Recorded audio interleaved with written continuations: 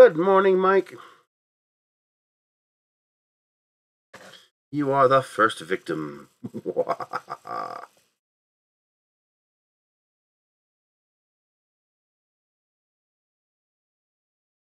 Matt's makerspace is uh, right on his tail.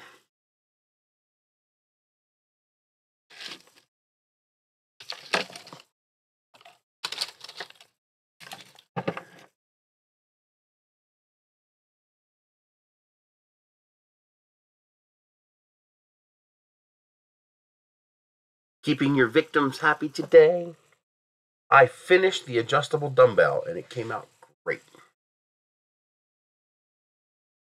I haven't decided if I'm going to make the extra one a thin handle or a thick handle, but I, I finished the knurled caps and they are deeper, so they will actually clamp together the entire unit. It's not watertight anymore, but that's okay. We don't need watertight. We're using sand. Um, I even I was even able to print these with the one millimeter nozzle, and they printed fine. Although I could probably make these a lot lighter if I print them with a smaller nozzle. But they're only nine grams each. It's not that much. There is twelve of them though. But now these are capable of um going on far enough to actually clamp to the frame. So is this. So that is an adjustable dumbbell. And this is all nice and rigid, all tight. Nothing here wiggles or moves because these are able to actually clamp the dumbbell shape to the frame. I made this center handle a little thinner. Basically, it's the same thing, but without the bulbous shape. So it's a little easier to grab a hold of. And there's less interference with your hand and the outside ones one of the things I want to, um, the total is, um, it'll be just over five pounds total. You fill everything up. So each of these will weigh approximately one pound when filled with band. Um, with the 18 grams from the caps, it'll probably be pretty close to a pound. It's, um, I think I need 300,000 cubic millimeters equal one pound, and these will hold, or have an area of 291,000 cubic millimeters. So pretty darn close. Close enough for government work. no one's going to care. You know, if it's if it's 0.95 pounds. So um the way to work is um you have your dumbbell. First of all, you can just use one of these. That's your one pound. When you start off, you just hold one of these in your hand. You can hold one in each hand and you have your one pound weight. When you're ready to go to two pounds, um, it's a bit annoying to have to take it apart and put it together, but you only have to do it once for each weight class because usually when you go from one to two pounds, you're never going to go back to one pound again because now you're at two pounds.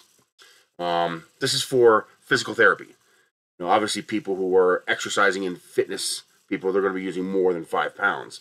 This is mostly for physical therapy type people who, um, you know, they're doing one, two, three pounds because that's what they can do. You know, we're talking, you know, people who are injured, people who are 80 years old, or people you see at a physical therapy center. So the idea is you would put an empty handle in the middle here, and then you do one tube on each side. Now you're at two pounds. Well, it's a little over two pounds actually, um, because the entire thing weighs about a pound. Um, you got 200 grams for that. Then each of these is 40 grams plus 18 grams. Hello, welfare god. Um, one thing I don't like is that um, these interfere with each other. Although that might be largely due to my large hands, but I noticed that I gotta be careful when I put these on because it's very easy to rack your knuckles against the one next to it. So I might actually smooth out this texture a little bit so that um it'll be a, it'll be a little less grippy, but also um less likely to tear apart your knuckles do this. See how, see how my knuckles crash into the one next to it? I'm a little worried about that. I'm not worried about it for me, but you know, you hand this to an you know 80 year old invalid person who's trying to get better, and that might be an issue. But anyway, um, the only thing I haven't figured out yet that there's no way to make it modular without removing all five. You have to remove all five in order to make any changes. You don't have to remove the other side. You got to remove all five because the whole plate has to come off. And I haven't figured out a way to to do it yet without having to remove all five. And also without making it overly complex.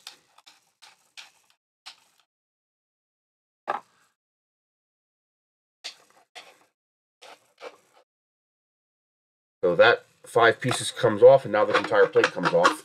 And now you have access to whatever you want to change. Um, now, when you fill these with sand, what we'll do, the one end is going to be sealed, the other end is going to be open. You fill it with sand. Take a little hot glue and just put a little hot glue in the end there. And now the sand never has, you never have to worry about them unscrewing a cap and the sand coming out. Uh, I would take like a little toilet paper, stuff it in there, hot glue, and that will seal it up on this end so that you don't have to worry about sand draining out. Then you would just change out these pieces for whatever you want. So you would use um, just the center one, for example, would be a little over a pound. Then when you want it to go up to two pounds, you make the center one empty. You'd swap this out with an empty one, and then you do two cross-posing ones. And that would be like two and a quarter pounds, two and a half pounds. And then when you're ready to go to three, you just replace the center one with a filled one. And now you have a little over three pounds. When you're ready to go to four, the center one becomes empty again, and you do four on the ends that are filled. This also allows it to stay balanced. I mean, you could put one, you could put two on the end, but now it's heavier on one side than the other side. So by doing it in cross pattern in the outside, everything stays balanced. So this whole thing stays even and balanced. And then when you want to go to the maximum, you fill all five. Or you replace them with five filled ones. And when you're done making your changes, your cap goes on. Then you just start threading your caps on. The the concave surface in there, that beveled edge in there, is actually the same exact beveled edge that's on the piece itself. So that when these mate together, it's actually a perfect mating. There's no wiggle. Um, so it's maximum surface area, which should spread the load. I still have not done drop testing. So I got to do some drop testing to see how well this takes being dropped on the floor.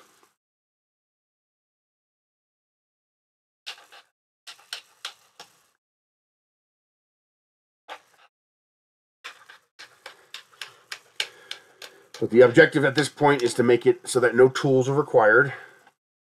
Technically, you don't need to hot glue the ends. That's just a convenience thing. Um, I might even make a, a little 3D printed cup that friction fits in there, like a little cylinder. That'll friction fit into the end to seal the sand in there, so you don't even have, you don't even need glue if you don't want to. But that at that point, it's easier just to use glue to um, seal up the end of it.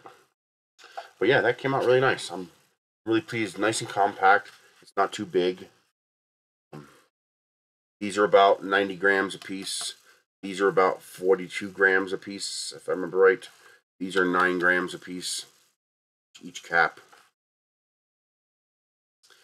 Um, and you know something? If a person is going to be using a 0.4 millimeter nozzle to print this, it wouldn't be that hard to make a lighter cap have um, over two millimeters of room to play with.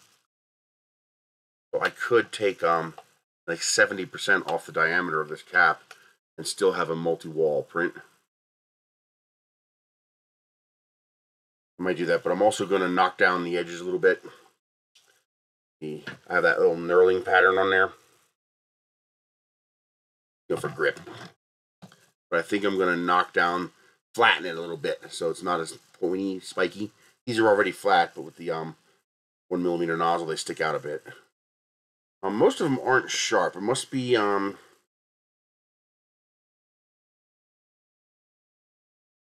filament stretching between parts. You know, you have that little wisp of filament. And it must be always at the same spot, and it makes certain parts like that part right there. I'm betting that's all, that jaggedness is probably where the nozzle stopped and moved to the next part. And so it dragged a little bit of filament with it. You end up with these spikies. Just changing to random might fix that. Then the spikies will spread around. But uh, might be easier just to knock that down a little bit with a, a knife. Something tool. See how hard that is.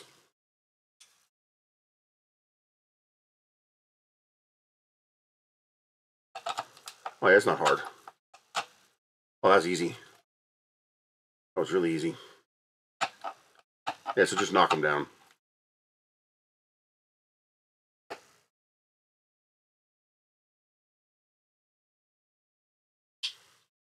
But I'm pleased with how that came out. It really came out nice. My biggest concern is um, I now need to print these parts using a 0.4 millimeter nozzle. Um, with the exception of the, well, all of these are printed in vase mode. And part of the reason for that is to keep it keep it light. Uh, I want it to be as light as possible, so it used as little plastic as possible. Um, you should be able to print two of these per roll of filament, which means it'll cost you about five bucks to print one of these.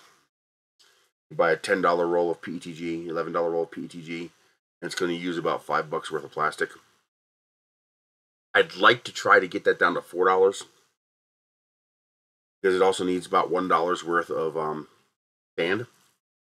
Now, some places like out here, you just go outside and get the sand. And um, you know, if you live in a shore state, um, you know, New Jersey, the states below it, or the desert states, you could just go outside and get sand and fill it up. Although sand you find outside probably does not have the same density as the sand you buy in a store. Sand you buy in a store is going to be much more fine grained and it will pack much tighter, so your density will be higher. But again, the difference is going to be negligible. No one cares if your weight is, you know, 0.9 pounds or 1.2 pounds. No one cares. It doesn't matter. The whole point is you start with a lightweight and you keep adding to it until you get to the five or six pounds. So this probably is going to you'll probably be able to if you if you put a bigger handle in the middle instead of the thin handle, um, you probably push close to six pounds with this. With the um with them all full. I can lighten it up. I don't know how much I can lighten this up. This band is 10 millimeters. And 10 millimeters seems about right for force distribution. Um, right now, the it's, it's like 12 millimeters of um of a section of the cone it's mating with, and that that's a good distribution of mass. Um, with the one millimeter nozzle, this bracket's basically indestructible. I mean, I bent it almost as hard as I could, and it did not break. Um, these would break if you squeeze if you nailed these hard enough, they'd probably break. Although the sand will probably help. It would be like a dead blow hammer. Once these are filled with sand, it's going to be a lot like a dead blow hammer. but we'll see how that goes. Um, I think I think it was right to make this one thinner. I can even go thinner if I want. I can have a concave surface come back down, but I think that's I think that's small enough for people to. I can wrap my fingers fully around it. So I think that's small enough for um most people to be able to hang on to. I think this was pushing it. I think that's a little on the thick side, you know, especially for older, frailer people to grip onto it. But I, I think that'll be okay. I'll have to take it over to the um to the um therapy center and you know just say, hey, you know, use this for a week and see how you like it. I'll print them up a few copies. Um, for a therapy center, I could even um um redo it at the right size. So I can give them like a couple of different sets. So they'll, they'll already have a set, so they don't have to take it apart and put it together. Hmm.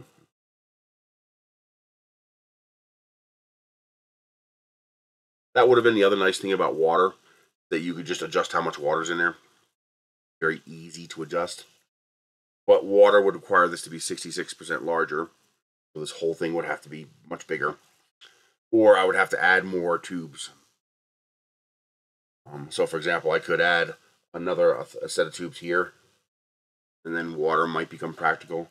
But the problem with water is that um, if you get so much as a crack, it's going to leak. Well, if you just crack the end of that tube, sand in it, nothing's coming out unless you actually break it. Sand is a little less messy, although water will dry out. What are you doing? I see you. Um, my very first one is still holding water. It's still watertight, so that's good. Problems there. I don't know what I would do with that, but it's interesting that it can. um, it'd be interesting to see if it'll hold gasoline. That might not be safe. Even if the gasoline doesn't eat the plastic, if um that becomes compromised, now you have gas leaking. That's no good. But um, like when I had my motorcycle, I always had a little container, like a quarter gallon of gas in it, uh, underneath my seat. So if I ever ran out of gas, I had my little emergency supply of gas. That's in a motorcycle. That's more than enough to get you anywhere, you know, to a gas station. But um, in a car, you need quite a bit more. If you if you if your car ran out, that might actually not be enough to get the car started because there's a dead zone at the bottom of the tank, depending on how the car is tilted or whatever. You really need at least a gallon. Um, I also beveled the edge so that when these print, you don't have that sharp edge. So these edges are nice. Uh, I think I will knock down these peaks a little bit just to make that a little flatter. Um, I'd like to try to make these a little bit thinner if I can. Um, I think I can maybe knock a millimeter off and still be able to make two perimeters. With a one millimeter nozzle, that's enough. But um, if I can knock some mass off of these things, that would be a good thing.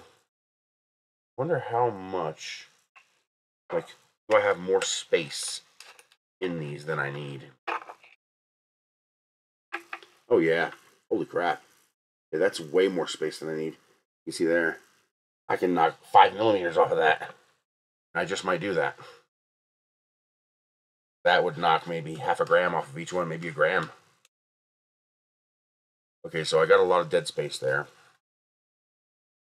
I had to have enough dead space to make sure these would actually compress. There'll be no jiggle. But I overdid it. That's more dead space than I need.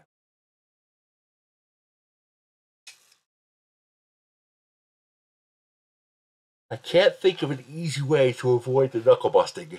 Um, where your knuckles hit that. Can't think of an easy way to get rid of that. I mean, sure, I could make this wishbone wider. You know, you, you don't knuckle bust this one. This one you got clearance all around.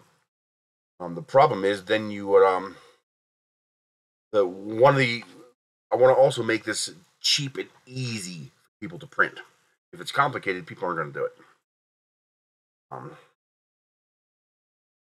yeah, um, that's one of the reasons I wanted to use bottle caps, so you didn't have to print you know, 16 of these or 14, 12. I'm sorry. You need to print 12 of these. You need five here, five here, plus your spare. That's 12 caps that you need to print.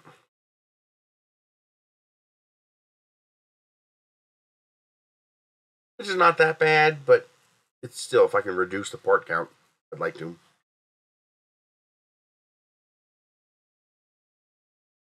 Now, something I something I could do that might be interesting. I don't know if it's worth it or not. I like the modularity. The nice thing about being modular, it's it's nice to be modular. Um, would also eliminate the need to have glue in the end of one of the bottles. With that's an interesting idea. Do I want to do that? I could reduce the size of these caps and get rid of the knurling altogether and then make these caps a built-in part of one of the wishbones.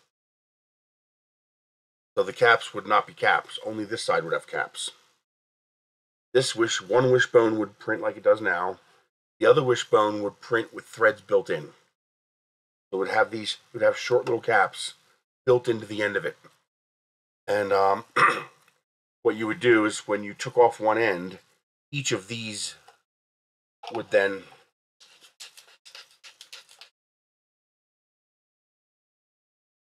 what you would do is you would take open end and you would thread it into the wishbone. And these would be just threaded right in. By threading that into the wishbone, you eliminate the issue of the sand coming off if you accidentally remove the cap, because the only cap you can remove is the end that's sealed. Um, I, I might have to test that. I might have to test that. That would reduce the part count by five. You eliminate five parts. Now you'd only have to print five caps.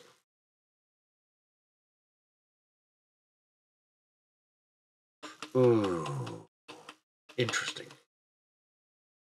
And then if you didn't print the caps for the spare, you're eliminating seven parts. You'd only have to print five caps. Oh, that's interesting.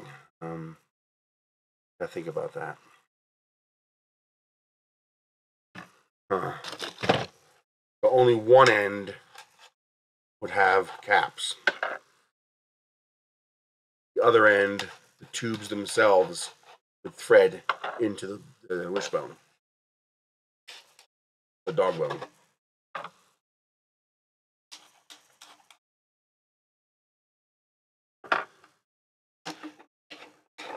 Yeah, I think that might actually work.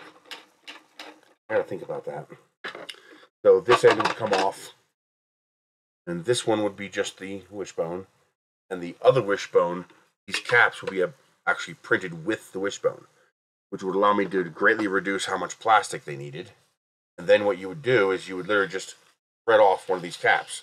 So the bottle itself would unthread like that, and the cap would stay as part of the um, the other frame, and you would just thread it into the frame just like that, and you just turn it until it's tight, so it didn't wiggle anymore, and then um, that's it. This end would be sealed, so when you remove the cap, you wouldn't have to worry about anything spilling out. Then you would just unthread the bottles. Hmm. Now, the only problem with that is gripping the bottles. I mean, is that enough surface area? It's enough surface area for me. Yeah, I can just grab that bottle and unthread it just like that. But what about a, um, a disabled person? How difficult would it be for them to do that? Um, I guess if you work the threads a couple times so the threads are smooth, maybe increase the tolerance a little bit on the threads so that um, it didn't take as much force. But yeah, you just thread the bottles into one end. You wouldn't have to remove all these caps because these caps would be a permanent part of it. And then you would only have to do this end. You know, you put your end on and then cap it. In fact, in fact, oh, why didn't I think of that? I could do the whole thing with one cap.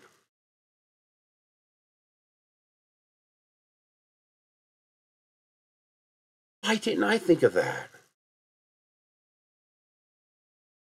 I could make this end of the dumbbell the same as this end, you know, with built-in caps, except the caps would be fake. The caps would be, hey Fernando, the the caps would be fake. They would just be there for decoration, so that both ends look the same, but there'd be no threads because this is tight enough with just the one. This doesn't do any wiggling know, that's that that feels great. You know, I can force these ends out a little bit like that, but that's me forcing them. But um, you could tighten just the center cap, and this whole thing would hold together just fine. Oh, that makes it so much easier.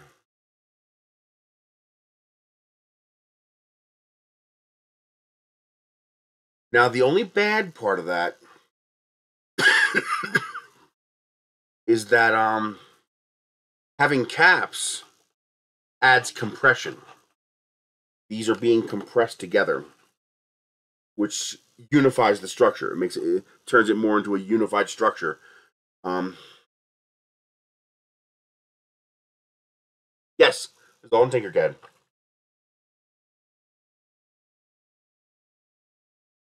Oh man.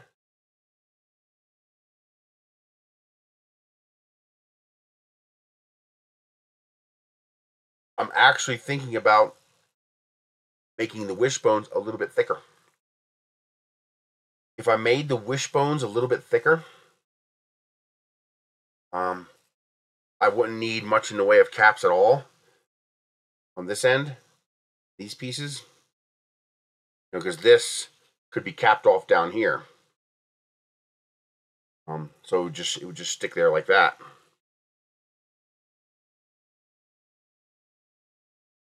Oh man, that is such a good idea. But would it be strong enough? It would require that they tighten that enough. But the advantages are huge. Because now when you want to adjust how much is on here, first of all, you got you're printing a lot less plastic, so um you're printing almost 100 grams less plastic. I would love to get down to 3 per spool. I would love to get these down to um you know like 340 grams. You could print 3 sets per spool of filament. That would be fantastic. Oh man, that is such a good idea. But would it be enough? Because now the only thing holding this together is one cap. I mean, these sides would be threaded, but on this side, it would only be one cap holding it together. And one of the advantages of multi-caps is that you get that distribution of force. So now when this hits the ground, if somebody drops this, all five connections are adding to its rigidity and its shock distribution. But if I had one cap, now all of the strength would basically be on this one connection here. It's a good connection, strong connection, but isn't enough?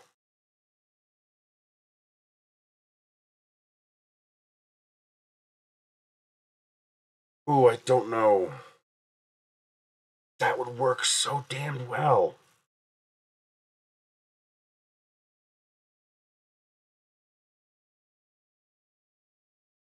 Because now to adjust it, you would only have to remove the one. And then this whole thing would just come off. And then you just unthread whatever you need to thread and rethread whatever you need to thread. And you put that back on again. You only need the one cap in the middle.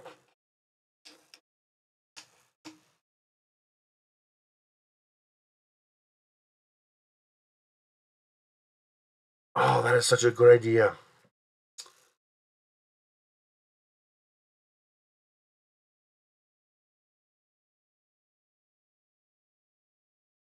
Maybe I'll do, when you see him, you see him? Here's the advantage of 3D printing. If you want 10 different versions of something, you can have 10 different versions of something. I could just, I could release both. I could release the, the, the, the hyper strong version or the hyper efficient version. Know, the one with the 10 caps is, you know, maximum configurability and maximum strength. Um, and the one with a single threaded cap is going to be the most efficient. Hey, Colin. Yeah, I remember when it was called 3D Studio. I think I still have a copy of 3D Studio somewhere. Well, probably got thrown away in Pennsylvania something I probably didn't keep. Like I, I didn't keep my Autodesk 11 boxes either. I still had my boxes for Autodesk AutoCAD 11. This is this is rigid. This is strong. Like that's going nowhere. Um, and I like that. But I don't like how much of a pain in the butt it is to adjust it.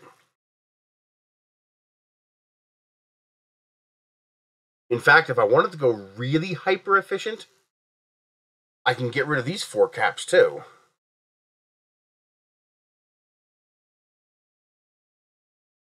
And then it would just be the center two sets of threads holding everything together.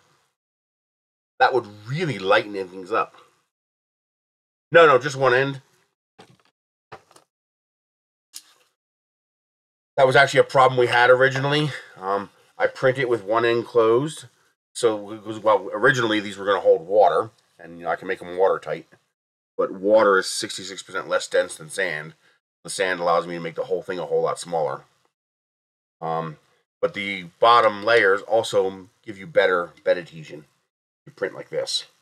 So um, I found out that the the soda bottle caps have a ridge on the inside, and that ridge forms a shape like this And that shape is what seals on the bottle. So that when you filled in one end, the cap wouldn't go on. So you see when I put the cap on, it just pops off. See how it just keeps popping off? There's only one thread's engaging. That's because that that little ridge you can see in there, see that ring inside there? That's a raised ridge. That ridge is hitting the filled in area. Normally, that ridge would actually go inside the bottle. You can see on this end, so the bottle cap fits perfect. No problem. So this would actually be watertight. Um, but that would mean I'd have to get rid of that. And that's no good because now you only have a single ring holding that part on the print bed. I mean, mine would have no problem printing that, but a lot of people would have a problem printing that. Um, but since we're going with sand, we no longer need watertight. And so I just print my own caps. The other problem with the bottle caps is that um, in order for this structure to go together, I need some sort of, I need some compression. Otherwise, these end caps are loose.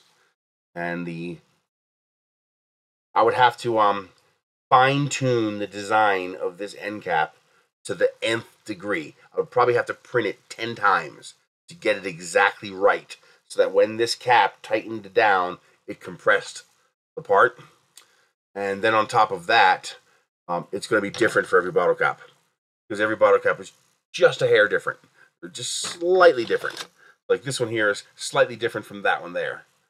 And um, so it was easier to make my own bottle cap that had more threads than I need. So this is this has a bunch of empty space in the top here, which I'm going to fine tune to reduce the amount of plastic it requires. But um, that extra space means I can compress this down. And now this entire structure is being compressed together. So it's really, really rigid and strong. You know, you, you can't twist it. Um, but damn it to hell, if I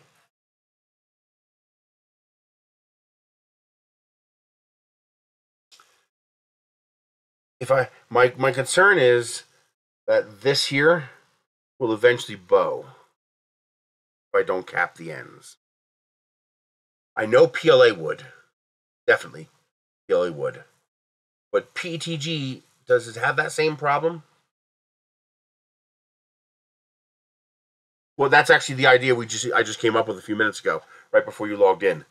I thought of um, building the caps directly into the end piece itself, which would make them a whole lot smaller. You need a whole lot less plastic, and then the tubes would thread right in, which would make this a lot easier to adjust.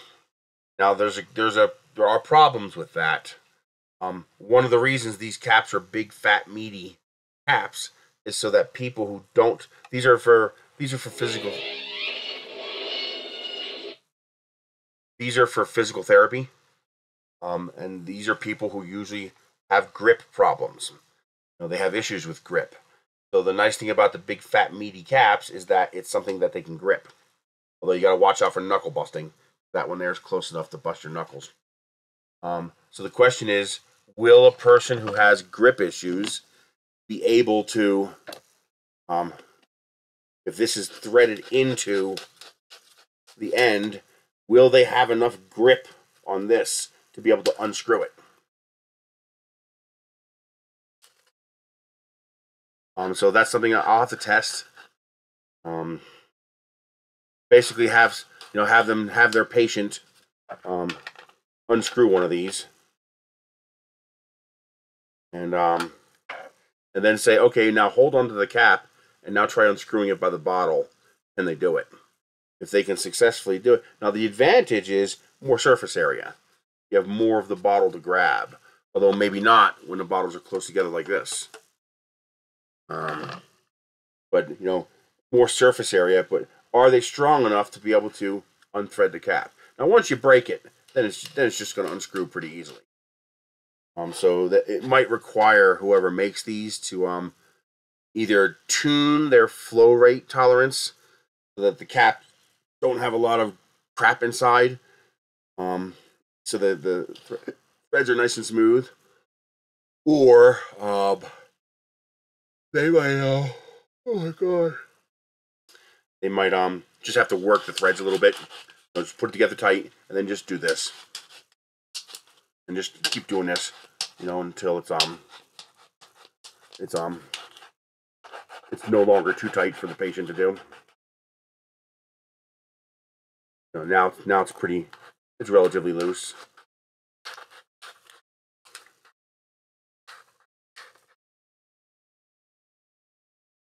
um, because those threads are pretty messy in there. I might have to design my own threads one day, clean them up a little bit, make them 3D printing friendly. Um, because the PET cap threads aren't 3D printing friendly, at least with a one millimeter nozzle. But they worked, so you know, because this this worked perfectly. But I had to I had to modify these threads. There were um there were hard 90 degree overhangs on the top and bottom of these threads that I had to get rid of, or this wouldn't print properly. It would have errors and it would not be watertight. So I already modified this part to be um 3D printing friendly. Um, so it might not be that hard to modify the cap um, to be a little bit more 3D printing friendly. Sometimes just getting the the threads inside, you know, they come to a point like this. Sometimes just knocking down the point with a little tiny flat is enough. Sometimes that's enough to give it enough meat. Um, more friendly to the 3D printing process. You just gotta watch you don't knock it down too much because otherwise you um because you have your thread sticking out on here and you have your threads on here and they have to mesh. And if you knock down your threads, you also knock down how much meat you have for those threads to mesh. And if you knock down too much meat, you jump threads. The plastic itself could distort and jump the threads. That's actually exactly what's happening here when you put the cap on. The cap itself is is being bowed out and it jumps. The cap pops off because it hasn't engaged enough of the threads to have strength yet. So it's only engaged one set of threads. So when that inner ring hits the top of the the printed surface there that's not supposed to be there, um, the cap actually bows out and the threads pop, pops off. And then I found one that didn't. I'm guessing it was a little more rigid than the other ones. They all do it. That one actually went on good. Oh yes, the some of the caps for soda bottles, uh, um, they don't have. This here is a one-piece cap. The whole cap is one piece, and it's using that inner ring and that outer ring to and create a hook interface that goes into the bottle. So part of the cap is inside the bottle, part of the cap is outside the bottle, and when they compress together, when you tighten them, they compress and form a seal. Um, the sum of the newer caps, which I don't like, they don't work as well, although they work better for 3D printing. Um, they don't have that ridge inside. Instead, they have a little blue, that little piece of blue thing in there. You barely see it here. That's it. That dark color cap inside there. That's a separate piece of plastic inside the cap. And that does not have that ridge. So that this one is able to thread onto the sealed end of my um, units without a problem. Now the problem with using bottle caps would solve a lot of problems, but the bottle caps have their own problems. I'll show you. I put it all back together again? Yes, I did.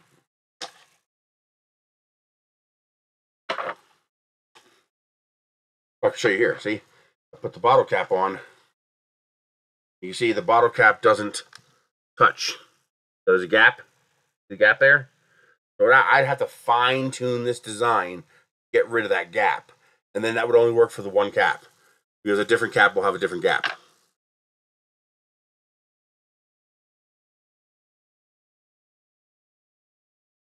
Well, we can't do that. You can't you can't just make a 45 degree edge for the threads. That's not going to work. Um, that'll work if you're making your own cap. If you're making your own threads, if you're doing everything yourself, that'll work great. a matter of fact, the best thread design I've come up with yet is this one. This is my thread design. You can, well, you can barely see it, but you can see the threads have a better than 45 degree angle and a flat edge on the top here. And so they print real nice. And I use surface area to make up for the difference. So these parts thread together really, really nicely. You can see this is what I have here. So this part you can see the threads real nice because these threads are 100% 3D printing compatible, um, there's no slop. You see, there's like almost, look at that, barely any play when you partially thread it. And, um, um, and there's no hairs, there's no misplaced filament. And these are completely, um, thank you, Colin. Um, these are completely vase mode compatible, so that's all printed in vase mode. That's all printed in vase mode. Um, so these threads go together. You have to find the ends, the start and end points, but once you get the threads in there, they thread together really nice and they tighten up really nice. Um, that's if if you're designing your own threads, you can do that. But um, it's too late for me to go that route because I'm not going to redesign from scratch. And I made these originally for bottle caps. So that's kind of what I'm stuck with. Also one? Yeah, that also has the blue thing inside. Um, but also, these threads are not good for small threaded objects. Um, it's too small. The, the size of these details gets too small when you shrink it down. I can get down to about 30 millimeters and it's good. But any smaller than that and they start to get iffy. Um, so when you're when you're dealing with little stuff like this, you're gonna have sharp edges.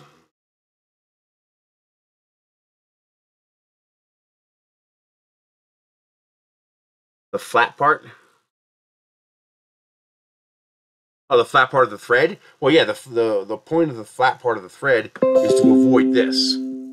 It's to avoid printing a knife edge. Because printing knife edges never works well. Uh, when you print a knife edge, you're basically printing an overhang. Sometimes it works, sometimes it doesn't. Either which way, you end up with a really sloppy, you can't even see that. I don't have a light to show you. My phone probably has So you end up with some really sloppy threads in there. Um, that's the nature of the knife edge. You have your your your your thin um, threads by putting that little tiny flat surface. That flat surface only needs to be 0.4 millimeters thick, two layers. But just by having that flat surface, you're now um you're, you're it's a it's a it's a shape instead of an edge. And shapes are strong, edges are weak. Um, so this has lots of edges. This has all shapes. Now the downfall is it's hard to make this really small. So for me to use these threads on something this small, it's difficult. If it doesn't print right, you don't get the tolerances right because these, the tolerances have to be right. Otherwise, you see my, my threads are not very thick. See? They don't stick out very far. Right? So the interface needs to be good. Um, if the interface is not good, this part will just pop out. It'll jump threads. Um, the knife edge threads gives you lots of wiggle room. You know, you, you ever put a cap on something and look how much it wiggles. Look, look how much look how much play that cap has. Look at that. Look at, look at that incredible amount of play that cap has. Yet when you tighten it down, it's fine because it's using many threads and it's compressing the plastic. So when you when you when you when you do that, you can get away with a tremendous amount of wiggle room that you can't get away with in a normal part. You see, when I do my part, when I thread my part in, there's only um, one, two, three threads for the whole entire thing. But you can see here, there's very, very little wiggle room.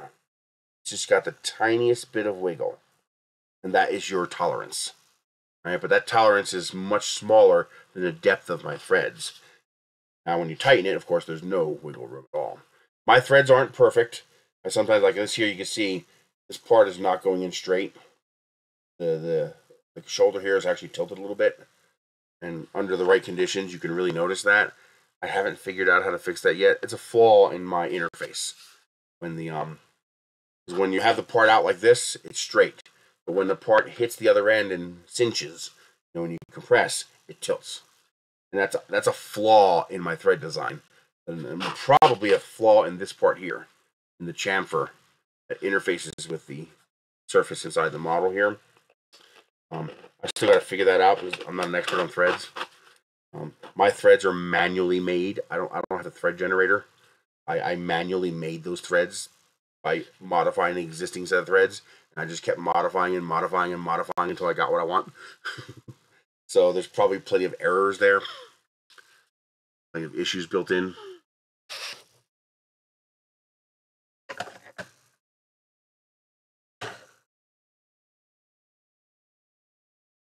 Oh man. I hate this chair. It's just a hair too low. I need this chair to be like four inches taller.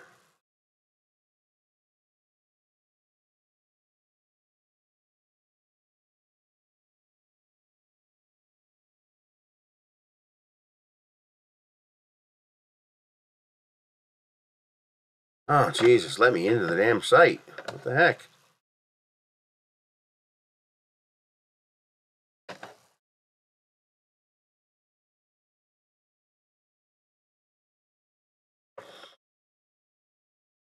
Shout out to Colin. Got 58 bucks in PayPal. Thank you, Colin. I really appreciate that.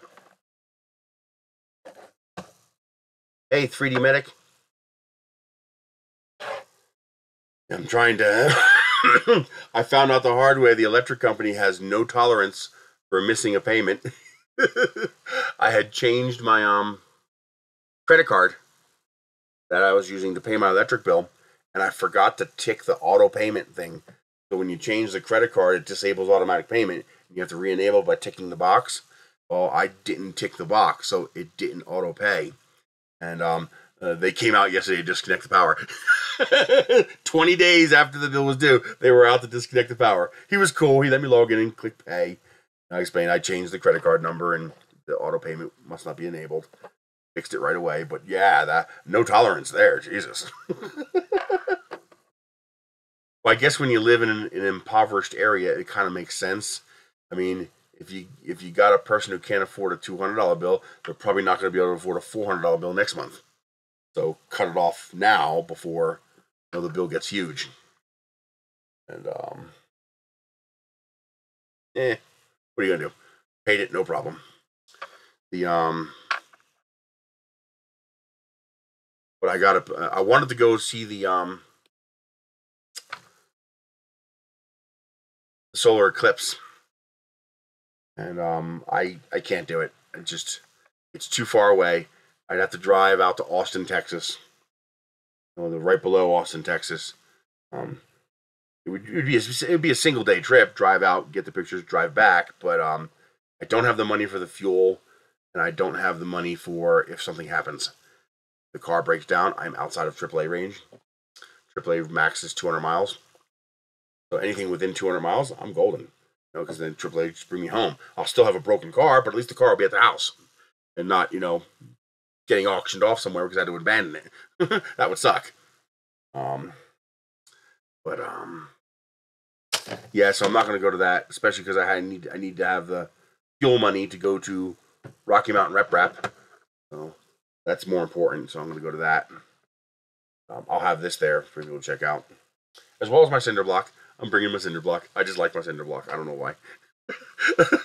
I just just printing a cinder block was cool. It's just it's dumb, but it's cool. But yeah, this is looking good. Now the question is, um,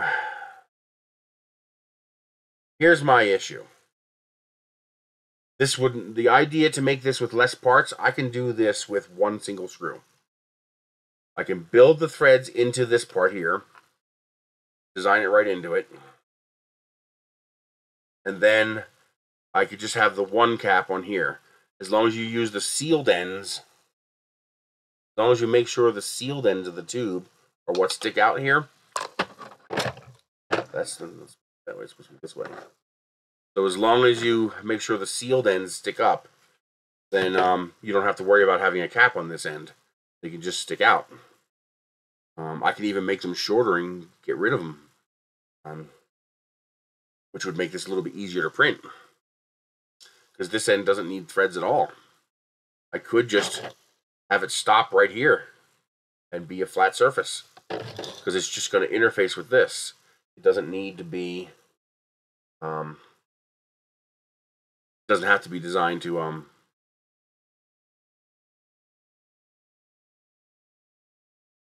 as long as those nubs just go over the soda caps on the bottles should be good. I don't understand what that means. Uh, the problem with the soda caps, I'll explain again.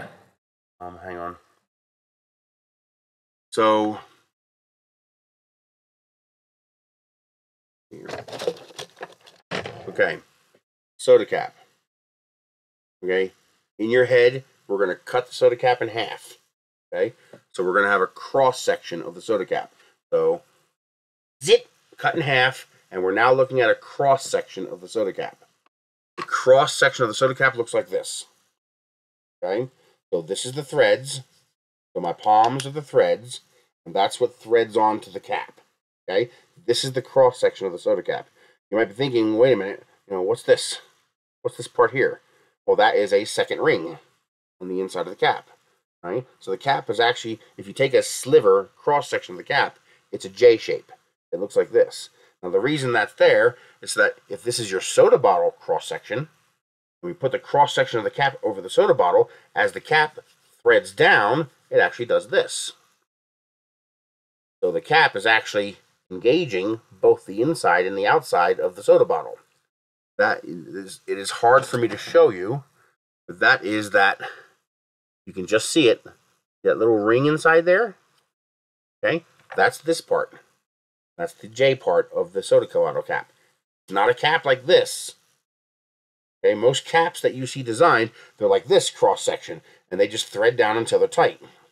Well, soda bottles have to not only be watertight, but they have to hold at least three atmospheres of pressure, because that's how much pressure the CO2 inside the bottle is capable of exerting against the cap, three atmospheres. So it has this seal inside. Well, that seal goes inside the bottle. But if the bottle is sealed, it can't go inside because the end of the bottle is sealed. Um, so the reason I can't use the soda caps is because I would have to make this an open end. And I could do that, but now it's going to be a lot harder to print this. Without that bottom layer, there's there's only a ring holding that entire thing on, and people who have bed adhesion problems, yeah, that's just going to knock over. The other problem is um, these caps are these caps are profit optimized. So they have, if you look at a cap from 20 years ago, it's very different from the caps today. Um, yeah, that's how they form the seal. Now, some caps are different. These we actually consider these to be worse. You notice that sodas go flatter faster lately? That's because they have these caps. They don't hold they don't hold as well. So this cap is a flat cap like this. Okay? And it has a a rubber seal on the inside to produce the seal between the cap and the bottle. That's what that little blue thing inside there is. There's a little blue. Can I get it out? Let's see if I can get it out. I don't think so. I think it's I think it's welded place.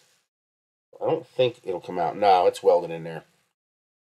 I think it's sonically welded to the cap on the inside. But if you if you look at one of the other caps, you notice there's a, a little blue disc inside, and that blue disc is actually a different piece of plastic that produces a seal, but there's no J ridge. So that's why this cap will not work on this. It just, see how it just pops? See, it just pops.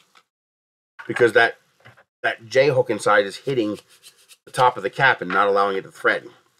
This one doesn't have that, so it threads all the way on. Now, the other problem I have is that the caps are a little bit different. And the caps are also flexible. Now, these are HDPE, so they're pretty darn flexible, which is good for sealing against a rigid surface, like a really thick end of a bottle. Not so good when you're trying to use it as a, a compression part to hold things together. So when I do this, I'll show you what I do.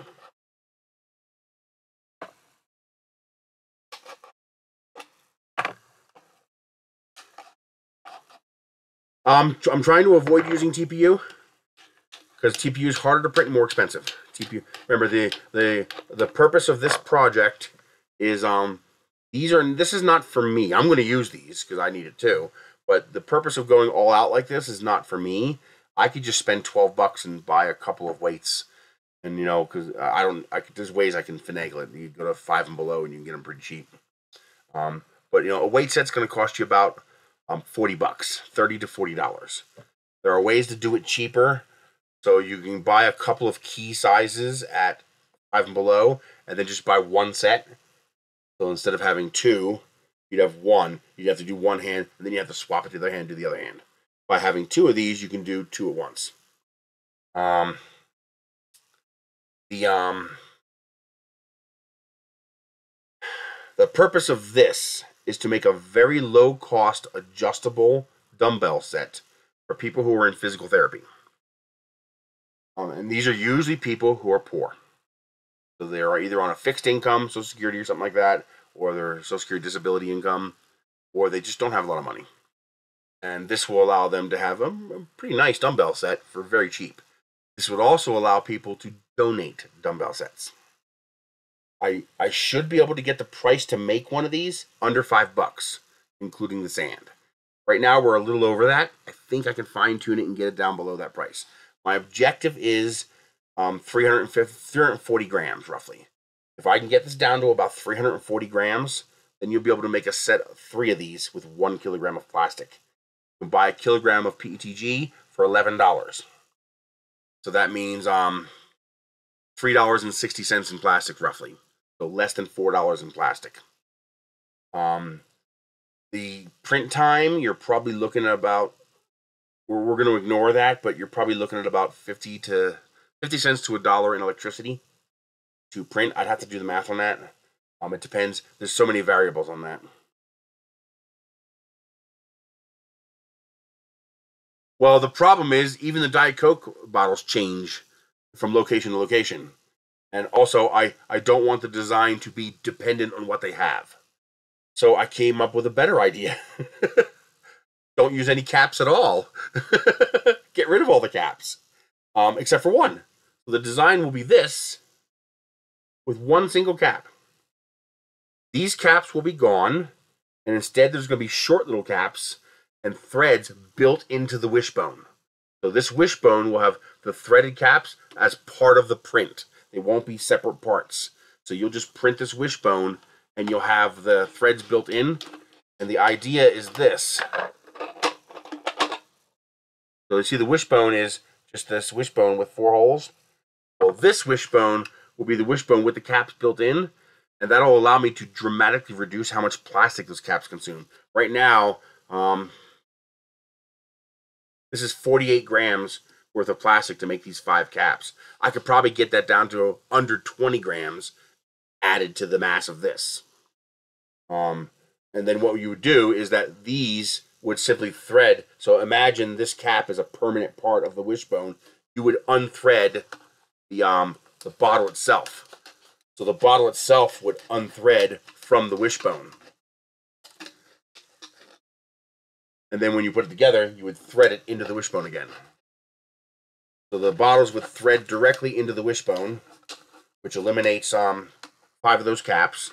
And then this side here, you just make sure the sealed ends are the ends facing out. We're going to seal the other end too, but make sure the sealed end is the end facing out. And now this end doesn't technically need five threaded caps. In fact, I'd print these without this on here. These threads, I'd just make them go away. They'd be gone.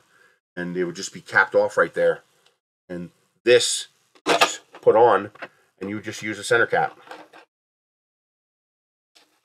And that's enough compression to hold this whole thing together. So one cap. These would be flush, and and I would, I would design them to be flush so they don't stick out.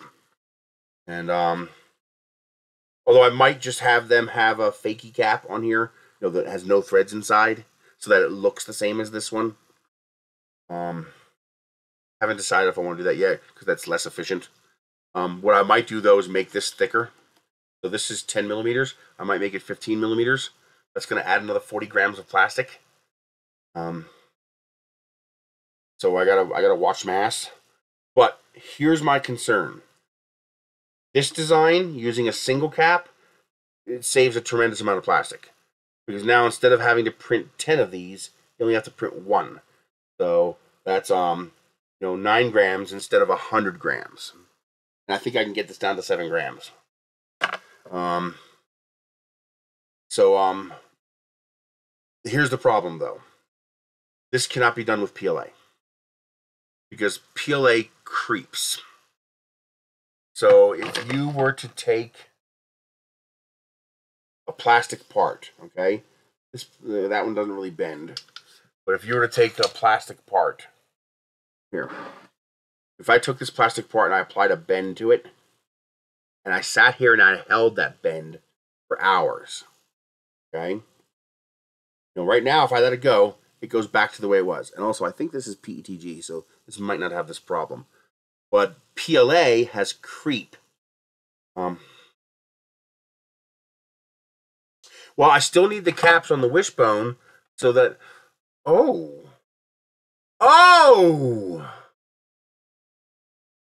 They don't have to thread if they're compressed. Only the center one has to thread. Good point. The, the end bottles don't need threads at all. Oh, that's good. Only the center would need threads. Boy, that knocks another 50 grams of plastic right off the bat. And I can use that 50 grams of plastic to make these thicker. Oh, Robert, that's fantastic. I, why didn't why didn't I think of that? And you know, know what else that does? My one of my concerns was that by not having threaded caps, I lose the integrated structure. Integrated structures are very, very strong. The more you can integrate a structure, the stronger it is. So this with 10 caps is absolutely the strongest way to do this. It's so strong, in fact, I'm going to release this even if we come up with a more efficient design. So I'm going to release both. You're going to have strong and you're going to have efficient.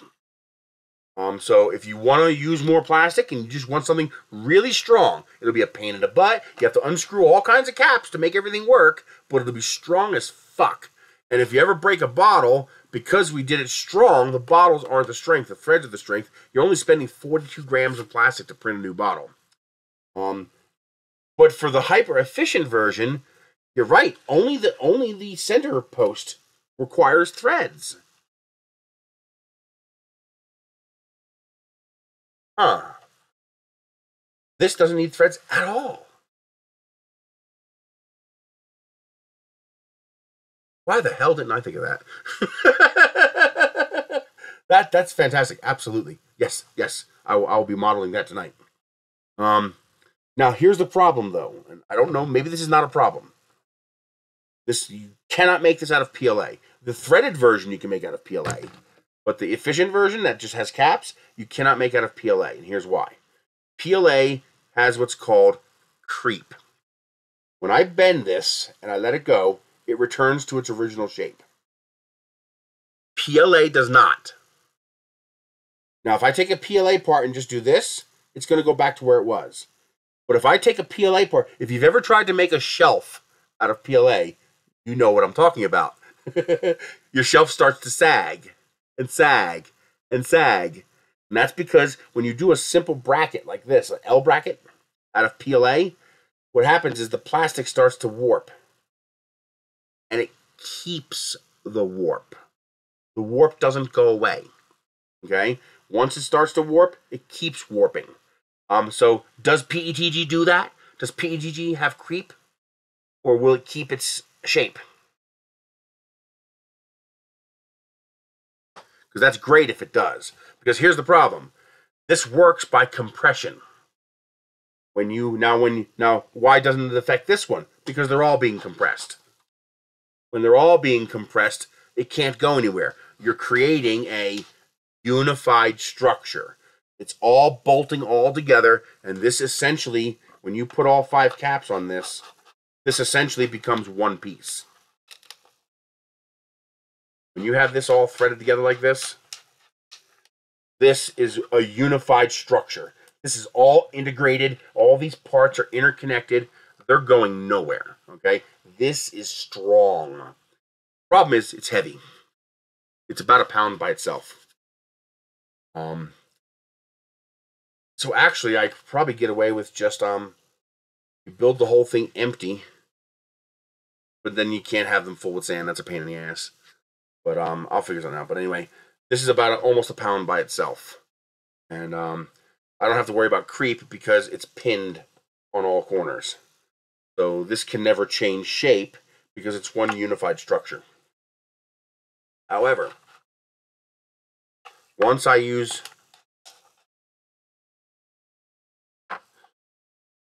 if we switch to a design that only uses the center cap for compression, technically what's happening now is this thing is technically being bent like this. See that?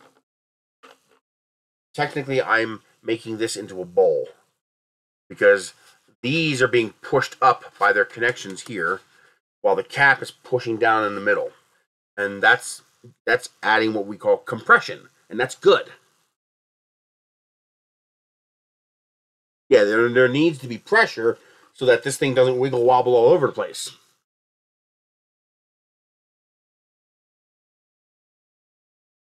Um, now, PG is flexible, which is good because that allows me to use compression. And that means when it hits the ground, it's go- it, it should have a, a better likelihood of giving instead of breaking.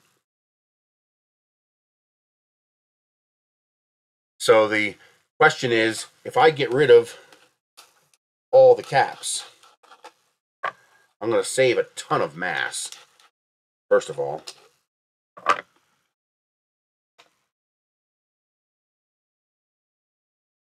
Never going to be as tight and as rigid as the um, the fully capped version. There's just no way you can do that. But basically, it'd be this. And these I'd get rid of. These would go away. There'd be no threads at all. These end bells wouldn't even have threads. They would just sit inside of these cups. Um, and then they would they would stop right here. I'd cut them off right there on both ends. And um, the only one that would have ends would be the center one. Um, and that would have the cap to thread it together. Now they're hmm.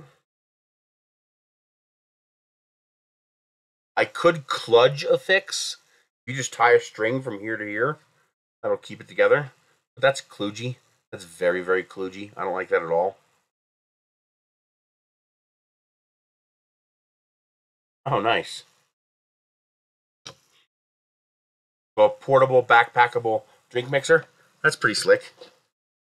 This chair is too damn low. I got these nice folding chairs. They're um, you know, they're they're designed to hold big fat people like me. Um, and they're fine, except um, the chair's too low to the ground. I'm a big person, and that's even considering that um, you know, I got I, I have short legs. I have women's legs. I got a 27 inch inseam, so I got short little legs and big torso. Um, and so even with my short legs, this chair is still too low to the ground, and so the angle of my joints is too extreme, and it it, it puts them under strains. And when I get up, all oh, the pain. Um, I basically have to splay my legs out and turn them sideways, but then your your knees start to hurt when you do that.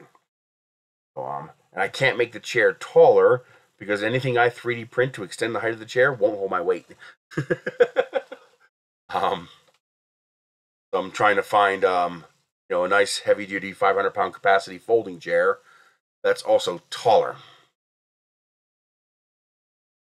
But now the idea is to have these be no threads at all, and they just simply sit in here. See, they'll, they'll rotate and just sit in here, just like that. Um,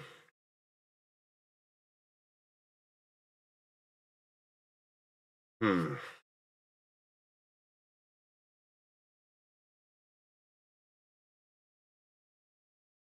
It might even be worth. It. I'll have to think about it. See how much wiggle room I have. But it. Okay, one of the reasons that I like this shape here is that it's a it's a um what do you call that um it's an ellipse instead of a cylinder.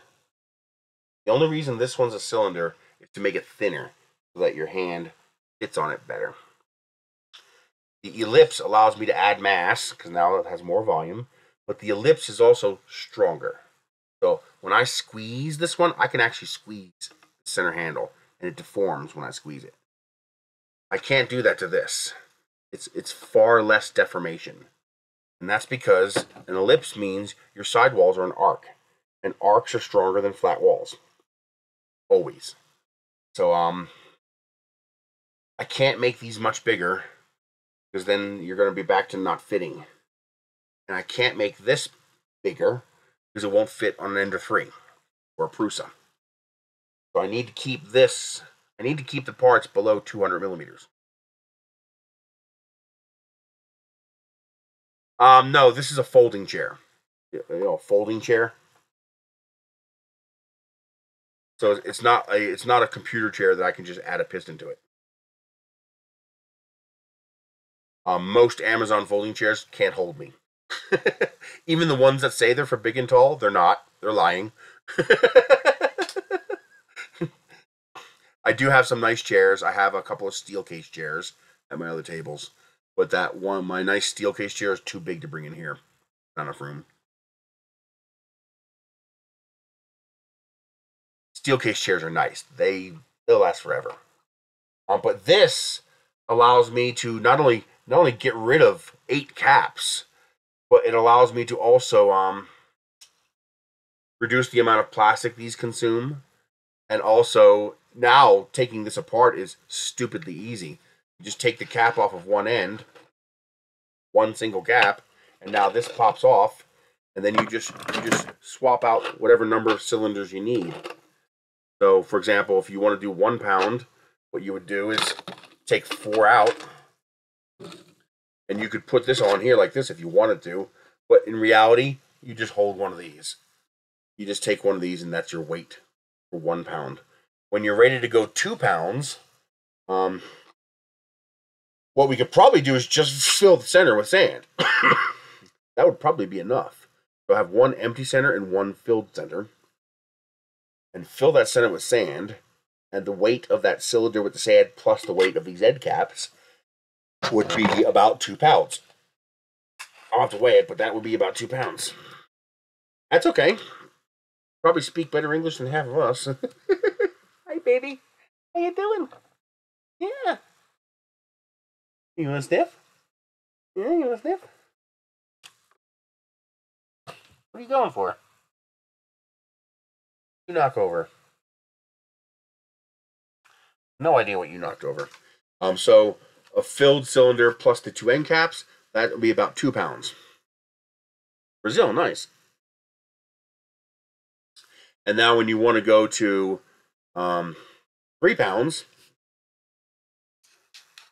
you swap the center cylinder back to an empty cylinder.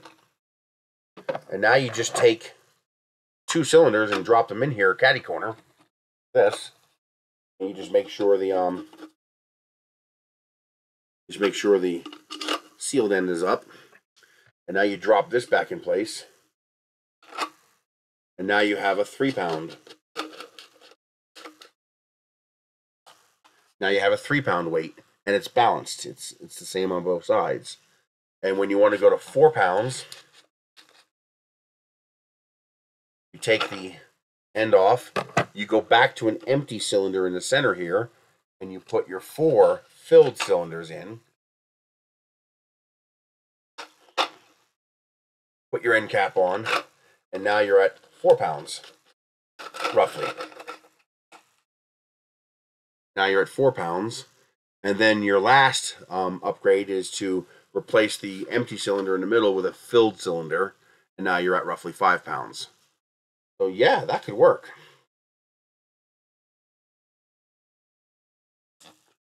So as long as you can make that tight enough in the center, it will actually come. Know, it still moves though. I don't like that.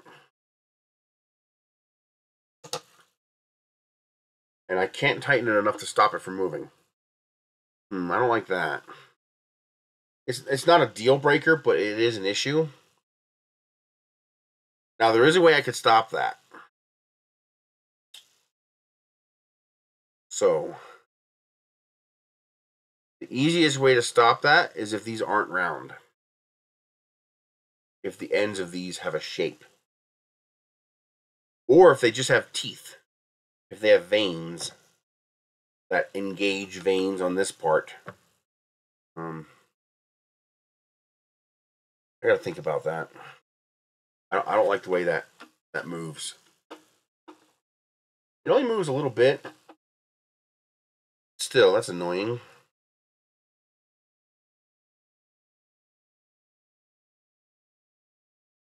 But that would reduce the plastic count so much. And it would make it so much easier for people to interact with this. It wouldn't be such a pain in the ass.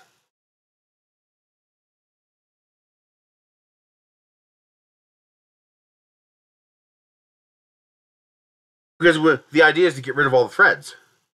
If I only had this part here be threaded, um, the, the mass of the entire project dramatically drops. The print time dramatically drops. I mean, probably half of the print time of each of these cylinders is printing the two threaded ends. If I got rid of the two threaded ends, I'd probably knock an hour off the print time of each of these, and I would knock mass off of it. Um, I would I would knock 50 grams of mass off just by not having 100 grams of mass off just by not having to have these anymore. Um, everything, this would be more streamlined. It would look nicer. Everything gets better if I get rid of the caps and just use compression. Now, the, the tricky part is there, there is a way I can stop this from wiggling. And the way to do that is to key it. And so what do I mean by that?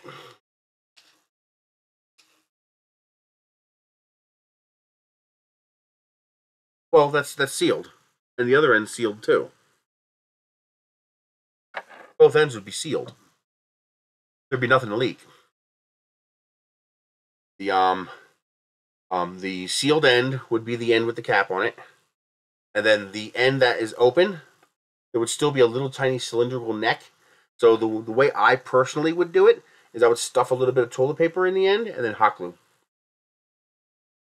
At that point, I can also 3D print a cap. You just glue the cap on. You could do that too. You know, have a cap that fits inside, and then just glue it in, little little super glue.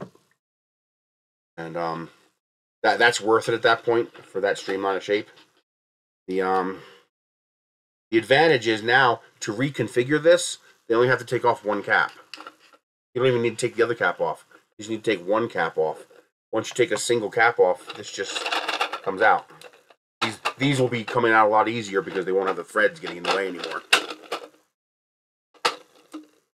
Um, with no threads, this will just come right off. Super easy. Now, the way I can do this, I got to figure out how to do it.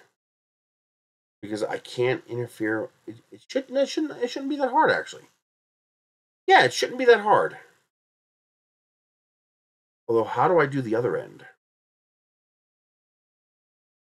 I have to figure out how to do it. But what I need is a key. So this will have a slot.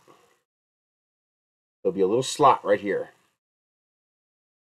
And then this piece here, the center one, the one on there, I don't want to, unscrew it. The center one will have a fin. So there'll be a little little fin of plastic sticking out right there. And that fin of plastic would engage the slot on here. So these would key. Um, once they're keyed, if they're keyed, they can't rotate. So that eliminates the rotation problem. The problem is the key has to go on this part, not this part, because I need the threads. Can't key threads because then you can't put the cap on. So the fin would have to be just on this part. And I can even do multiple keys, so I can do three keys so that the, the load is spread without, because one key might shear off if you were to turn it too tight. So I could just put three keys on there and then have three keys on here so that once these pieces engaged, they can't rotate. So um, imagine if you had a little a little key sticking out here like that. Well, now you see, can't rotate now. Now it's locked in place. So three fins, three slots, key, and now it can't rotate that would work. What's a curling bar? I thought that's what a dumbbell was for curling.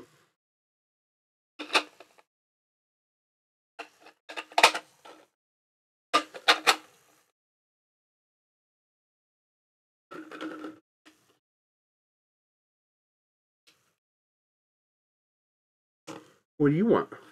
What do you want, baby? Yeah. You're such a good boy. You're such a good boy. Yeah.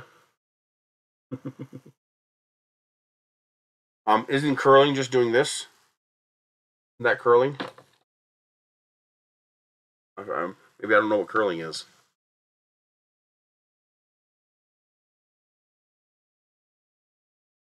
Yeah, just waltz your ass in front of the camera. Well, now you're getting snatched up. Yeah, too late. You don't have a choice now. Now you're getting cuddles. yep. Get in my face, you get cuddles. yeah. Oh boy.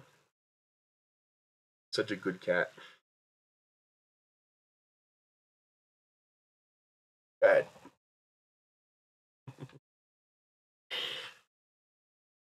He's my ender.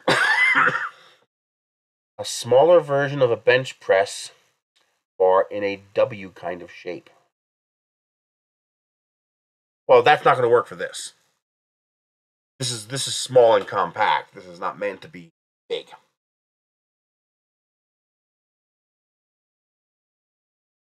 Exactly, that's way too big. Yeah. So curling is just this with both arms at the same time.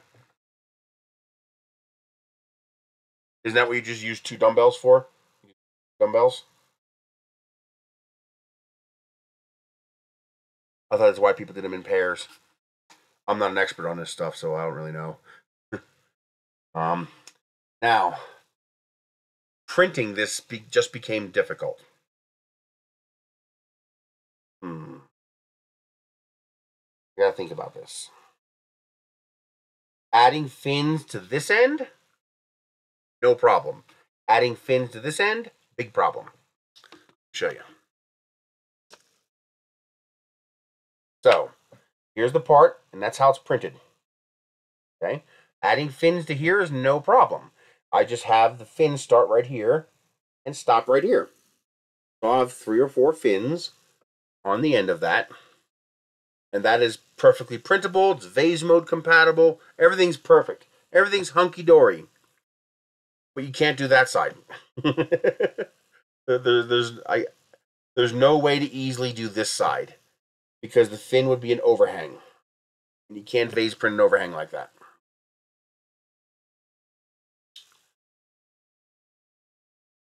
And it's got to be on it's got to be on both ends. If it's not on both ends, it's not going to work. There are kludgy ways I can get around it. I can print the um I can print little caps that would fit over this. You glue them together and that would add the um um the fins to engage the slots. But now that's two more pieces you have to print, even if they're tiny. And that's um um now you have to glue parts together. That's that's very very kludgy. I don't want to do that. The other thing I can do is to um to somehow transition to a non-curved surface. So either a triangle or square.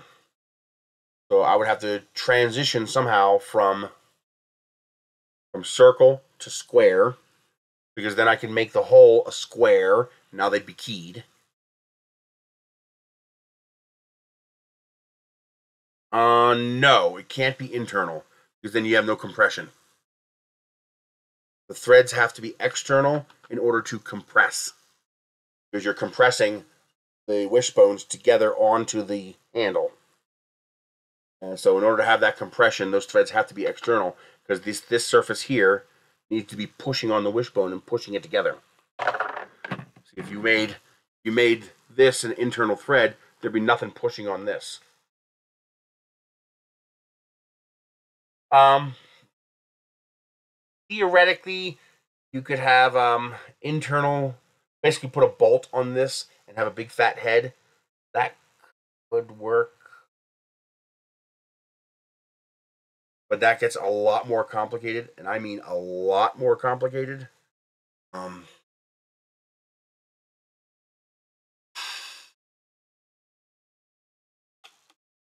that gets really, really, really complicated from a CAD point of view. from a point of view of me figuring out how to do it, that gets really complicated. Um, the fins are an easier idea. I just gotta, that gives me the lock that I need. Um, what I might need to do is a lot of fins. If I were to use eight fins, for example, I could make the fins a lot smaller. I'm trying to avoid glue. If at all possible, I want to avoid glue. Um, we're already gluing this sealed end shut, the open end shut. I'm trying to avoid glue if I can.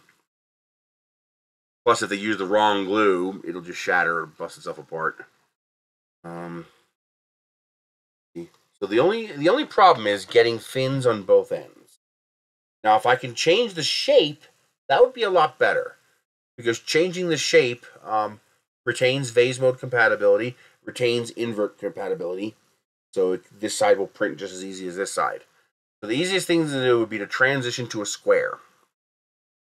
If I could transition this to a square, but then I'd have to transition back to a circle again for the threads.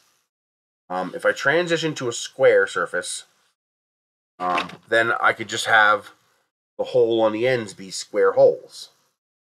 And now it's keyed. It, it won't be able to twist. And it'll be using 100% of the surface area, which means it'll be the strongest it's capable of being. That's the easiest, is to transition.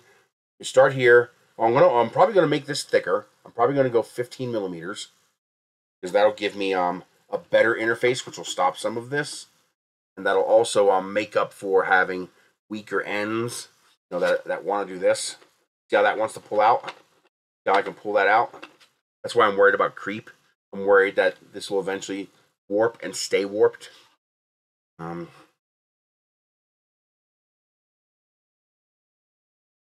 now there is there is something else I could do. It'd be tricky.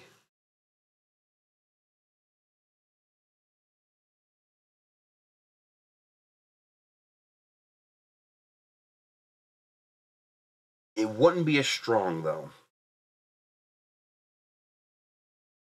If I made this much thicker, see, now we're greatly increasing the mass. I'm, I'm erasing all of my mass savings by doing that. If I made this 20 millimeters, and made it invertible. So that only half of the 20 millimeters would engage the bottle so that you could the idea would be to make it so that you could install this in either direction. So you could take this and flip it around and install it this way. Flip it around and install it this way. If I did that then if the plastic warped you just flip it over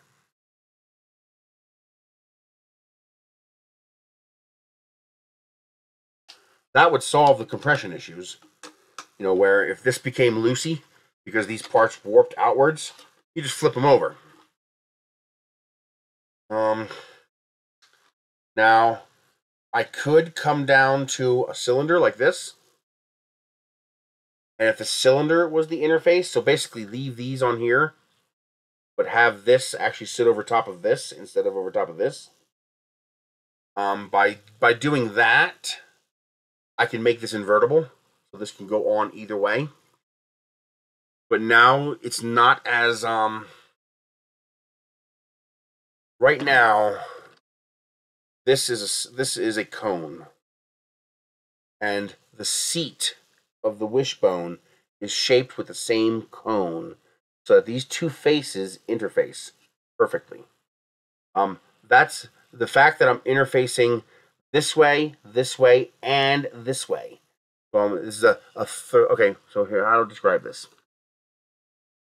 Um, easiest way to describe this. All right. Cylinder. A cylinder interfacing with a cylinder is a two-dimensional interface. I'm interfacing this way, and I'm interfacing this way. Okay, so it's a two-dimensional interface a cone interfacing with a cone is a three-dimensional interface. So the when you have a a conical surface inside of a conical surface, that's a three-dimensional interface. You're interfacing on all three dimensions. And that is just fundamentally stronger than a 2D interface. That's that that's part of the reason why this ellipse, even though it's just a slight ellipse, this ellipse is strong. When I if I squeeze this evenly, there's no deform. I'm squeezing the living hell out of this, and there's no deformation in that tube. Now, of course, if I apply a pressure point with a single finger, I can push in. But if I squeeze, it's like an egg. It's a three-dimensional interface. And it's very, very strong. Versus a cylinder, which is a two-dimensional interface, and I can easily squeeze that all day long. Um, it's not breaking because it's a one millimeter nozzle print, but I'm deforming that cylinder. I'm squeezing that cylinder. Well, with this, I got no deformation whatsoever. Okay? So if I go with a cylinder interface between the weights and the wishbones, I can make the interface invertible without um, um, without making it bigger. I can make it so that this wishbone can be flipped over. So if the wishbone starts to warp, all you have to do is unscrew this, flip the wishbone over, and screw it back down again, and then do the same thing with the other side, because the, the other side's going to warp the same way. And now it'll start warping the other way, and you'll probably get a year out of it before you have to flip them again. Um, that would solve any potential creep issues. Hi. Hi. Yeah, you want to get over here and mess with stuff, don't you? So I'm just going to pet you until you get annoyed with me. When you get annoyed by me petting you, you'll go away.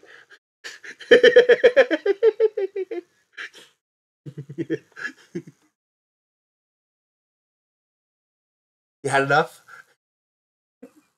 Um, more parts. I'm trying to avoid that. Yeah, that, that's more parts that I'm trying to avoid. Um, plus the the interlock um, needs to be with um, the cylinder, not the cap. Because I thought of that too. I could put teeth here and teeth on the cap and they would interlock, but that wouldn't fix anything because what's twisting is the cylinders. Okay? The actual, um, I mean, I guess would help a little bit, maybe. You also now would not be able to compress it as tight because the teeth would stop you from compressing all the way. Um, no, what I need is an interface. I need I need key. Uh, it's, it's as simple as that. I need a key. There needs to be some sort of a fin or shape of this cylinder that will interface with this cylinder. Now, I don't have to worry about keying the center cylinder because these have a three-dimensional interface and I'll get my strength from that. So if this only this one doesn't have a 3D interface, that's not a big deal. Um, that would solve this problem. That would stop that. Since the cylinder, the cylinder would not be allowed to rotate relative to the wishbone. Um,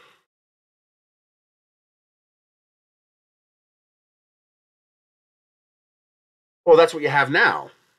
What I need is um, I, I need ambidextrous female connections. See, this is the male, this is the female. I need the female to be ambidextrous. I need it to be reversible. Yeah, you keep trying to climb in front of me. Uh huh. Yeah, I'll just pet you until you get annoyed. he wants to crawl in front of me.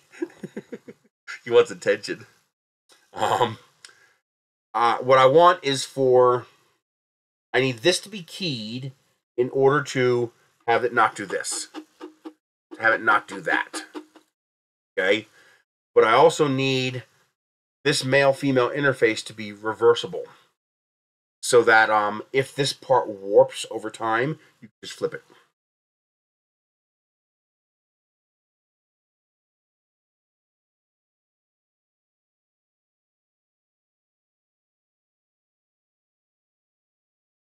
I don't know what that means on the middle or belly of the bottle. Belly of the bottle would be here. That's the way I interpret that. Uh, the tabbing doesn't do anything on the end, really. That's adding complexity where it's not needed.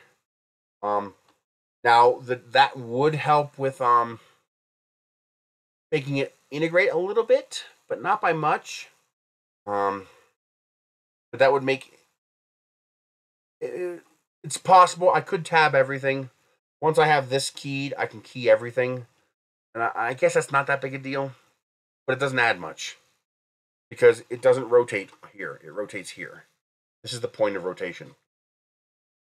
So I have to stop the, if I stop the rotation here, then there is no rotation here and there's nothing to stop. So I'd be adding complexity without reason. Now, one advantage of having the tabbing is that um, it would make that interface stronger. Okay, that that might be worth it. Okay, okay, okay, okay. I got an idea. So, if we have a cylinder that is a short cone and a cylinder, and that cylinder has um, um, vanes. So it would look, ooh, this this will work because these don't need threads.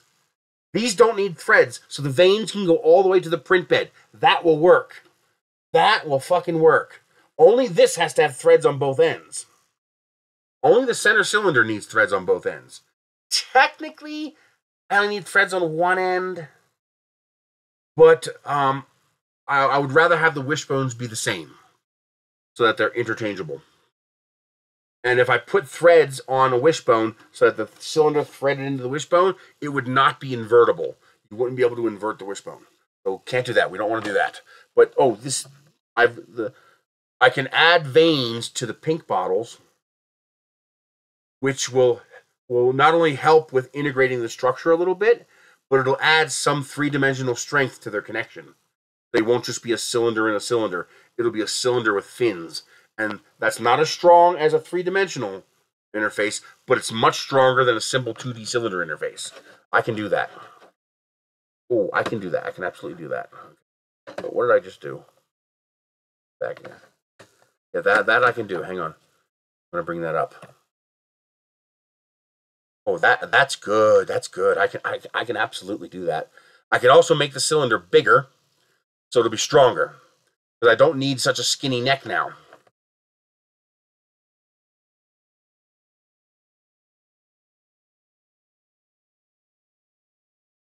I think it's this one.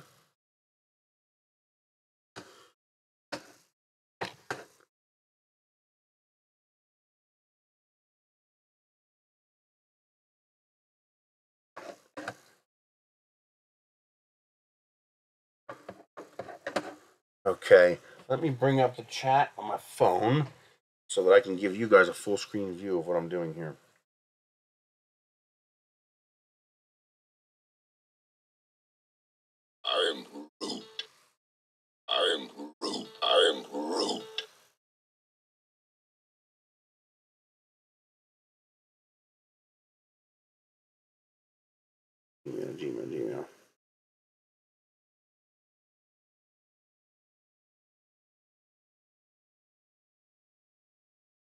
Where is my stream notification? I just saw it. There it is. Got a different name.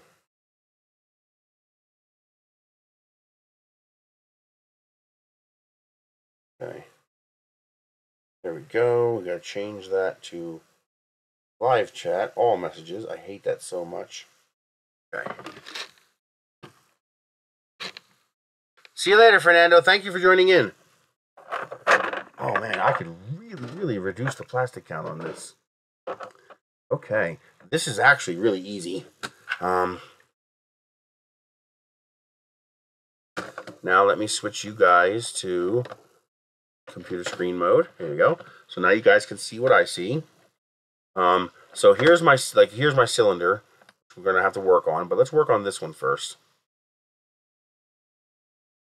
Okay, so I guess the first thing to do is to break it apart.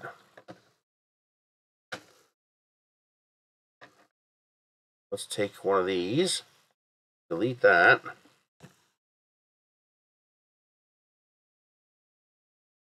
So the first things first, I can make this bigger now. this does not have to be um, as skinny. And just making it thicker is going to dramatically increase its strength. So let's see, we have 40, so let's go 35. See what that looks like. 35 and 35. And then center. Center line. Then we raise until we have interface. So now we have just this little beveled edge. Okay. Tiny bevel. Join this together. Now we're going to export this and then import it to make it a simplified object. Oh no, something went wrong. Actually, um, it'd probably be better if I just got rid of um the threading to begin with. Oh, I need power. I forgot to switch back to power for this. for the computer.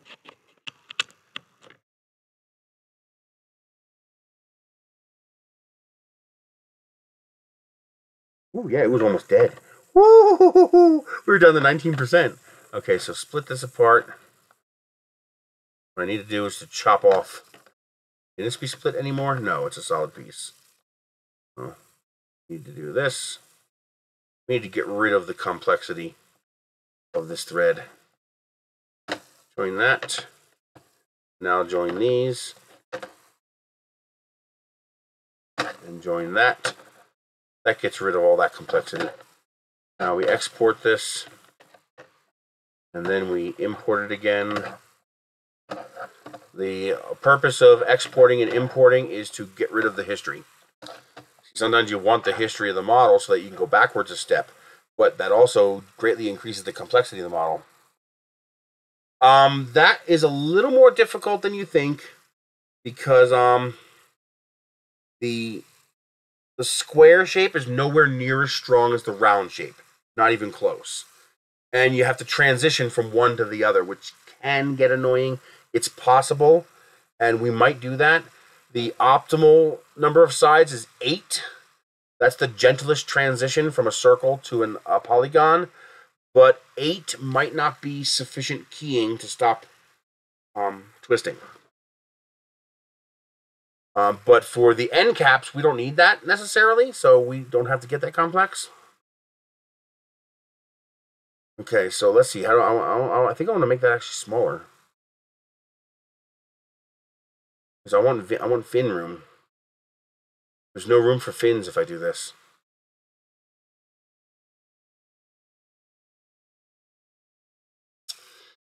Um, yeah, let's go 30.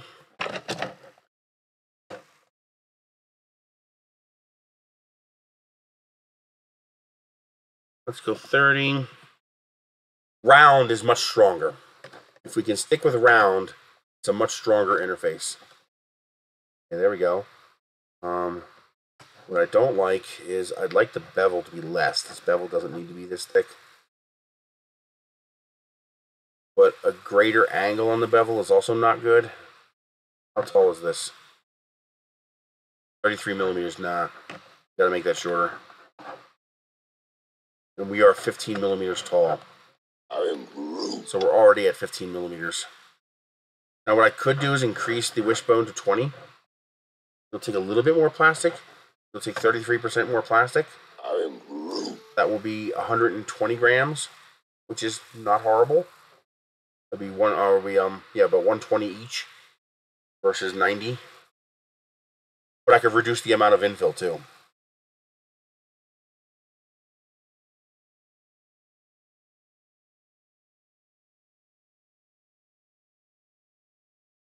see what else can I do?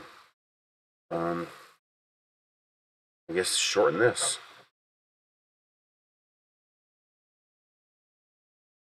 Twenty. All right, will that print? I am Groot. Yes, especially with the vanes. I think that'll print.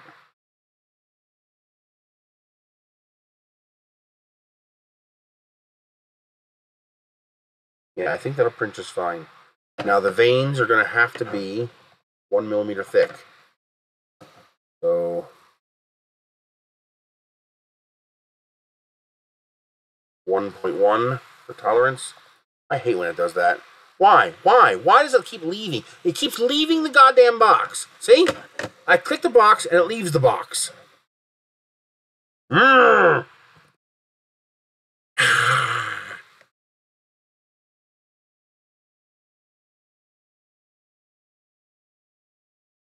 One point two. 0.2 millimeters of tolerance. This is 40 millimeters. No, that's that. The whole thing. Oh, is this centered? Yes. Going. The whole thing is 40. That means this needs to be 40. See, it did it again. It left the fucking box. Stay in the box. I think it's it's touching the um the rotation icon, which is resetting what it's going to. That's what I think is happening. See, I, I click on the box and I click on this, and when I touch that, see how the focus leaves the box with the number? I think that's what was happening because I was around like this. And so as soon as I moved the mouse away, I was hitting this. So I kept seeing that flash. And that's that was taking away the focus from the box. And that, that's all that was doing. Okay, so now we take this, we center it. We take this, Control D. Now, I think four would be enough. Now, I could just do a 90 degree, have four vanes, especially since we're going to do it for all of them. I think that would be enough.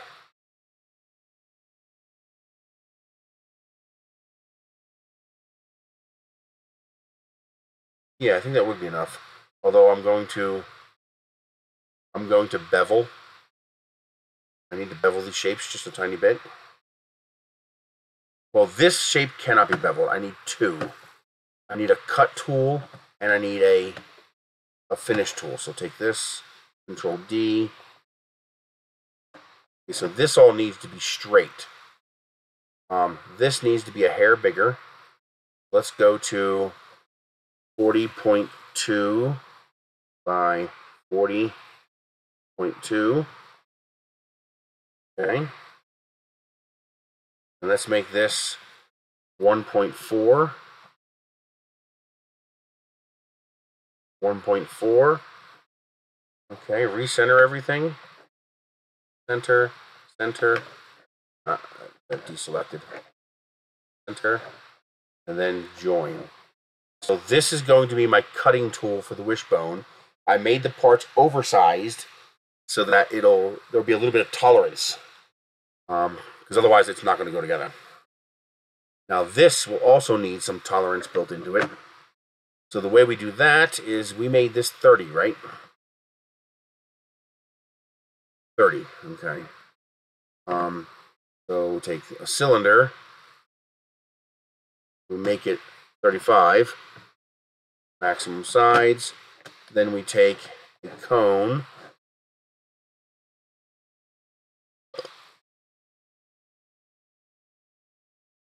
Thirty-five. Okay. We take that cone. Come on. Invert it. Put it into a hole. Align it with this part. Uh huh. Uh huh. There we go. Join it. Now I have a cutting tool to put a ch oh, son of a bitch. I have a cutting tool to put a chamfer on this. So align, center on that part. Now I can use this to cut a small chamfer into that part. Do that.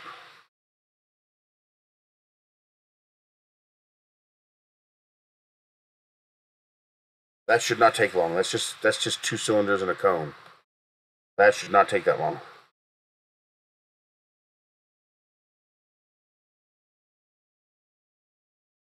Why was that taking that long? This and this should be a simple quick join. There we go. So now we have a champ. Oh, I did. I messed that up. Okay. Split this apart. Forgot to increase the number of sides for the cone. Uh, top raise height, sides. There we go. Now I can join this with this. Turn it into a hole cutter. Join this with this. Turn into a cut.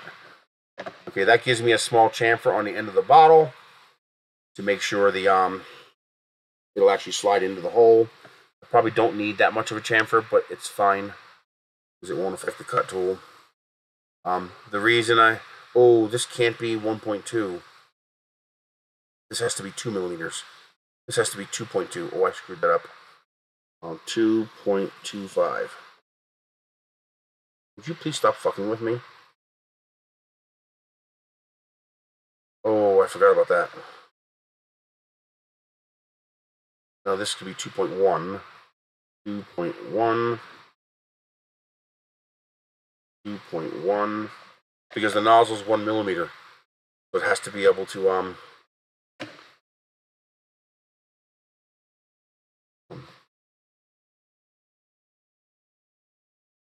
So 2.3. 2.3 recenter.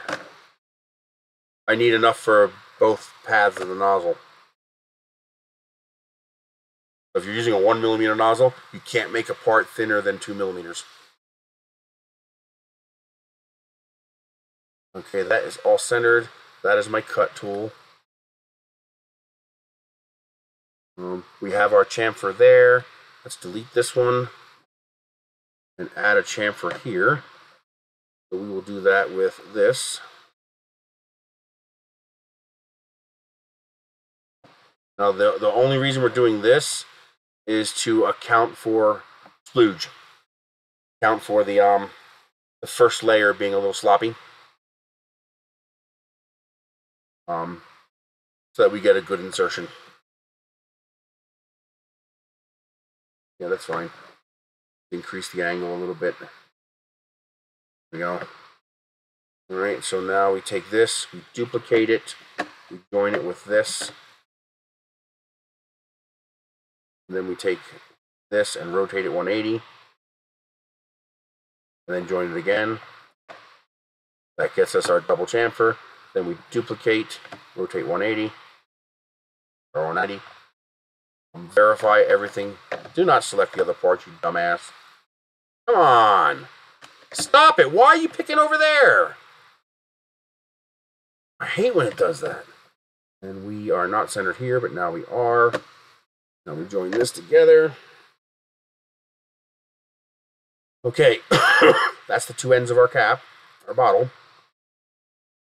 Um,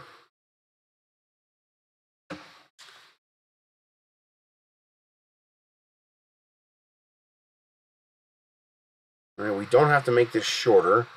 I need to make this longer. How much longer though?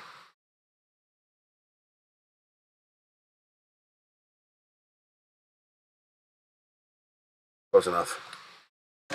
Now we put our work plane here. We put this to zero. Zero. Now I duplicate this rotate it 180 degrees, get it up in the air like that. Work plane here, drop it down to zero, there. That keeps it overall the same size. It'll actually increase the size a tiny bit, so it'll actually be slightly higher area, which we need. There we go. Now we take all of this, join it together, and there's our new bottle. So now the um, the bottles on the outside will all be keyed.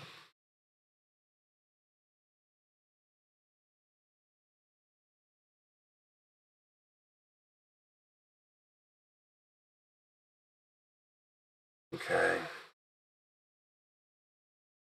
And there should be enough tolerance to avoid any issues.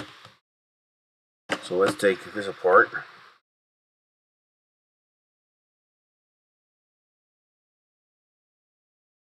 I'll probably need those later, but maybe not. Oh no, I need them.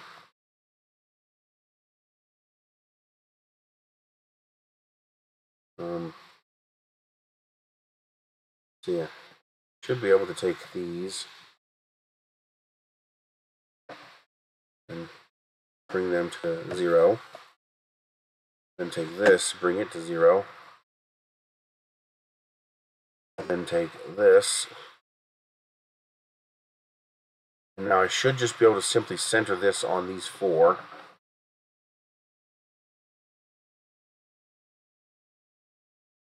Take this, this, center it on this. Yes, that'll work. Take this and this, center it on this one. Take this and this, center it on this. Not what I want you to do. You need to learn to listen. This and this. Oh, we need another duplicate. Control D. Have a spare. Center it on this. You did it again, you son of a bitch. There. Now I can delete these. Now I can take these and turn them into holes. Into holes. And, oh, nope, we don't have a full interface. Uh, oh, yeah, we do. I think we do. Is that actually open there? Like, is it not interfacing there? What I really need to do is to get rid of everything in the wishbone. Yeah. There we go. Eat. Yeah, much better. Let's go virgin. Um, this we're going to leave for now.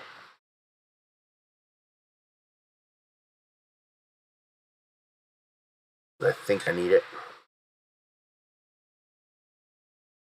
Why does it do that? Like, what's not interfacing? Oh, there's a there's something wrong inside of there.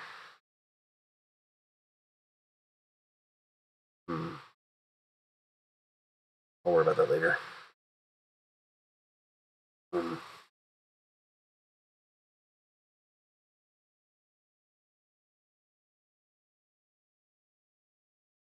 Oh boy. Oh, oh, oh, oh, oh, oh, oh, oh. I just messed it up.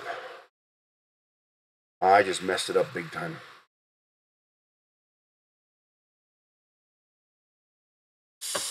Um, how easy to fix that?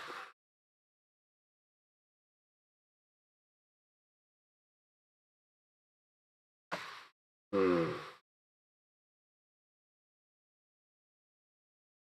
Oh boy.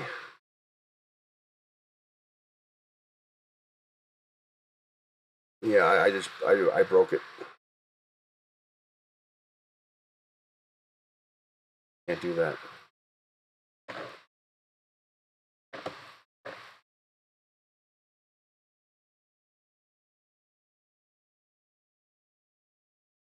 Yeah, I big time screwed that up. Um,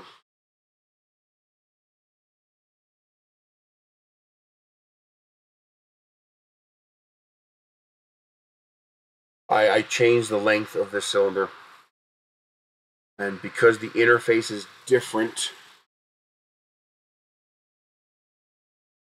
see part of the length of this cylinder sticks out of this. Um, which means I cannot change the length of this section, otherwise the two won't interface the same. Oh, that's a big screw up. Okay, um, let's do this. Okay, there we go. I need to get back to this.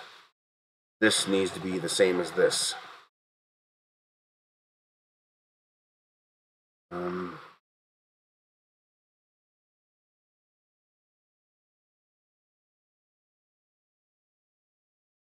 uh, maybe not.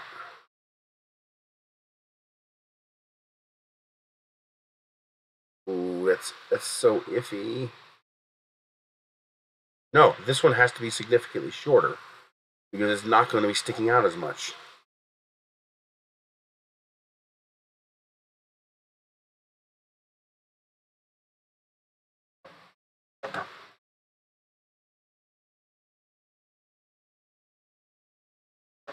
So this needs to be the same length as this.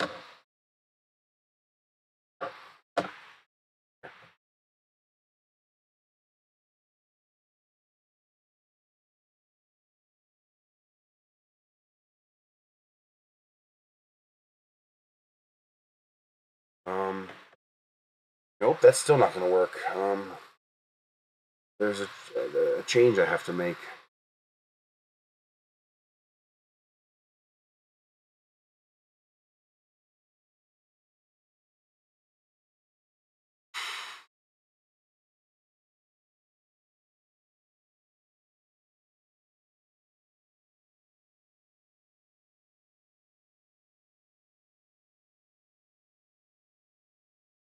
How do I do this? Okay, I can join these to get back together again. Um, this needs to be in the same relative position. This.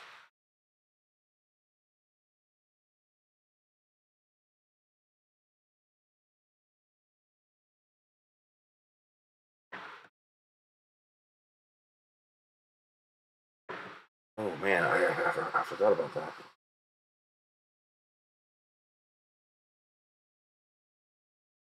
They all have to interface with the cylinders at the same exact spot, or it won't it won't sit right.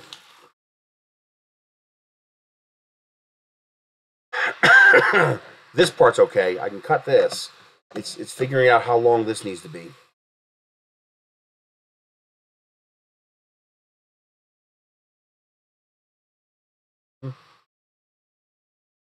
So I think I just need to adjust this here. But this is the wrong length.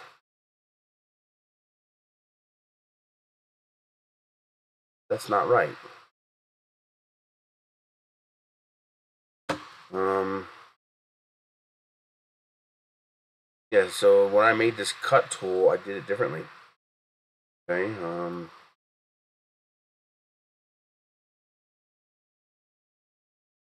why is that so much bigger? Why is this cylinder so much bigger?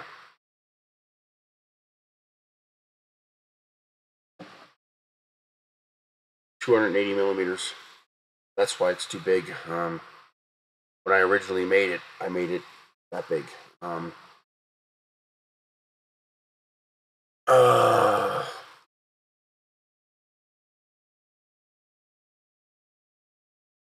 and worse, the whole thing's now bigger. Hmm.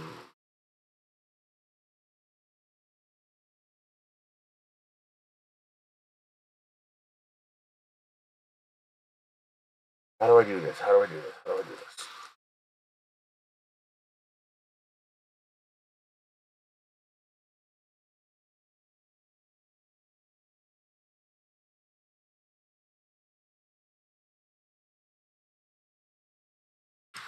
I guess design the interface for the center, then worry about putting it together.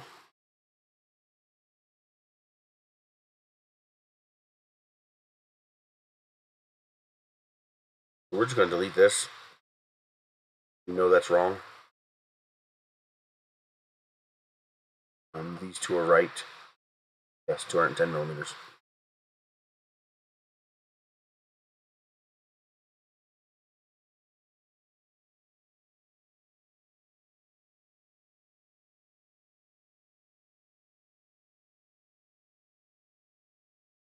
So let's get the interface for this one designed. I might not have to use as many faces since um we are we're slotting the we're tabbing the ones on the end. Uh, it's this. It's the parts to make a dumbbell. So right now, the way the dumbbell works is you have 10 of these caps that thread onto the end of each of these bottles. And you screw them all together. These are filled with these will be filled with sand, and you have a dumbbell because you can adjust how many of these bottles you install. You can adjust the weight from one pound to five pounds, roughly. Um, I'm trying to figure out a way of simplifying it, making it more efficient, make it use less plastic, make it easier for the end user to modify it.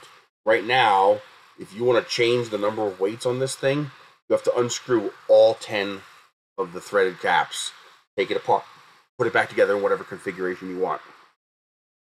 I'm trying to figure out a way to do this. So have these not be threaded at all, so this will all be gone, and only have the center two caps threaded.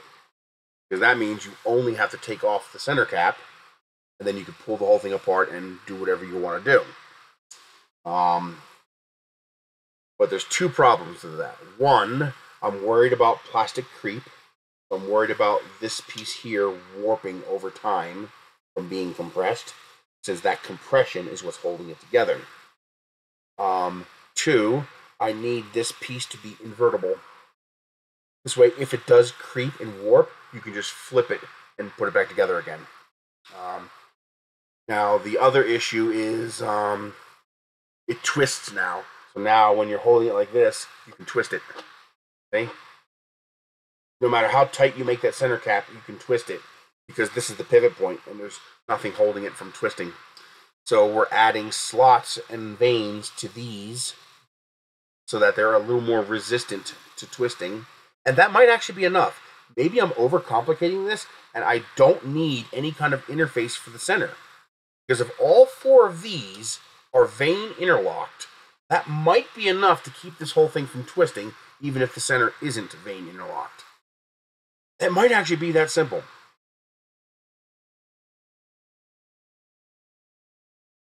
It, it really might really be that simple.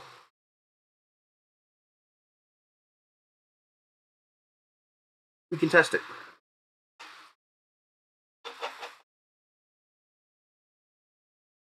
Compress the shit out of the um the ends, and then take the center off and see if it twists. Oh man, that's going to make it so much easier if that works. We can actually test this.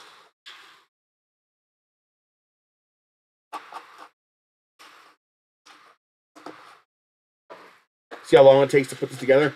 You got so many caps you got to put on. So it's totally modular, but it's also a pain in the butt. If I can make it simpler, I'd rather make it simpler. Plus, simpler almost always equals less plastic. Now, here's the trick. I should be able to take these caps off altogether. Now, does it still twist? No. I, I can make it twist because these are not slotted, but it's resistant. So we don't have to slot the center. I don't have to modify the center. If I slot the ends, the center does not have to be modified. Okay, that makes my life so much easier. oh my god, that makes my life so much easier.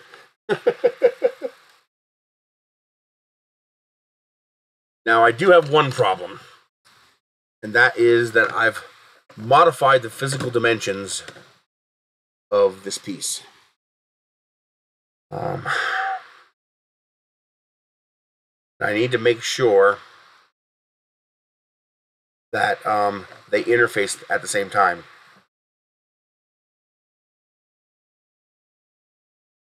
Well, sort of works. It um, we're still compressing in the center, so we should be okay. My objective is to. This isn't for people who are weightlifting because they're probably going to be above um, five pounds. This is only for going for one to five pounds, maybe six pounds. Um, the purpose of this is, first of all, I want it to be as close to 100% 3D printable as possible. I want it to use as little plastic as physically possible. And matter of fact, most of these parts print in vase mode if you use a one millimeter nozzle. You do have to use PETG. PLA is just not really good for this. Although, now that we can invert the end caps, we can use um, we can use um PLA. Oh, that reminds me, I gotta flip my cut tool. I have to cut it both sides so that it's invertible. Um, but the idea is for physical therapy patients who don't need a lot of weight. So, for example, they'll start off with just one of these. That's one pound. So just do that. And then when you want two pounds, you put two cylinders in here. When you want three pounds, you put three cylinders in here. When you want four pounds, you put four cylinders in here. This one would be empty, for example. And when you want five pounds, you use five filled cylinders. So basically, it'll come with all these parts plus one extra of this cylinder here. One will be filled, one will be empty. The reason for that is so that you can adjust. The, the, the idea is to not just adjust the weight, but to keep it balanced. Okay? So to do one pound, um, you could basically just use the empty cylinder and the two end caps. That'll be about one pound. Um, then when you want to do two pounds, um, you add two weighted cylinders. Um, so you put one here, then you put one over here diagonally. And that keeps it balanced so that this doesn't become lopsided. See, if you put two on one end, now it's heavy this side and light on this side, and so it's, it's not balanced. This allows you to keep it balanced. When you're ready to go to three pounds, you just swap out the center cylinder for a filled one. Now you have one, two, three cylinders that are filled. Now you have a three pound um, dumbbell. When you want to go to four pounds, you swap back to the empty cylinder in the center and you put four filled cylinders on the outside. Now you have about four pounds. And then when you're ready to go to um, five pounds, you just use all filled cylinders. And now you have a five, well, probably about a five and a half pound dumbbell. Um, but the idea is you can make small, roughly one pound increments to increase the weight. This is for um, invalid patients, um, physical recovery patients, where they're, they're not doing a lot of weight. They're just trying to tone muscles. They're trying to regain um, dexterity and control and the ability to, you know, pick up a bottle in your house. There are patients, you know, they have difficulty picking up a bottle like this would be difficult for them to pick up because they're they don't have the grip, they don't have the strength to hold it. And so this is for those kind of people. The idea is to make this super super cheap to print. My objective is to get under five pound. I'm, I'm under five dollars total, including the sand. Um, to get under five dollars each to make one of these, and then um, I would love to get a pair of them under five pounds, but the weight of the wishbones just doesn't let that be possible. Um, so it's about a dollar's worth of sand, probably about four dollars worth of plastic. That's the objective here. Get to around 340 grams, and that'll also let you print three full sets on one kilogram of plastic. That's the objective. Um, so one of the heaviest things in this is the wishbones, which are 90 grams each, and the caps, which total um, almost 100 grams. So this is going to let me get rid of um, 82 grams worth of cap plastic, although I'm going to be increasing the thickness of this by 30%, but I'm going to try decreasing the amount of infill to compensate for that a little bit. Plus, a little extra flexibility would be a good thing at this point. Um, uh, we'll be reducing the weight of these by a tiny bit by getting rid of the um, by being able to get rid of the caps and some of the plastic as well. It'll streamline the entire side. It'll also increase bed adhesion. It'll stick to the bed a little better. So yeah, this should be pretty nice. So that's the whole. Re- the reason for the shapes, the water bottle shape is well. Originally, I was going to use water, and yes, that's watertight. That, that's holding water, and I was going to use bottle caps. Um, the problem is, well, you have to watch the previous video, but um, Bottle caps have a J hook interface, which means you can't put a bottle cap on a closed end unless you get one of the bottle caps that has the blue seal inside, and that's random. Um, and not having a closed end would make bed adhesion more difficult. But also, um, bottle caps are slightly different in size, and I'm using compression to hold this together. Well, I've just eliminated all the bottle caps. Now I just need two caps, and I can print those caps.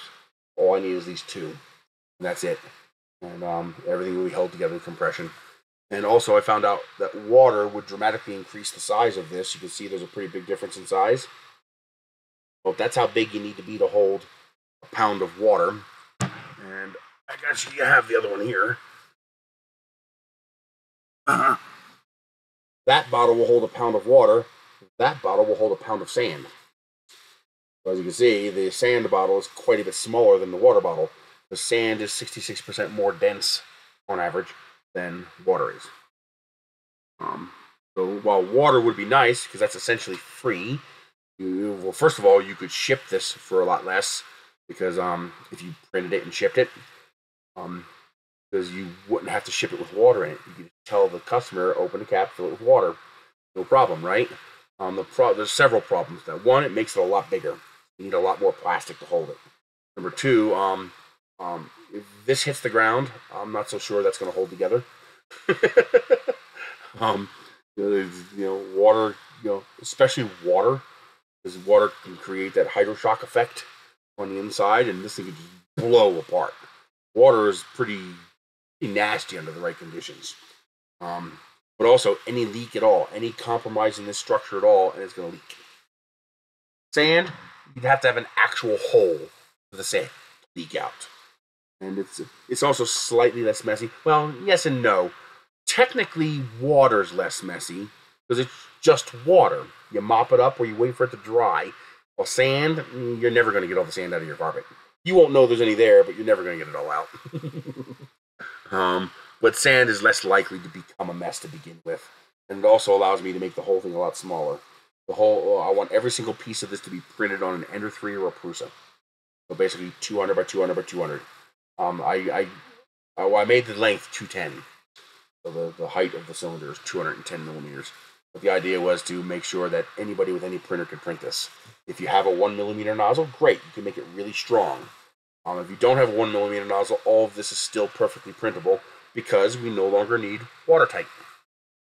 Um, with watertight, you really want the one millimeter nozzle, but now that we don't need watertight, you can just print with three walls.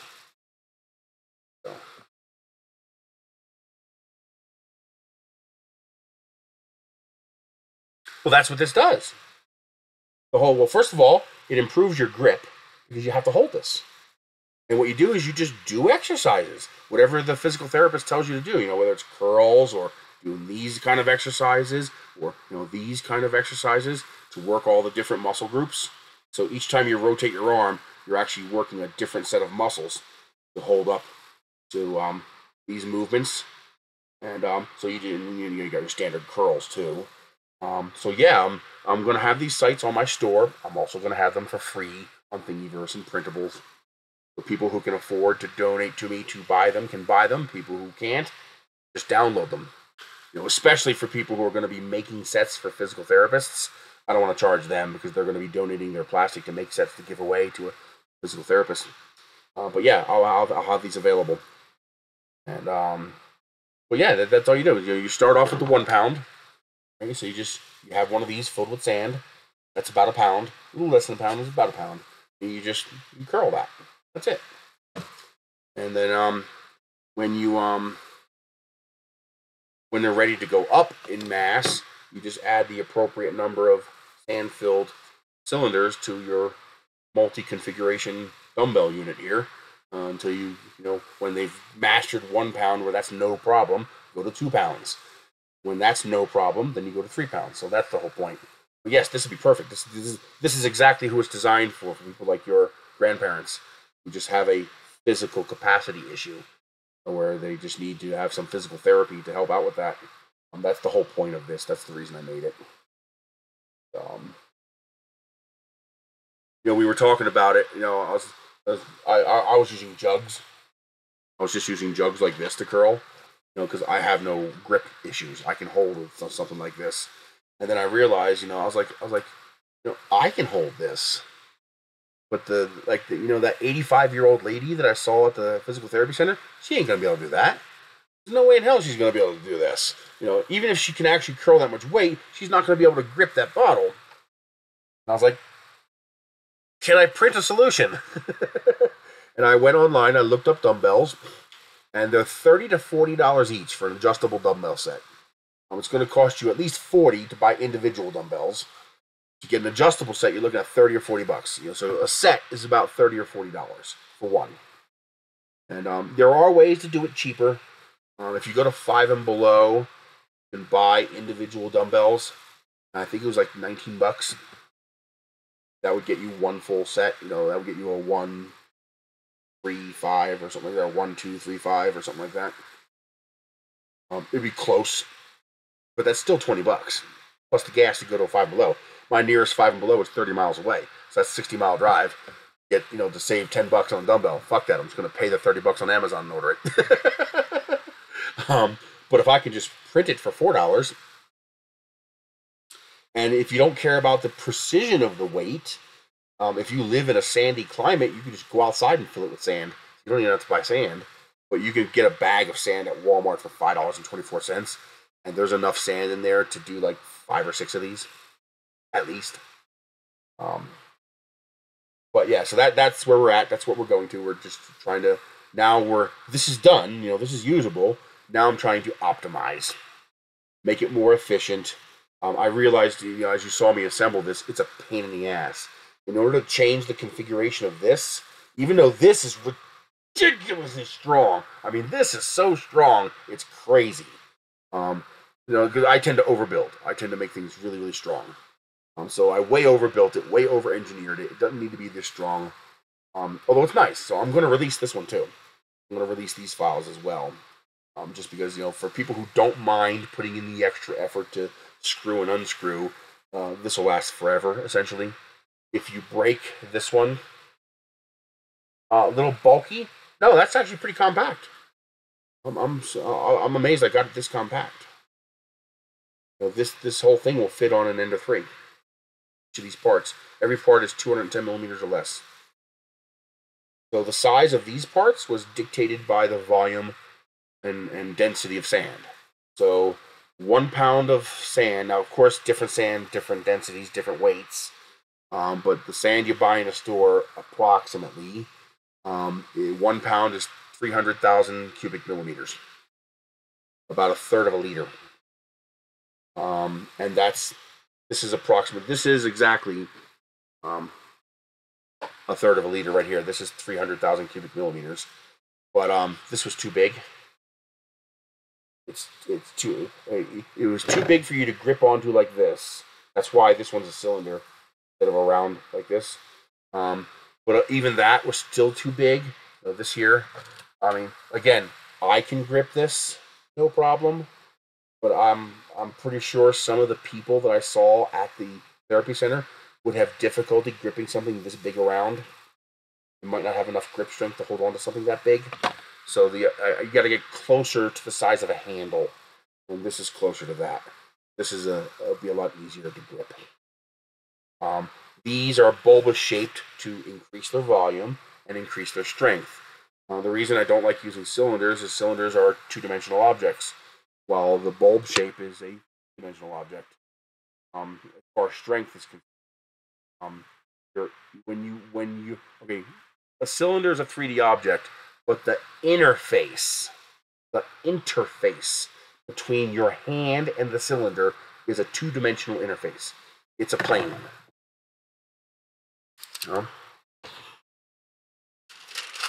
If you take a cylinder what is your interface? Your interface is the contact patch between your hand and the cylinder. Okay, unfold the cylinder. It's a plane. It's a 2D interface. Okay? But now take a sphere and unfold it. It's still 3D. You'd have to cut it like an orange to make it sit flat. That's why maps are a little weird. Okay? So curved surfaces provide a three dimensional interface between the two objects. So I can take this and squeeze it as hard as I can.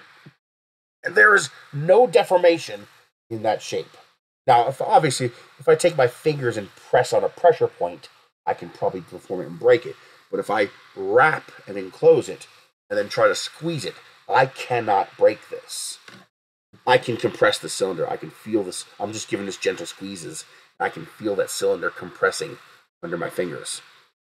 Still more than strong enough for one millimeter print, but the curve shape is substantially stronger. So we try to stick with curved shapes.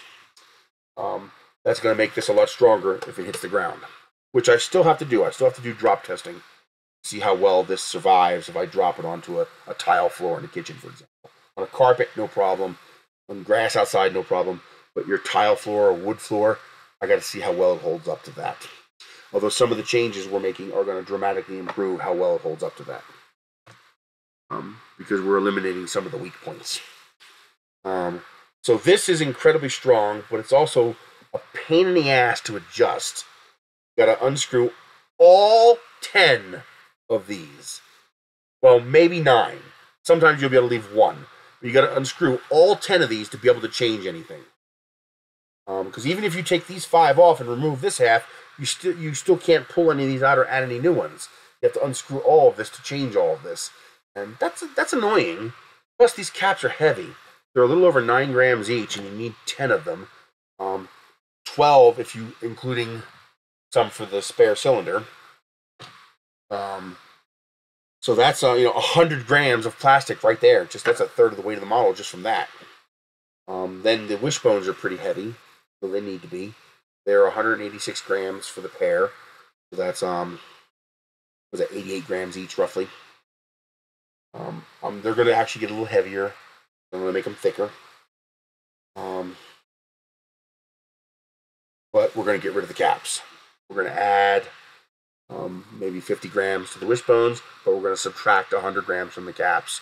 And we're going to probably subtract another 10 grams from other changes we're making. Um, so I'm hoping to get it under 400 grams. Hoping that um, it probably won't. It's probably going to be a two per roll print, but I'm hoping to get it to three per roll, so I can get it below four dollars per print. But I think we're going to be at about five bucks a print um, for just the plastic. But by changing to where I use compression and keying to hold everything together, now we only need two caps. So we do we need two for the compression. We need the compression. So we need these two caps, but we don't need these eight. So these eight can go away. And then all you have to do is undo one single screw, and you can adjust this. Two screws if you have to change the center. Right? If you don't have to change the center, you only have to do um, um only have to do one cap. Take the one cap off, the end pops off, you pop out your cylinders, you pop in your cylinders, you recap it, you're good to go.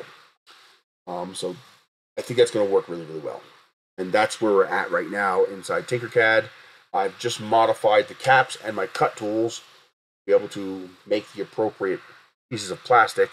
But now I, I realized I screwed up. I have to make sure that um,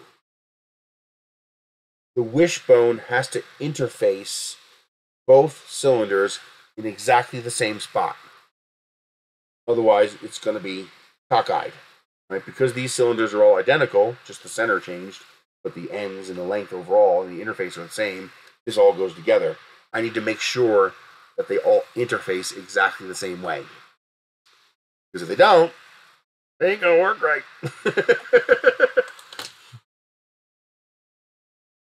okay, so let's go back to that. Um, so first of all, I need to modify this. Let's just hide this for a moment. I need to take these and I need to join them together. I need to duplicate them. I need to invert this. There, see? I have to cut that bevel into both sides. And that is why I had to make it thicker. I had to make sure we still had an actual cylindrical edge here. I would like to make this bevel thinner, but that creates problems. Now the reason for this is so that it can be inverted. Um, so you can flip it upside down. That's really important. So I should be able to join this.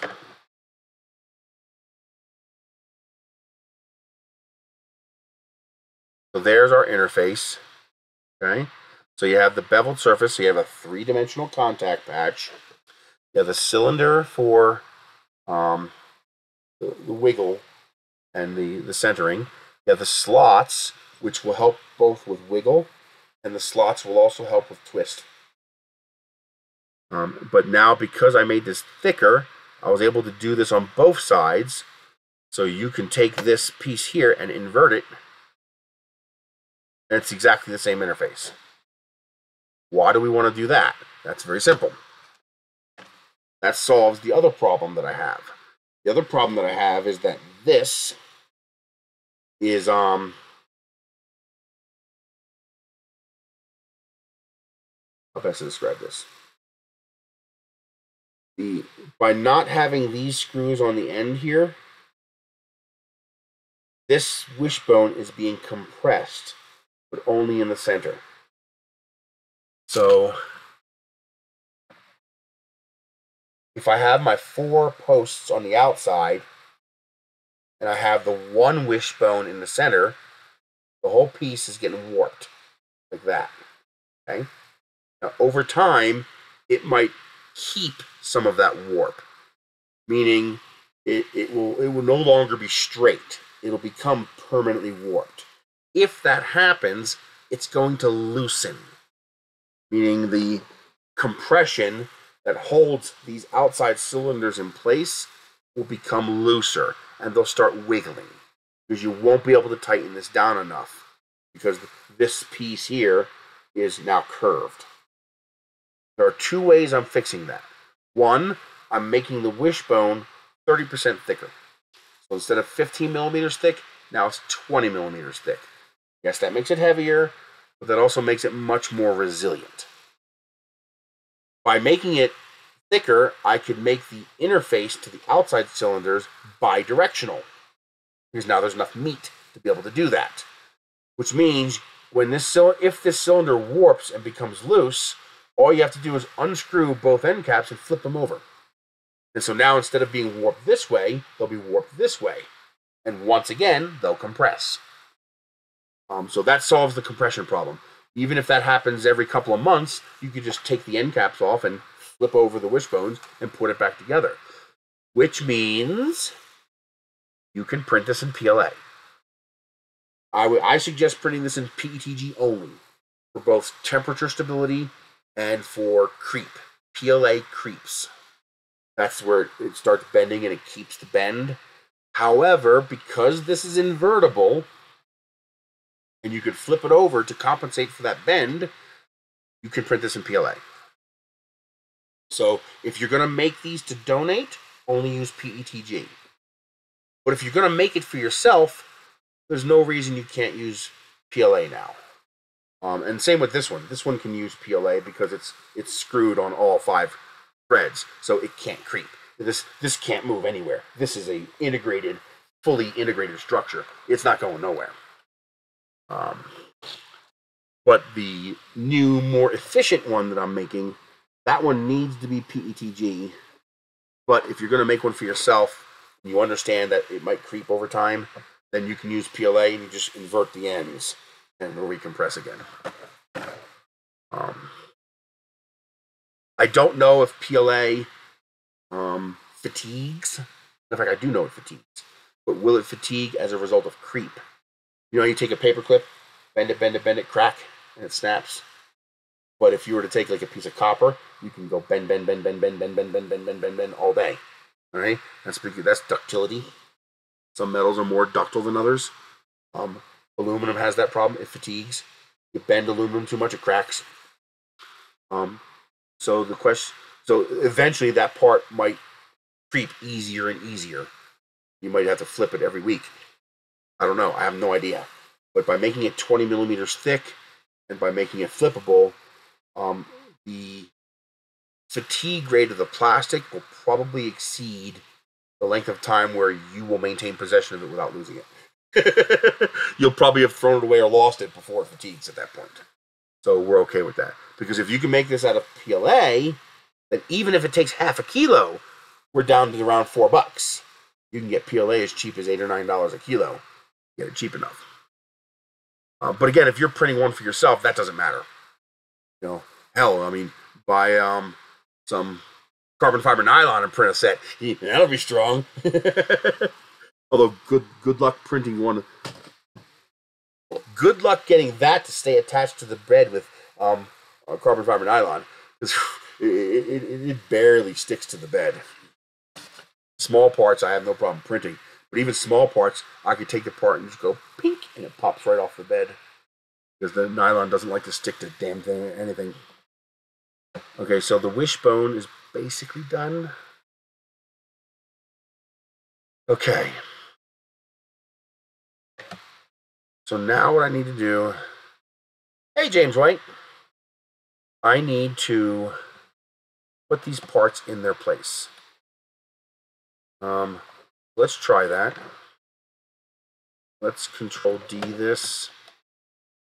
Let's center this.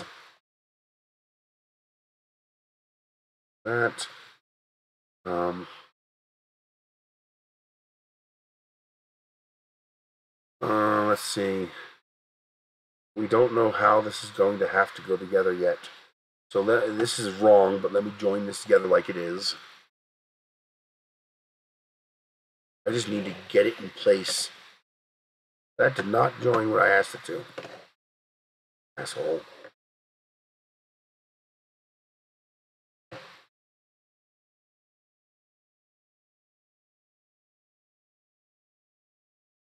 What's that? I I gotta I gotta add some text here just to get that message to appear. There it goes. You know you can the the heart symbol hides part of your text. You know you can take a strap and put it around so you don't need to grab so much. Still use the weights. I don't understand. Well, first of all, my intention is to be 100% 3D printed. So no buying extra hardware. So and I I also want it to be modular. Take it apart and put it together. What we're doing right now is making it better modular. This is very modular, but it's a little bit of a pain in the butt. This has the advantage of being all 3D printed. There's no hardware except for a little bit of glue to seal the end of the um, cylinder for the sand. A little bit of hot glue to seal the end up, uh, or super glue. Um, except for that, there's no glue, there's no fasteners, there's no nothing. Everything is threaded. Everything threads together. This is incredibly strong. It's very useful. The, the downfall is it uses a bit more plastic than I'd like, about a pound. Um, and also it um it's a pain in the butt to change. So if I want to modify this to a different configuration, it's very configurable, but you have to undo all 10 of these threads to change the configuration. That's a pain in the ass. That's a real pain in the butt. So what we're trying to do now, this is done. I'm going to post this. If you want to print the, the ridiculously strong, annoying, but really nice quality one, you can do that. But now I'm trying to make it um, more efficient, meaning use less plastic. My ultimate goal, which I don't think I can get to, maybe I, will work on it. Um, but I, my objective is to get under 340 grams. Because if I can get under 340 grams, then I could print three full sets with one kilo of plastic. And that would bring the cost down to about $3.60 in plastic. And then you add a dollar's worth of sand, and you have the total cost below five bucks. That's my objective. You get the total cost to print one of these below five bucks, including the sand for the mass. Um, right now, I'm closer to six dollars which is not too bad. But if I can get under five, I'd like to, because you can buy a roll of PL- PETG for eleven dollars um, on Amazon. Relatively regularly, you can find one. Um, now, also being under a pound, you can buy, for example, a half kilo roll of plastic. You buy a 500 gram roll of like some nice color you want, and that will be enough plastic to print the whole thing. Um, so that's the objective is to make it modular. Um, this is not, uh, people like you can use this, but the design intent is for physical therapy patients uh, who, who both have dexterity issues, grip issues, and also financial issues. Meaning they can't afford to buy the $30, $40, you know, adjustable dumbbell set off Amazon. Um, I think the lowest I got was twenty nine dollars buying individual weights, but you only get one set, not two. Um, although if you gave up some of the numbers, if you, I think it was one pound, two pound, three pound, five pound, there was no four pound. You can get one set for like nineteen bucks from five and below. Um, but again, if you got two, you're back up to forty dollars. With this, for less than ten dollars, you can print two, and so you can have two to work simultaneously if you want to. Um, or just go real cheap, print one, and do your left hand first, then do your right hand. You know, money's money. Um, so the design criteria is um, under 500 grams with a stretch goal of under 340 grams. Um, modular. No purchasing extra hardware. Everything 3D printed. The only exception we're allowing is a little bit of um, hot glue to fill in the open end. Because one end is open. Um, which is here. Yeah. So, you know, one end is closed, but one end is open by necessity. You have to have an open end because you have to be able to fill it with sand. Um, so the you'll fill it. What I would tell people to do is stuff a little toilet paper in there, then hot glue or epoxy, whatever glue you want. Um, that's it. That'll hold it. Um, the um, I realize that there's a usability issue with having so many threaded parts that are a pain in the butt, especially these here because they're knuckle busters. When you turn this, you're gonna turn your knuckle right into that other one, and you know I've already hurt myself a couple times doing that. And I'm not paying attention. um, so getting rid of those also eliminates that. Um, the idea is to make this cheap enough and easy enough to make. That means as small a number of parts as possible, so that people like you guys could print a couple sets as a community service project and donate them to a local, um, you know, physical therapy um, center. You know, for financially challenged people who can't afford to buy this kind of stuff. You know, people who are physically fit, you know, we can just do what I've been doing. You grab a water bottle and you, you, you do that. And I can control how much this weighs by how much water is in here. Um, but, you know, that 85 year old lady who uses a walker to get into the therapy center, you know, she can't hold that. Maybe it was empty, but then she's not getting any work. Right? You put any weight in that, and she can't hold it. Just, you know, even a milk jug, um, you can wrap your hand around the milk jug handle, but you start curling that, and it's going to hurt your hand, especially if you're a challenged patient. So this is something that's very easy for a person to grip a hold of, and the, because the modular design is designed to be symmetrical. So, for example, if I wanted two pounds, I would just do this weight and this weight. They're opposite each other. And this way, the configuration still maintains symmetry in both size and mass. So it's not pulling one way or the other. So it's it stays symmetrical, both in weight and in dimension. And um, go from one pound up to well, if I if this is around a pound, you can actually go from one pound to six pounds. So you could have an empty handle and a fully assembled unit. That's about a pound. Then fill this one with sand. You'll replace it. You'll the, the, the piece will come with six cylinders. You're going to come with the four pink ones, know, whatever color you print, and it'll come with two of these, one filled, one empty. So you'll also have an empty one because filled is a different weight than empty, of course. So you know the plastic itself could be one pound, know, close enough, and then you replace the empty cylinder with a filled cylinder and now you've got two pounds. Okay. Now replace the filled cylinder with an empty cylinder again and put one cylinder on each end. Now you've got three pounds. Okay. Um, again, replace that center cylinder with a filled cylinder. Now you got four pounds. Okay. Um, go back to an empty cylinder and all four of these cylinders filled. and you got five pounds and now refill the center cylinder. No, not not refill it. Replace it with the filled one again, and now you've got almost six pounds. So theoretically, this would go from like roughly, approximately. Now they're not going to be exactly one pound, two pound, three pound. It's going to be you know 0.9 pounds, and then the next set's going to be you know 2.1 pounds. It's going to be close enough. You're going to be making in- incremental increases in weight that are roughly one pound each. Because I couldn't make these cylinders one pound. It has to be this big to be one pound, and that big is too big. Because um, what happens is um, your your hand starts bumping into these other cylinders. Um, so to avoid that, I had to limit how big I made these cylinders.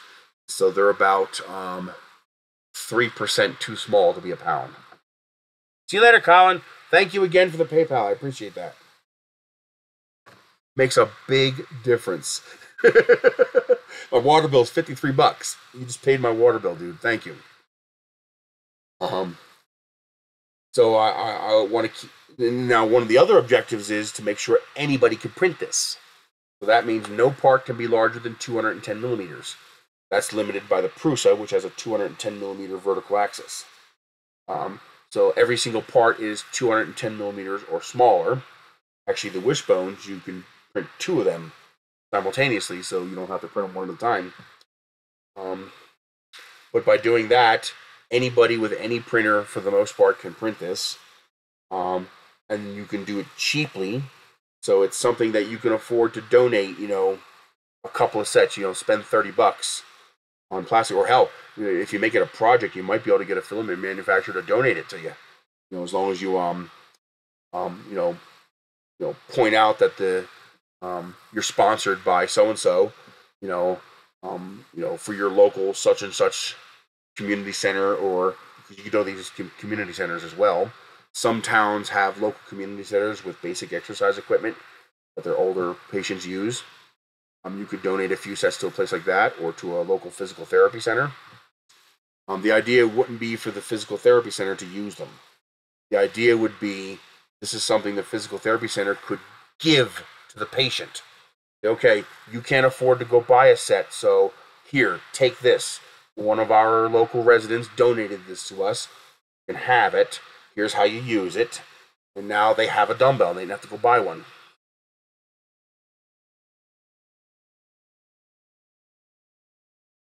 Now I gotta add some text so I can see your message. Would be cool if you make the end of the holder into C-clip shapes. Um, no, C-clips aren't going to work because um, C-clips and plastic don't work. the the pressure point's too high, way too high. Um, so what I'm doing is I'm doing this. Let me show you. So we have compression taken care of because these two center ones are more than enough to compress this and hold everything together but it wiggles, okay? So when I don't have caps on here, it wiggles. So here's how we're stopping the wiggle. Um, we're doing this. See here? So now we have our beveled easy insert edge, so we get our three-dimensional interface, because this is a cone, and about half of this will interface, okay? And then you have these little fins. These fins will interface these slots. That's going to stop the wiggle. Now it won't wiggle. And I retain vase mode compatibility and I retain invertibility. So this piece can be inverted. Both sides are the same, see? I could probably optimize this a little more. Heck, I could probably just make the cylinders a tiny bit bigger. And that would do it too. But um this invertibility would take care of the creep issue. So now, if you're if you do print a set out of for your own self, not to give away to somebody else, if you print a set, if you're if you're going to give it away, please use PETG. It's just a much more durable plastic for this type of function. Um, but you can um, if you decide to use PLA, which will creep over time, that's okay. When these when these ends become loose, you just flip it over and screw it back down again it'll act as a spring and actually stay compressed. And when it creeps the other way, you just flip it over again. And you just keep flipping as often as you need. You'll probably, if I had to guess, I'd say every six months you might have to flip it. Maybe once a year. It depends on how often you take it apart and put it together. But I would estimate that maybe once every six months or once a year, you'll probably have to flip the wishbones because they'll have crept if you use PLA. Um, PETG, once a year or never.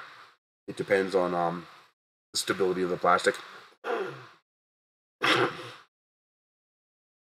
So now I have this taken care of. What I have to do next is take care of this.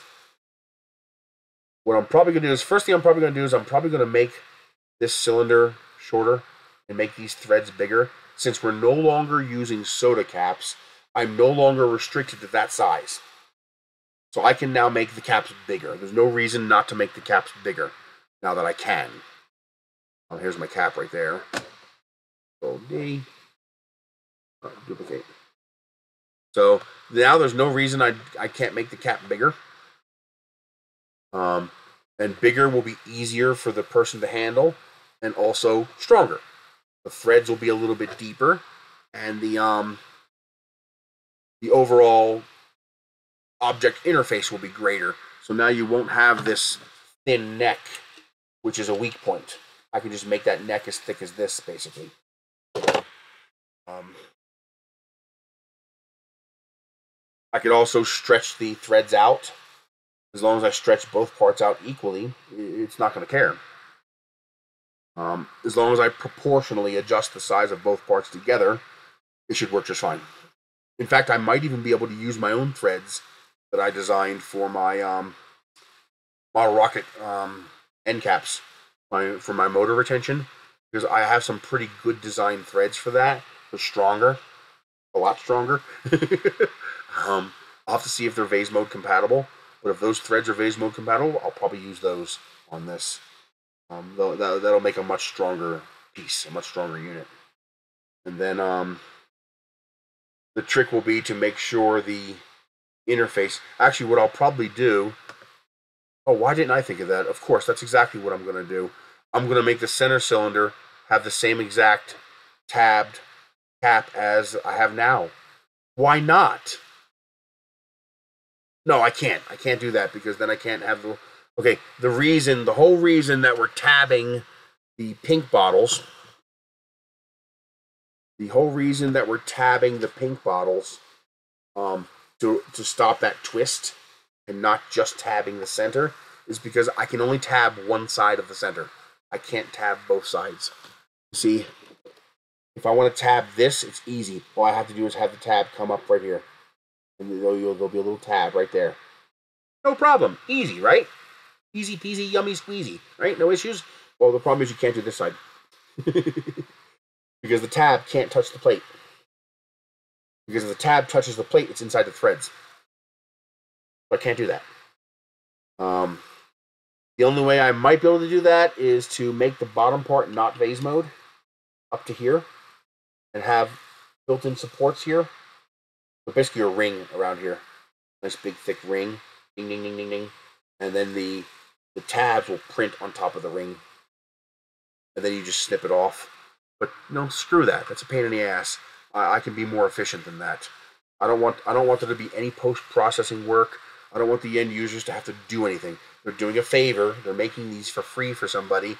I don't want them to have to do any work. So I want these parts to be ready to use off the print bed like this is. None of this. There's no post processing, with the exception with the exception of filling it with sand and sealing the end. There's no post processing work to do this. Um, you don't have to do anything. All you have to do is print the parts, thread them together. You're done. And I want to keep that. So I don't want any trimming, cutting, clipping, melting, gluing. I want to try to avoid all that if, if at all possible. Um, let's see what else.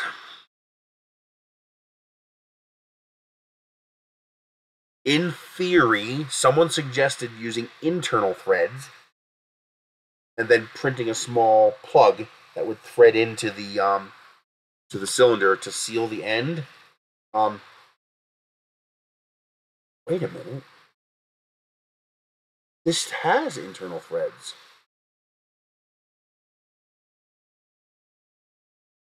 Because it's vase mode printed because that's vase mode printed, there's basically an inverse of the threads on the inside. I would have to extend the threads all the way to the lip because you need a start point, you need an entry point for the thread to go in. But that might not be as hard as I thought. I mean the I mean printing the plug would be trial and error because I can't model it because it's, it's generated by G code. Those internal threads aren't in the model. Those internal threads are G code generated by the vase mode process. But theoretically, I can get close um, to what it needs to be and then just keep scaling it. Print it, scale it, print it. It'd be a pain in the ass, but I'd only have to do it once. You know, once I got the right size, that's it, I'm done. Because now I can just print that over and over and over again. That might be doable. I might be able to make a plug, a little cylinder that you print that would thread into here um, to keep the sand in without having to use glue. I'm not going to prioritize that right now because it is easy enough just to glue the ends. That's something I can always just I can update the model files later. Later on, I can say, okay, I figured out how to make the end without using glue. Here you go. You print these five caps. Then the um screw them in. You know, the end user, depending on how they print it, they might have to tweak it a little bit. Print one, see if it fits. If it fits, then go. If not, yeah, that theoretic. But I would have to make the see right now the threads they terminate right there, so the, you can't access the threads from the outside. The thread has to go all the way to the lip. Um, so basically, I have to cut off this top part of the lip here. I have to make add a few more threads to this, and then um, clip off that um, that part on the top there to um, so that the thread goes all the way to the edge. The, the, the, the start point of the thread needs to be outside the model so that there's an opening for you to put the part in. But yeah, that could work. That actually could work. Because modeling interior threads like that, that's a pain in the. It's such a pain. Oh my god. Usually the way I do it is I, I, I make my threaded part and then I, I stretch it a little bit, widen it a little bit, and I use it as a cut tool to cut the threads into whatever part I'm doing. And then I tweak and adjust it until it threads properly. Um, that's how I usually do it because it's, it's modeling. It's in Tinkercad. Modeling threads like that is a real pain in the ass. Um, the but the problem is for 3D printing, especially because I do vase mode printing a lot. Um, oh no, that won't work. Nope, nope, nope, nope, nope, nope, nope, nope. That won't work. Nope, it won't work at all.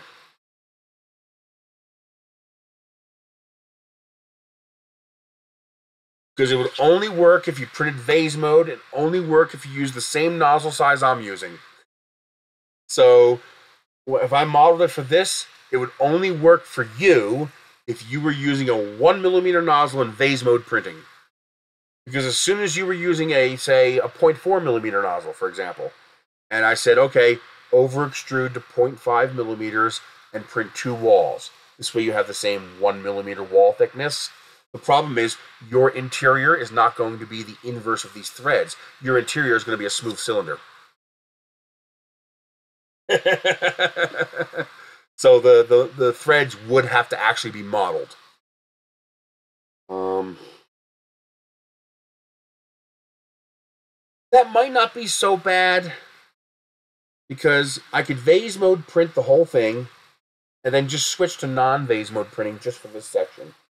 Now, the problem is I would have to slice the files for you, and I would have to provide G code because no, only Simplify 3D can do that. Only Simplify 3D can print vase mode and then switch to regular mode. Do a two perimeter print up here. Um, only Simplify 3D can do that. Prusa Slicer won't do it. Um, um, um, Cura won't do it. Orca Slicer won't do it. Um, what's that other one? The um, Idea Maker won't do it. Um, as far as I know, no other slicer will allow you to just switch back and forth between layers and vase mode. Um, so it would work for the 0.4 millimeter print. I could just model the threads in. That's easy. I can do that. But for the um, um but for the vase mode, version if you're using a one millimeter nozzle. And if you want to make a lot of these, you're going to want to use the one millimeter vase mode model because it prints a hell of a lot faster. Um, it prints um, almost three times faster than the 0.4 millimeter nozzle print. Um, because, uh, well, think about it this way. I mean, when I'm drawing layers and I'm drawing those layers at 0.6 millimeters thick, so that's um, even using it using max um, you're not going to be able to go to maximum, but you know, like for example, if you were printing at you know 90 millimeters a second, okay, um, I have to print the threads at 0.2 millimeter, but the cylinder I could print at 0.6 millimeter. I'm using a one millimeter nozzle. And in fact, I could probably get away with 0.8 millimeter. That that curve is so gentle. I could probably get I could probably go 0.6, 0.8, 0.6, 0.2. So this section of the model I'd be printing um, four times, four times, two, eight times. I'll be printing eight times faster than you will. the speed difference is ungodly. Uh, you, know, you know, I'm only printing at you know 20 millimeters a second. my, my maximum speed is usually around 28 millimeters a second. I use volumetric throughput. Um, I calculate the volumetric throughput, which is one thing that Prusa Slicer is fantastic for. Um, but by by restricting my volumetric flow rate to the 10 cubic millimeters a second that PETG maxes at, um, I usually end up printing at about 24 to 28 millimeters a second. You might think that seems slow, right? Except that when I print one single layer, so when my nozzle does this, your nozzle has to do this. Um,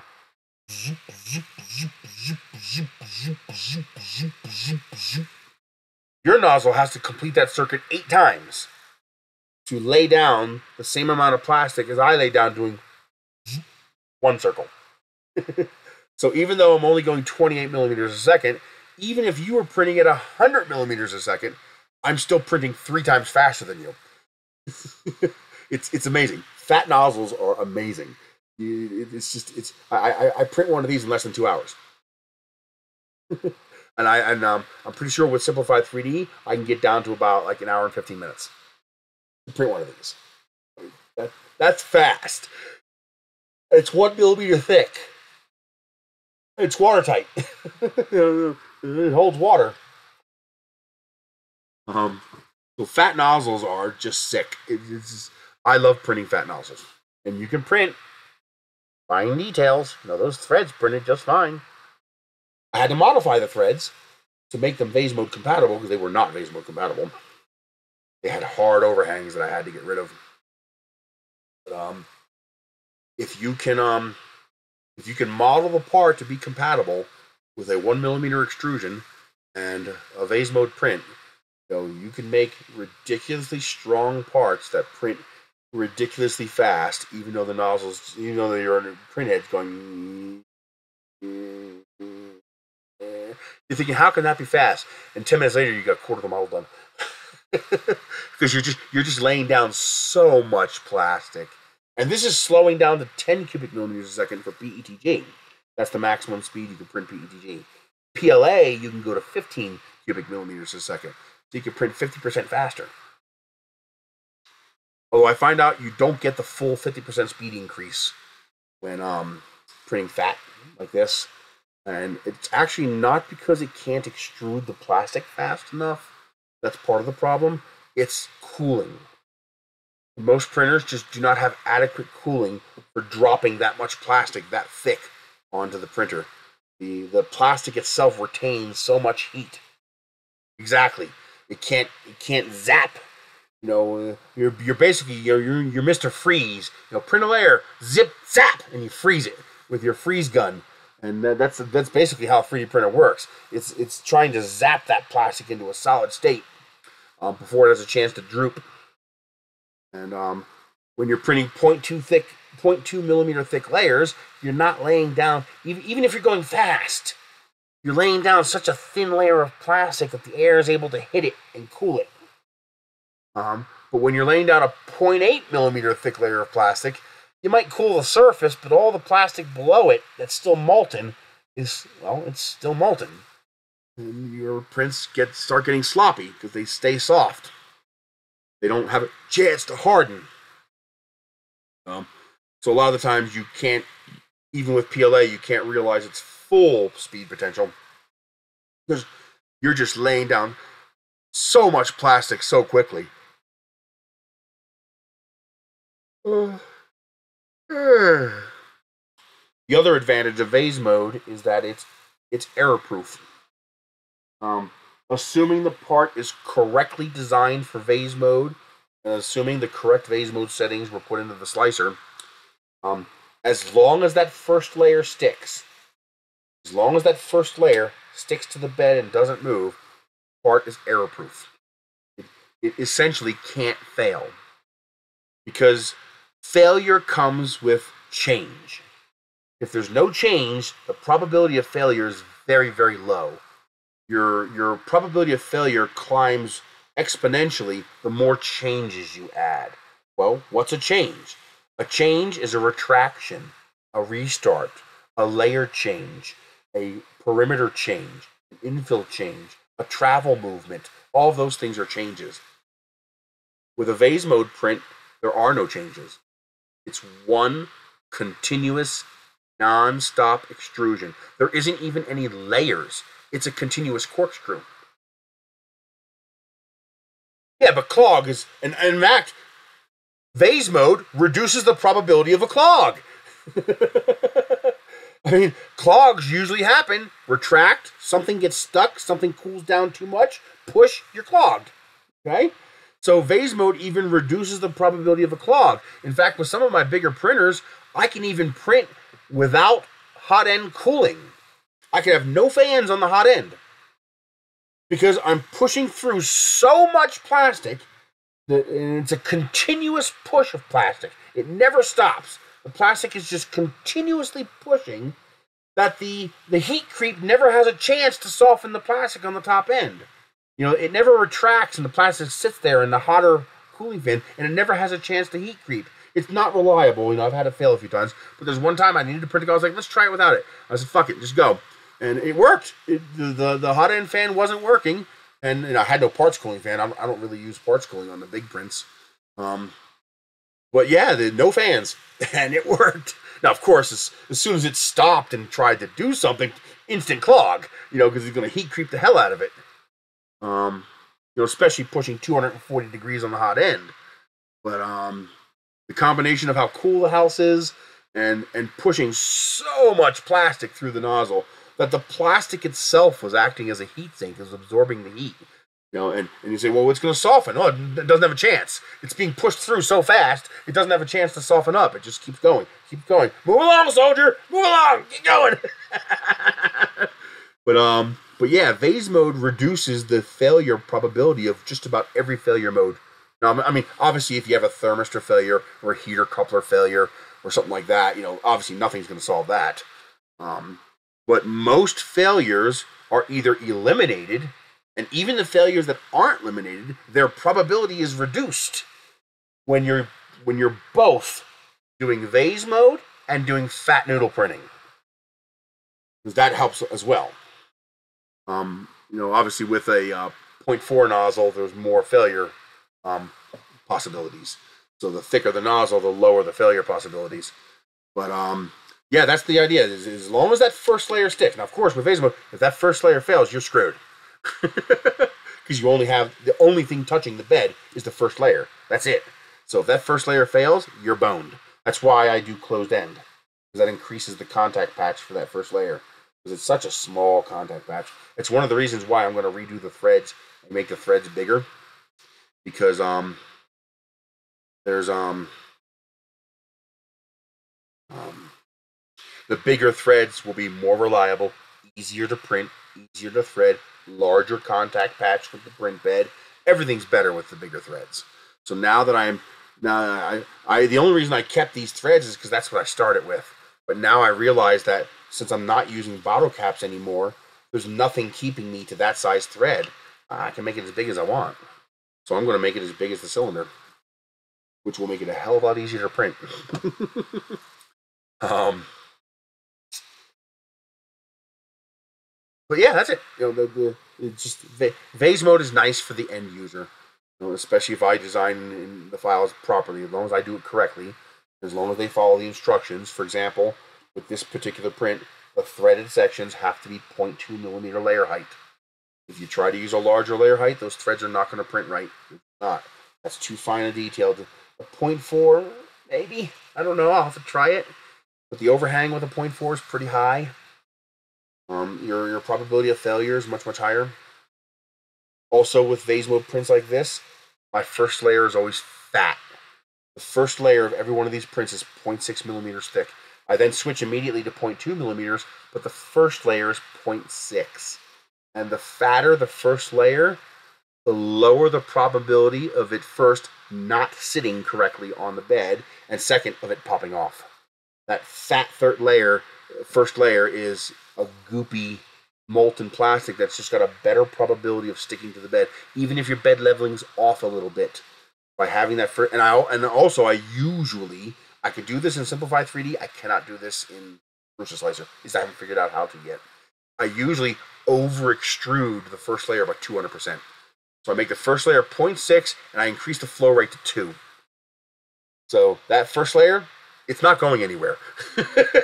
it's it's it's gonna lay down and it's going to print. That's why they're beveled. For example, you know when I print these, that's one of the main reasons I bevel like this, is so that you don't notice the elephant's foot. It just looks like it's part of the bevel.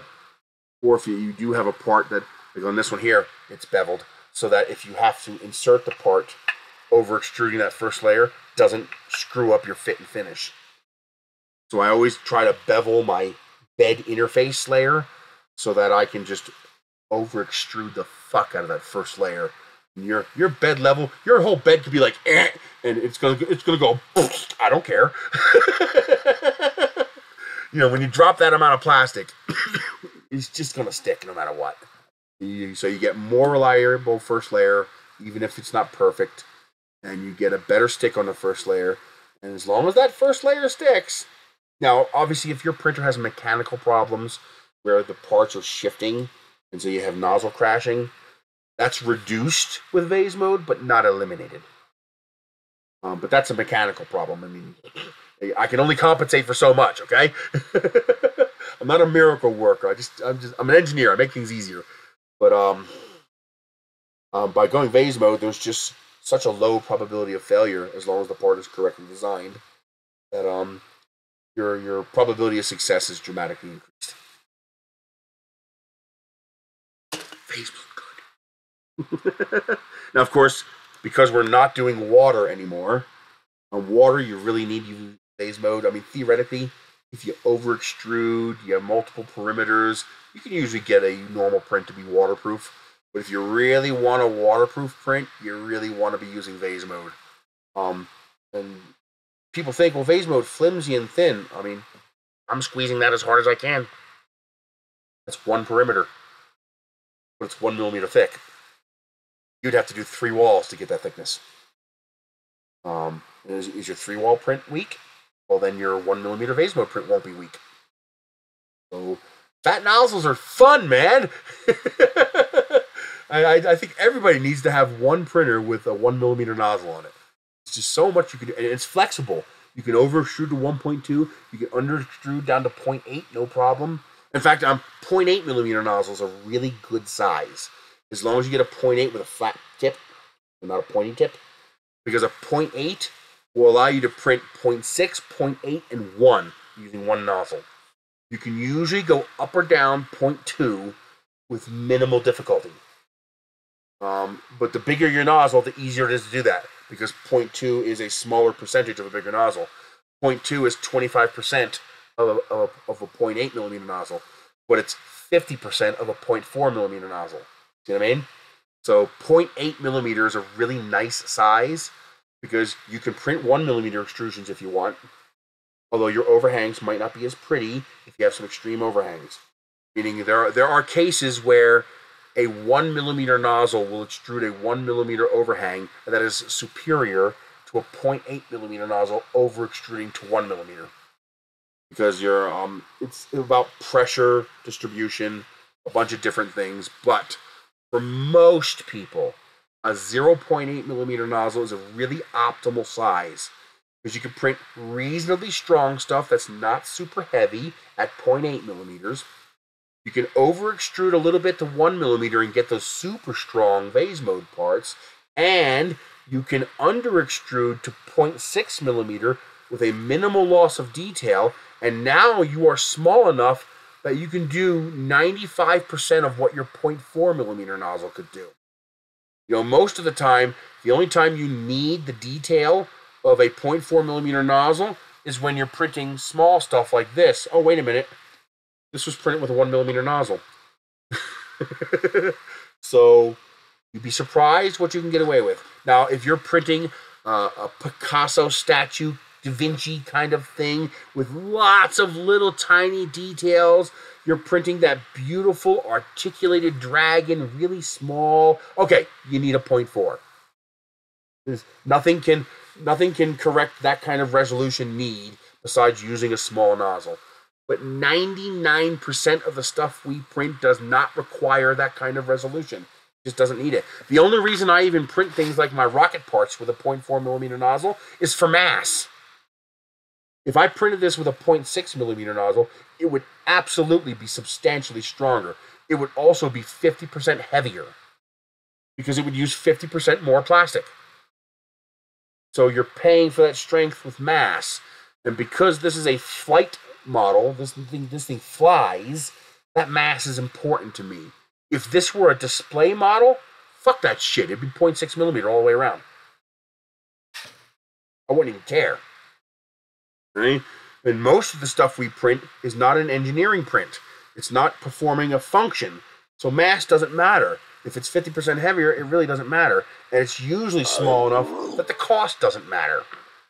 You know, now I mean, yeah, sure, if you're using a really expensive filament, it might be an issue, but most of us aren't. So I tell people get a 0.8 millimeter nozzle. And now you can use 0.6 to do your really fine printing, and you can use 1 millimeter to do your um, super strong printing, and you can use 0.8 for stuff that's in between. And this justifies the purchase of a $100 printer nozzle. Uh, Diamondback nozzles, they're $95 each. Okay? They're expensive. There's, no question. They're expensive as fuck.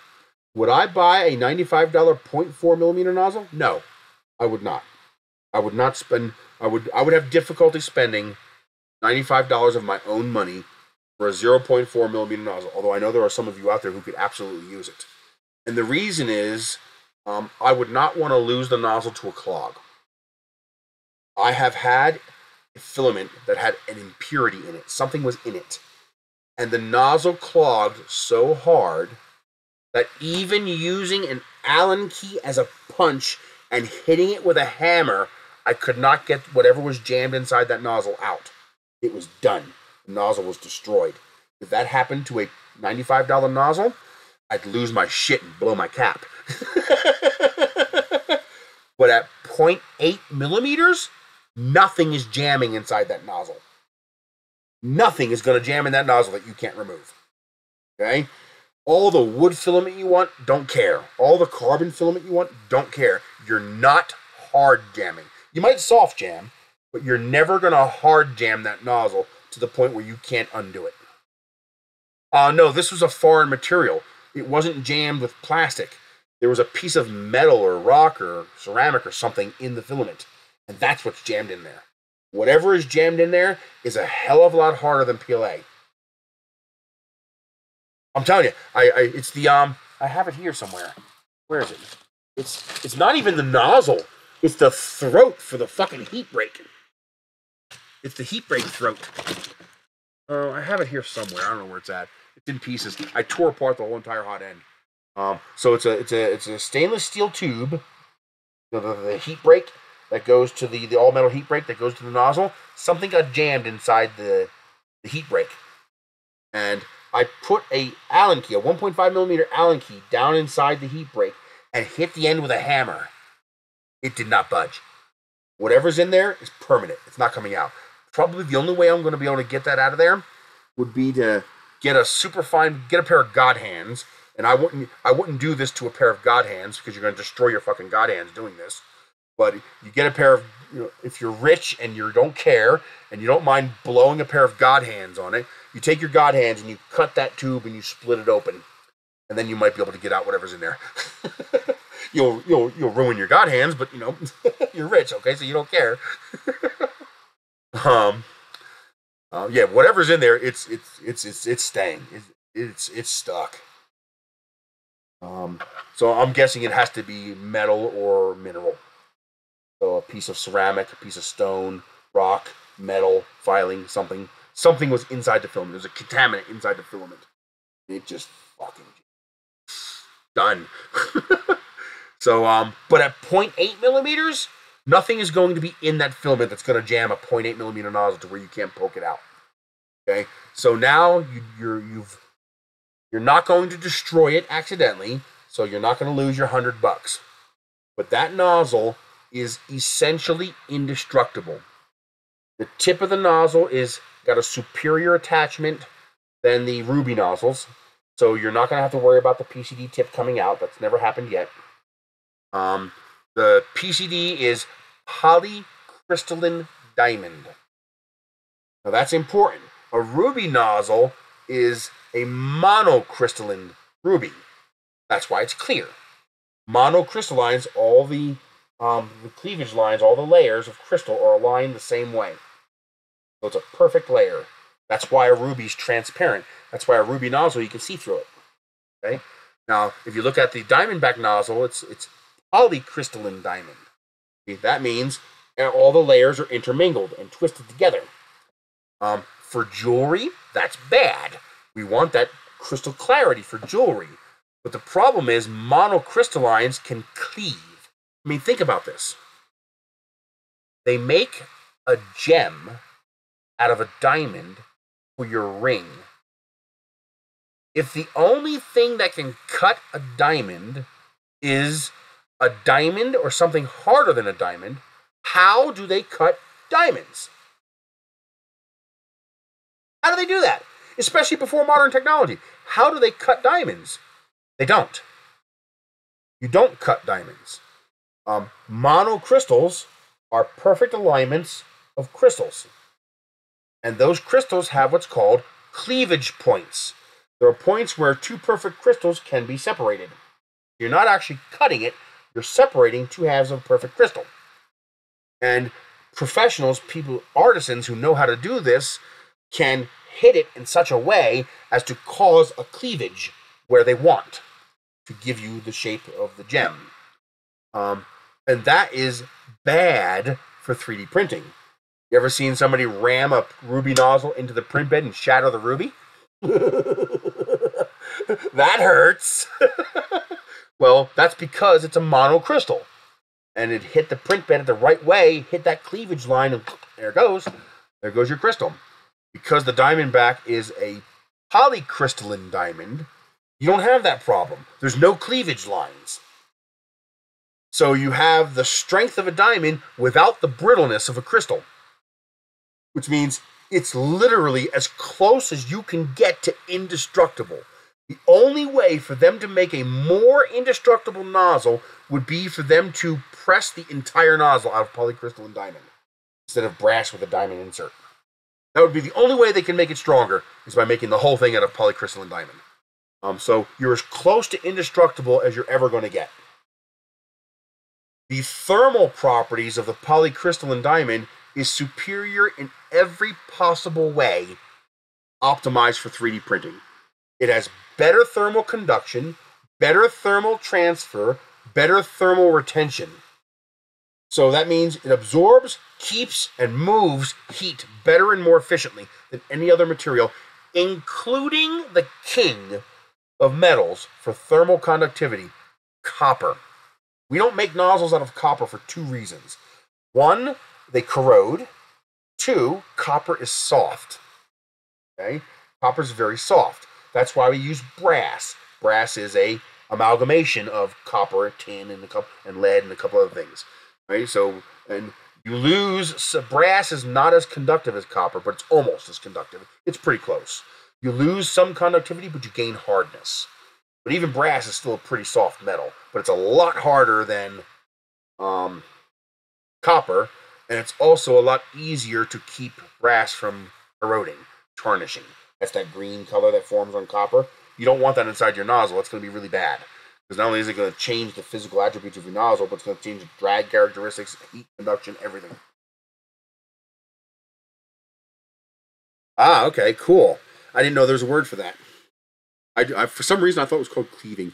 You're using a cleavage line. um, but that doesn't make sense because we have a cleaver for meat cutting. Yeah, bruting, huh? Cool. Um, so by being polycrystalline, you're now not only using the hardest known material that can be used for that function, but it's now not brittle because it's polycrystalline. Um, really, that's cool. That's an interesting trait to, um, what do you call it, a skill to have. That's a really interesting skill to have. But um, so it's got it's better hardness, it's better um toughness. It's the as tough as it's possible to get. There's no other nozzle that's tougher. Even an A2 tool steel hardened nozzle is nowhere near as tough or as hard as a polycrystalline diamond nozzle. It's got better heat properties in every single metric, superior even to copper. It's also got better lubricity, which means it's slipperier. Slippery is good because you know the, the material of the nozzle drags on the filament as it comes out. And um, you'll you'll see that happen where especially with silk filaments where they bunch up on the end of the nozzle. And um, sometimes PETG actually prefers to stick to your fucking nozzle rather than stick to your bed. How many here have had that happen? Where the fucking PETG just keeps curling up on the nozzle instead of sticking to the bed? oh, it's such a pain in the ass. PETG is only a problem for the first layer. After the first layer, it basically prints like PLA. But yeah, that's a pain in the ass. Well, that's an advantage of nozzles like um, the Nozzle X, the Ruby. I don't know if the Ruby has better lubricity or not. I don't know if it has better lubricity. And the polycrystalline diamond nozzles have better lubricity, which means PETG doesn't want to stick to it as much. It might still, but it'll be less prone to it. You're going to be less likely to goober up um, plastic on the nozzle. This is also beneficial for artistic prints. For example, I love printing the um um what are they called? Um when you print layers and then you shine it in the light and you see a picture. They used to make them out of porcelain. They used to chip them out of porcelain. What's it called when you do that? Got the name of it.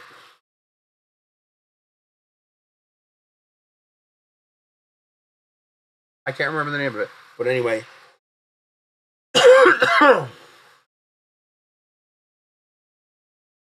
Lithophane, yes. Lithophane is the word I was looking for. Um, you ever try to print one with PETG? And every now and then the fucking nozzle drops a molten, burned up goober on top of your goddamn print and it messes up your lithophane? Yeah, I hate that. That's why I don't use PETG for lithophanes. Because of that, it drops goobers into your model. You know, little wisps of plastic that get stuck to the brass, and it, cooks off. And once it's large enough for gravity to have it fall off, it drops that fucking goober into your lithophane. I hate that so much. That's less likely to happen with a PCD nozzle. And uh, of course, the toughness and hardness are off the charts, which means you can shove as much carbon fiber, glass fiber, or glow in the dark filament through this as you want, and it's going to say, Is that the best you got? the nozzle's amazing. I love their nozzles. I mean, I only got a little set of them, and I can't afford to buy any more, but I still talk them up anytime I get a chance because they're amazing. They really are amazing.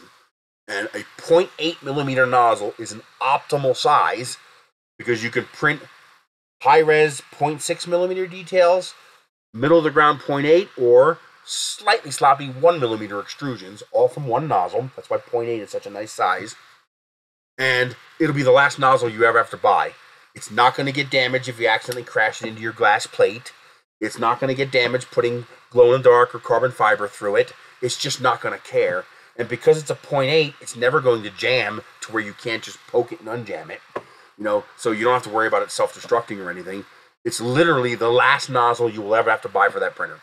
Period. I mean, I mean, is is it guaranteed to last forever? No, of course not. But I cannot think of a way for you to kill it. I cannot think of a way for you to kill that nozzle unless you're doing it on purpose, unless you intend to kill that nozzle. Okay, if you put a brick on your plate and tell the printer to scratch that nozzle across the brick, I think it'll still handle it for a little while, but that will probably kill it eventually.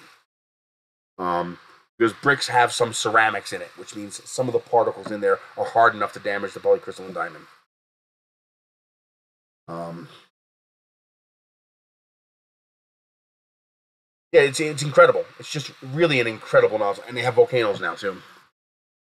But yeah, I would I would love for them to make a solid polycrystalline nozzle, like the whole nozzle, polycrystalline. I think they have the I think they have the accuracy to do that, but it would cost a fortune. But um, yeah, it's, it's it's not only a workhorse. It's not only tough and damn near indestructible. It's superior in every possible metric. There isn't a single metric where any other nozzle is superior to this one except one, and that's price tag. That's it, price tag. you know, thermal um, metrics, all three thermal metrics, superior than any other material we could possibly use. Know, toughness and hardness, superior to every other material we could possibly use. Lubricity, on par with any other material we could use. There's just, there's nothing better. Only problem is the hundred dollar price tag. you save fifty bucks if you buy the three pack. It's like two hundred and fifty dollars, I think, for the three pack. You get three of them. So if you're going to upgrade a few printers and you've got the money burning a hole in your pocket, can save around fifty bucks by buying the three pack. But um, I'm still surprised they don't sell it direct cheaper. Because if they're selling it for ninety five dollars on Amazon, they can sell it direct to you for 75 or 80 bucks and make the same amount of money. Because of the overhead Amazon charges. Amazon charges about 30%. Which means they they're they're actually only getting about 70 $75 from each nozzle from Amazon when they sell it. Um, although I don't know if they drop ship, like they use Amazon FBA or is it direct ship from US metal? Well, that might save them a little bit on the Amazon overhead. But um, yeah, they're they're truly a phenomenal. Where is my mouse? There it is. It's truly a phenomenal nozzle. I mean, it's really, really impressive. I, I like their stuff, and I like promoting companies that make good stuff. It's really nice when it's an American company. I mean, sure, there's not a whole lot of labor involved in making nozzles out of a machine. You know, they they what they use a what, a million pounds per square inch of pressure at 2,500 degrees to make those nozzles. they have these little chambers. They're about this big, and that, that that limits the size of what they can make. So they could almost, they could just about make something the size of a benchy. Um, but it has to fit inside that little chamber because that little chamber has to be able to handle one million pounds per square inch of atmospheric pressure plus 2,500 degrees. Was it Fahrenheit or Celsius? It might have been Celsius. I don't know. Very, very high temperatures to work with that stuff. Um, so that's why they can't just like you know, you make a car control horn out of PCD. It, it, it cost you millions to make the tooling to make the part. Um, so they can only make very small things, and um, that's part of the reason why they only make the tip of the nozzle out of PCD. Because for 99% of the work, there's no need to, for the rest of the nozzle to be PCD. And it also allows them to make, you know, probably put like six or seven of them in there or something like that to make them. Well, if they made an entire nozzle, they'd probably only be able to fit one or two in there. Um, but yeah, that's pretty phenomenal stuff. I, I, like talking about them. They're, they're, they're pretty phenomenal things. Um, so I think what I'm going to do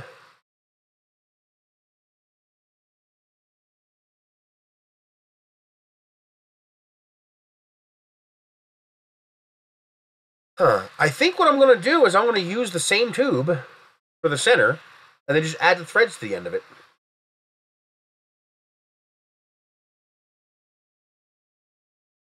But I have to get rid of the vanes. So if I if I use the exact if I make all three the exact same tube, then it'll work. This. So we need to make this. Okay, so I can I can do this. I can make this work Is this the one that's already 210? I think this is the one that's already 210. Come on, stop grabbing other stuff. Can't you work with me for once? You see how this fucks with me? No. That's 197. So I need to make that bigger. I need to raise it up 13 millimeters. 13. Okay. That gets me to 210. So let's go back again.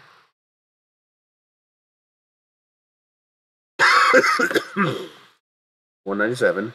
Let's take just these two pieces and raise them thirteen millimeters.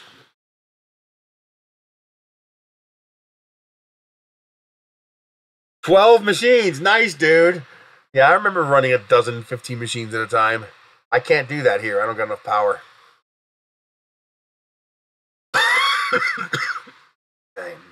How big is this? This is 20, 20, So that's um 190, 170. So this needs to be 170. 170. That is not what I typed in. Dumbass. 170. And we put a work plane here. Drop this down to zero. Come on, work with me. Down to zero. Then we align. That should be good.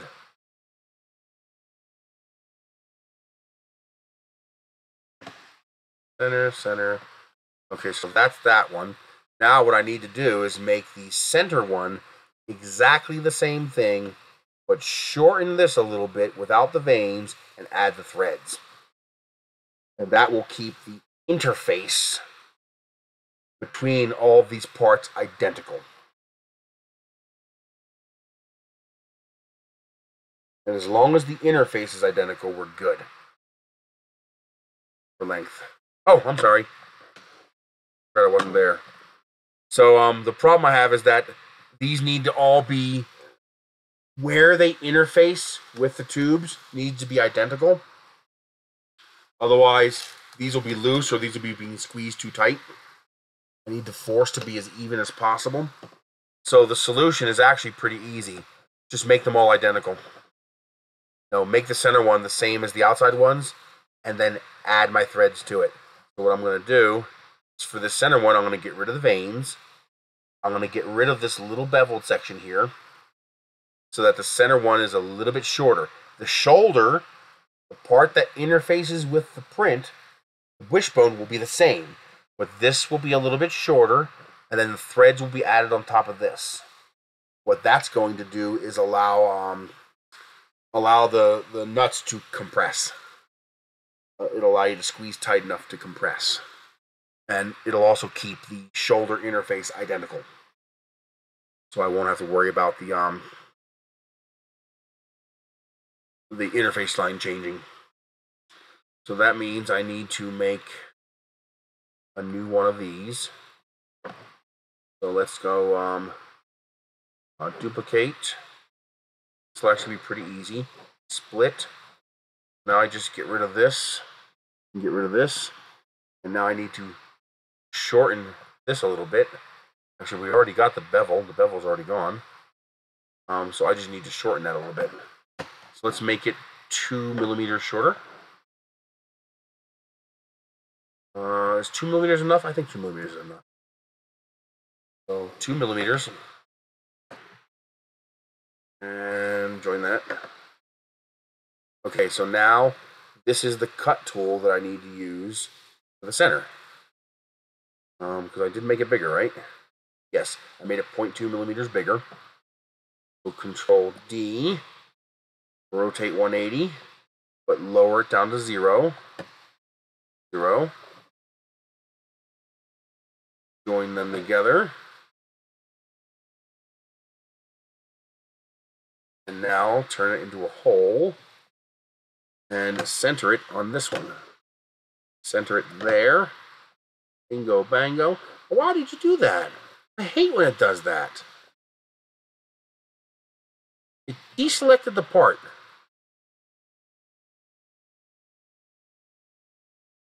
Okay, now I can get rid of this one. Stop. Now I can take this. It should this should be centered on these. It's not. Fix that. Now it's centered. And now I can join.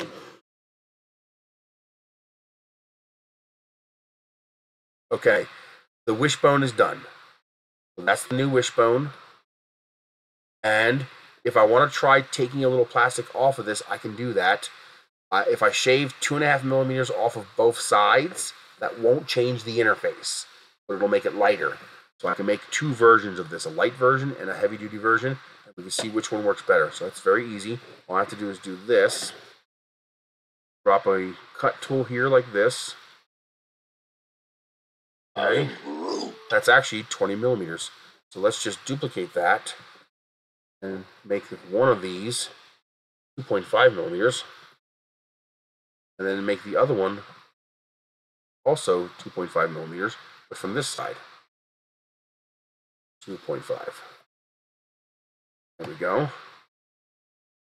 And now I can make the whole thing five millimeters thinner, meaning we're back down to 15 millimeters again, which means we should be back down to around 85 grams. And um, without losing my my identical interlocking interface. So the interfaces will still work perfectly, but this one will be, that should be 15 millimeters. 14.99, close enough. So 15 millimeters or 20 millimeters. Oh, that's because this is lifted up. That's right. There we go. Now you can see the size difference. So um, maybe we'll find out that um, 50 millimeters is thick enough, and I can save some plastic that way. Um, especially being able to flip it over. Um, being able to flip it over um, eliminates a lot of the issues that I have, because now if it does warp, you just flip it. Um, but if I want to print it thicker, I can do that. I can even go thinner if I want to, but you're gonna, you're, you're, if you get rid of too much of this shoulder, your interface is gonna be bad, and you're gonna start applying pressure. You're gonna start cracking it. I would much rather have this thicker interface here, so I'm probably gonna go with the 20 millimeter one. But if if this will get me to 340 grams, I might give it a shot. Um, but only if I think that's to get me to my 340 grams. If I'm still going to be over 340 grams, then it doesn't really matter whether I'm 340, 400, or 450. So this would only be worth it to me if it would get me to my 340 gram target. If it can't, then I'm going to go with the thicker one because I'd rather have the better strength and the better three dimensional interface. Now, the trick here is going to be so this is going to be the um, the piece that goes into these four slots on the end here. This is going to be our weights that go into there.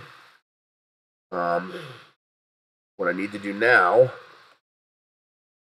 is duplicate this. What I need to do now is to, oh, I got rid of it. I got to grab it again. Derp. Uh, split. Split.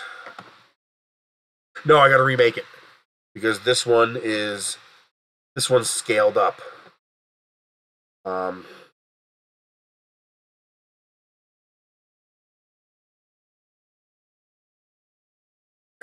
this one is scaled up for tolerance. So I actually have to remake the part out of this one. Okay, so first thing we're going to do is split this and get rid of wings that we don't need. Okay. Come on. Split this one again. We're going to keep the chamfer, so that's going to help with printability and um, not requiring any kind of finishing or, or trimming the edges. So if you have a little too much elephant's foot, the bevel is going to prevent it from being too big to fit through the hole. So now, so as long as I do not change this here, okay? So whatever I do to this, as long as this part does not change at all, it will fit. And we have no holes. I have a couple errors there, but that's okay. Slicer will handle that. Um, so as long as I do, as long as I do not change this base part, then the threaded part will fit perfectly onto this part. So what we do need to do though is we need to change the um. We need to cut a little deeper into this bevel here. Um, there's a couple different ways I can do that. If I take this and split it. Um, so yeah, I want to keep that piece there. So I can reapply a bevel. Okay. So let's hide that. Let's chop. We wanted a two millimeter deviation. We take this and make it two millimeters. And we chop two millimeters off of that. See, this end I can change. This here, from this point, from this point right here to this point right here. As long as this and this length and shape does not change, then my parts will all go together correctly. And then we bring it back. And now I'm betting I could just bring this down two millimeters.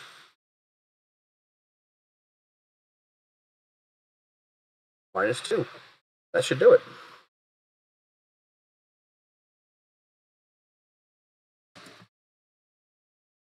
So now I have a new beveled part and this two millimeters shorter. Why do I want it to be shorter? Because I'm going to put threads on top of that. When I put the threads on top of that, I want the um um. Ooh, no, that does create another problem. Ooh, that does create another problem. We need this to be bigger. Mm, not good, not good, not good. Because the threads have to be smaller than the. Oh, I made this bigger, so it might be okay.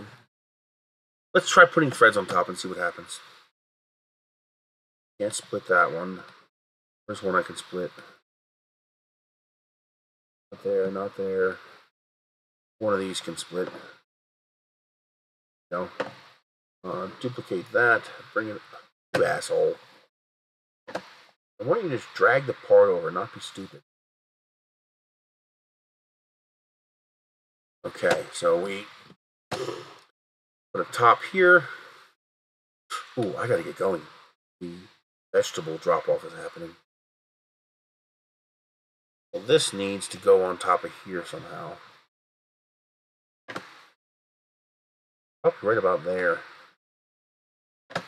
Center it on this.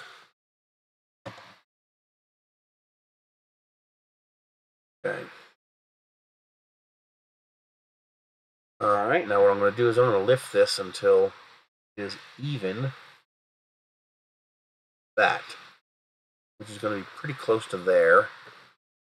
Um, I need to lift it a little more. I need to turn off my snap grid. So I get a merge like that. Perfect. Now, put a block on top of here. Seriously? Stop messing with me.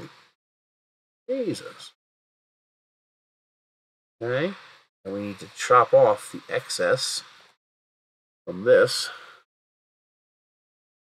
That. There. Now that will interface.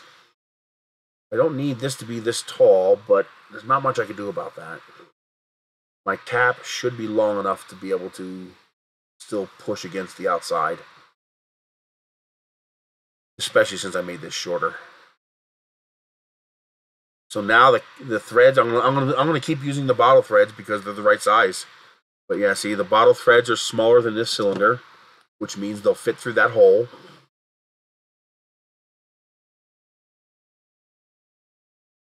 And that retains vase mode compatibility, so it still prints vase mode.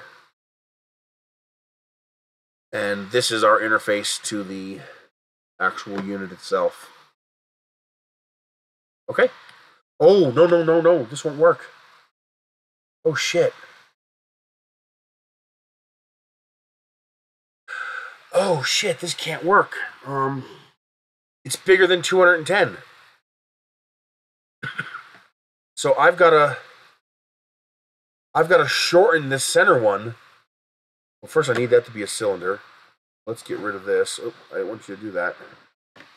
I want you just to pick the one fucking cylinder wall, you idiot. If I get rid of this, I don't need that anymore. I got to shorten this cylinder.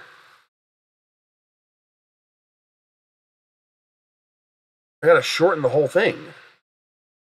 Oh no. Because this is going to be bigger than 210 millimeters.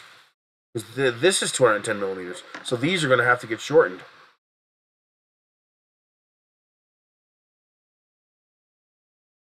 Oh crap. Um, I guess I just need to figure out how much I need to shorten this. Um, on, stop messing with me. That is a good interface. Let's join these two together. Is there any way I can shorten that? I don't. I, can, I don't need this to be this long.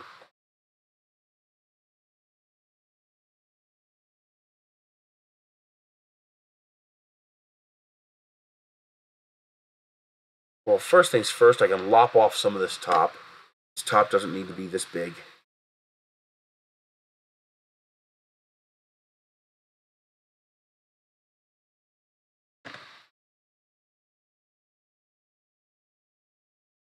There. So I can lop that off. Okay. Oh, I don't want that to be all one piece. I want just this and this joined. Okay, so that takes off a little bit.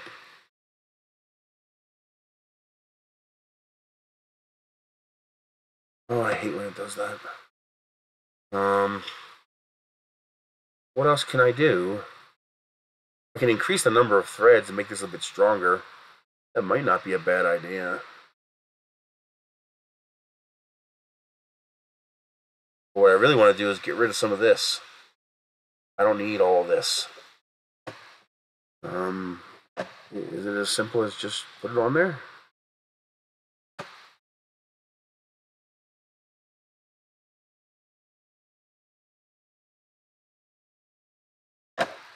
Come on. Gotta keep getting him away. Okay, so how much of this can I get rid of? I'd, I'd love to get rid of a lot. All this if I could. Let's see what happens if I do that. Okay. Now I just need to bring this down to zero.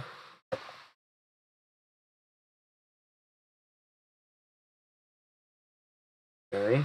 I do need to fix this. I, I need an interface here. That's not going to do it. I could maybe do that here. By shrinking this more. So we have an interface like that. That might work. What did you do? And why did you do it?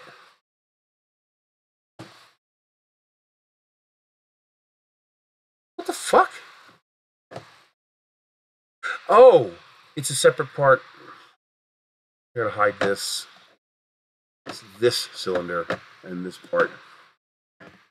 There we go. Okay, I think that worked.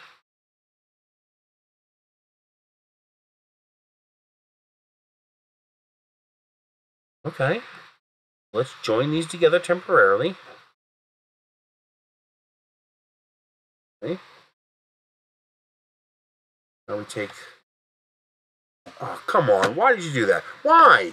Why do you gotta mess with me? Why would you select all of them? Because you're an idiot.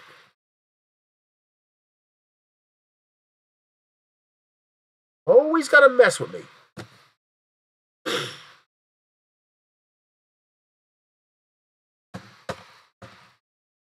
Control D. Flip it. Excuse me. Flip it. Then drop it to zero.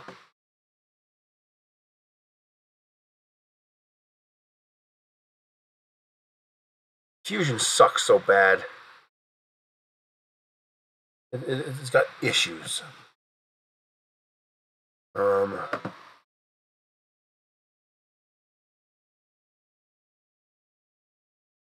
it's proprietary. There's they squeeze the free users more and more every year. To the point now where if you make any money at all, you're boned. If you make a thousand dollars, you can't use them. But they charge seven hundred dollars a year, which means if you make a thousand dollars, you're just giving the money to Fusion. so there, there's no middle ground for anybody in the middle. It's it's crazy. Know, if this says thousand dollars in profit, I can get that. I can I can get behind that. But no, it's a thousand dollars in revenue.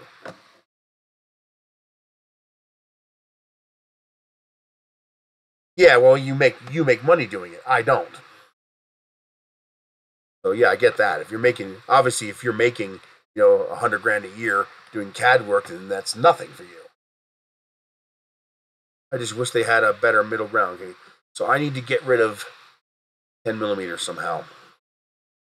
So in order to get rid of 10 millimeters, I have to um, or this the you haven't. I don't know if you've seen this yet, Lightspeed.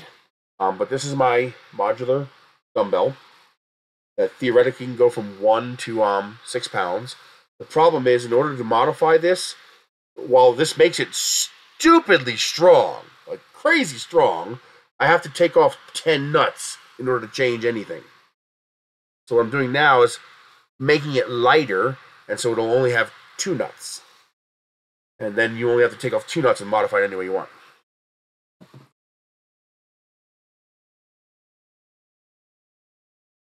No, I'll see. Uh, if I'm making money using your software, I want to honor your license. Um, if I'm making money using Fusion, then I want to, I want to pay them. But um, what I want is I don't want to rent the software. That's why I'm actually looking at what's it called? Um, oh, I saved a video. There's a new CAD program that's um that um that has um all the features that I wanted. It seems like it has all the features that I wanted, and it's one price. You pay one price and you own the software. Get upgrades for a year, so you don't get any upgrades past that, but you own what you got. Um, I'll send you a link to the video so you can check it out. Um, like Simplify 3D, yeah, exactly. I can keep using Simplify 3D, even though they're not making any more updates anymore. I can keep using it. You didn't have to pay the fifty dollars to upgrade it to um 5.0 you could keep using four forever. And that's the model I prefer. Five was a substantial upgrade. One time fee, you're now integrated into five. Good, you're done now. You don't have to pay anything ever again. You don't have to pay every month. You don't have to pay every year. If you stop paying 10 years from now, they don't turn off your software.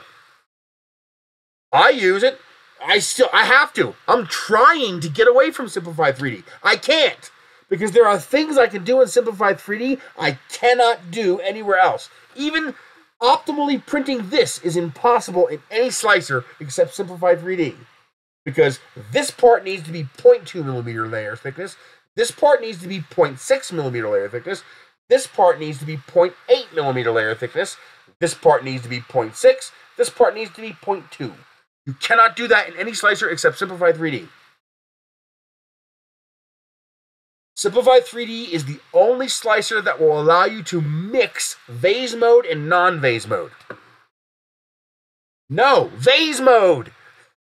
Yes, if you're doing layers, then yes, you can do all of this, and it's not as easy, but you can do all of it in other sli slicers. But you can't do it with vase mode. you have to go regular layer retraction, layer retraction in order to do variable layer heights in um in Prusa or Orca or anything else. You can create those blocks that allow you to create different settings and stuff like that, but you can't mix vase and regular. And that's why I still use Simplify 3D because it's and also its its slices are still superior to any other slicer. Can you get other slicers there? Yes, by manually tweaking what it's doing. I don't have to do that in Simplify 3D. It just does it itself. Now, yes, there are some times where it will do weird, funky things that um piss me off, but that's usually because I'm bending the rules really hard, and it's losing its shit when I bend those rules. But um, but for the most part, I can set up a profile like that. Um, no tweaking, people I, I hear people always talking about profiles, profiles, profiles. There's nothing in a profile. Nozzle diameter, bed size, vertical height. That's it. That's all there is in a profile. I don't change anything else in the profile. and people think my profiles are magic. no, just Simplify 3D is good. the, the company kind of sucks, and they're they're in a pretty bad spot. No, now switch to regular. So print a part using three perimeters and whatever settings you want, and now switch to vase mode and just try that. I sometimes go back and forth and switch back and forth. You know, this part will be perimeters, this part will be vase mode, this part will be perimeters. Like for example, if if I needed internal threads here, then this would have to be a multi-layer part. So this part here would be regular printing, meaning layers and retractions. This part here would be vase mode, and this part here would again be regular and retractions. You can't even put top layers on a vase mode print in Prusa Slicer. You could do bottom layers, but you can't do top layers. And God help you if you want to make the first layer 0.6 millimeters at 200% over extrusion, and then you want the next part of the model to be 0.2 millimeters with two perimeters, and then you want the next part of the model to be vase mode at 0.8 millimeter layer height. You can't do that in any other slicer. Yeah, basically, that's all. Direct driver or Bowden. Your retraction. You change the retraction. Or the temperature for the plastic. Otherwise, when I make a profile change, it has nothing to do with the printer. It has everything to do with what I'm printing. Like those profile changes aren't because I changed from an Ender 3 to a, you know, uh, uh, a, a longer LK5 Pro. It's because I changed what I was printing. And so what I was printing had different requirements. And you can't create a profile for that because that profile will be unique for that print. um, Prusa Slicer will not do it. You cannot do it in Prusa Slicer. It pops up a warning and says you cannot mix vase mode and regular mode. You have to pick one or the other. It won't let you even try. It, it, it straight up says no, you can't do this. You have to pick vase mode or regular mode. You cannot mix them.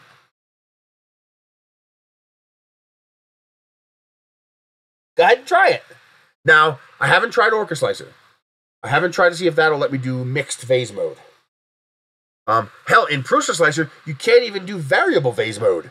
You can let it do variable vase mode, but you can't define it. At least I well, I haven't tried really hard because usually I don't change, you know, the vase mode settings. It's usually intermixing between um, regular layer printing and vase mode printing, which I do a lot. like the the funnel that I print for the um, milk jugs. You know, I take an hour and a half off the print time by printing most of the funnel in vase mode, and then I do, you know, three perimeters to print the threaded part for the threaded cap to go in the milk jug. Just by switching the funnel part to vase mode, took a lot longer to design because I use my, my, my multi-surface complex vase mode technique. But um, but the final print prints 90 minutes faster. That's a lot of time. And saves a lot of plastic. You don't waste nearly so much plastic that way. Um, but yeah, you can't mix vase and regular. And it drives me nuts. It's like, why? Why can't you? It's just like pretend that part of the print zero millimeters and start a new process. It's not hard. That's exactly what Simplify 3D does. You know, and it shouldn't be that difficult. You know, you print the existing print. Now, pretend there's no print. Pretend where you're at now is the level of the bed. And now start a new print. Easy peasy and that's, that's probably exactly what Simplify 3D does. Actually, Simplify 3D does um, it intermixes, so it actually properly transitions from regular to vase and back to regular again. So when I tell it to print regular and then print vase, it actually prints the regular, prints a finished top layer, begins the initial squished bottom layer for the vase mode print because the vase mode print doesn't start as a spiral. A vase mode print starts as one layer and then it spirals off that one layer. Because if you started as an immediate spiral, by the time you got to the end of the first spiral, you'd be off the bed. So it um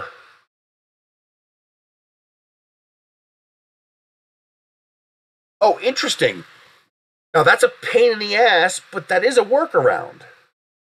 Especially if I if I is I found out that um Tinkercad will maintain origins.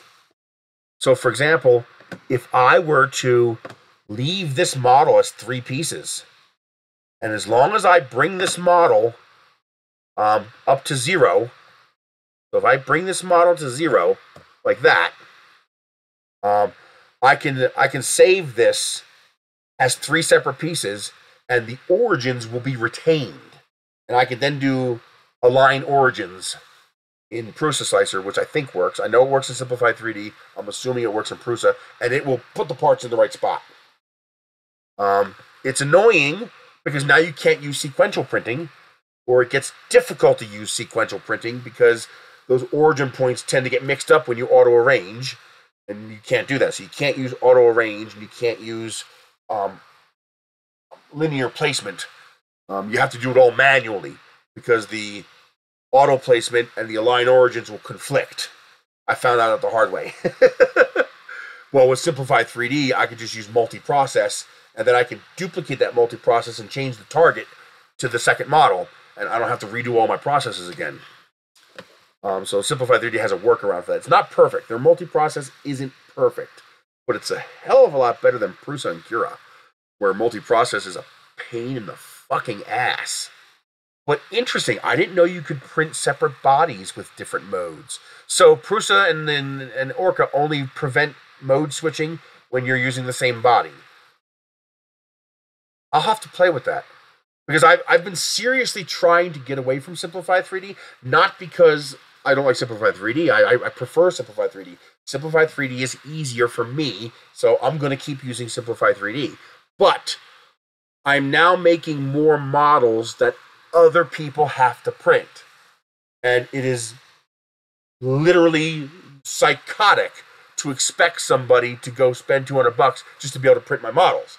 So I have to make my models printable in, well, I chose Prusa Slicer because that's the most common, you know, free slicer available that doesn't suck. Cura sucks.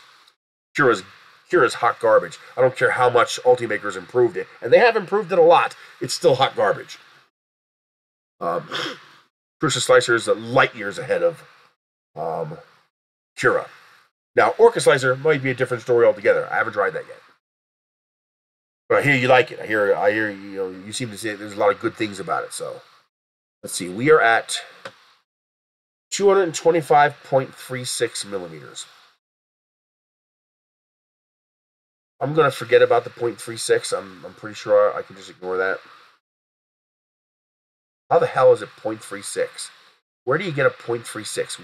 How does that even happen? Like seriously? 0.36.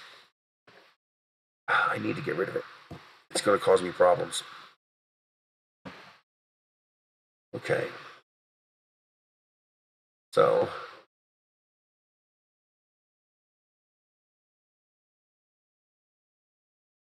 So I need to, if I just drop this down 0.36,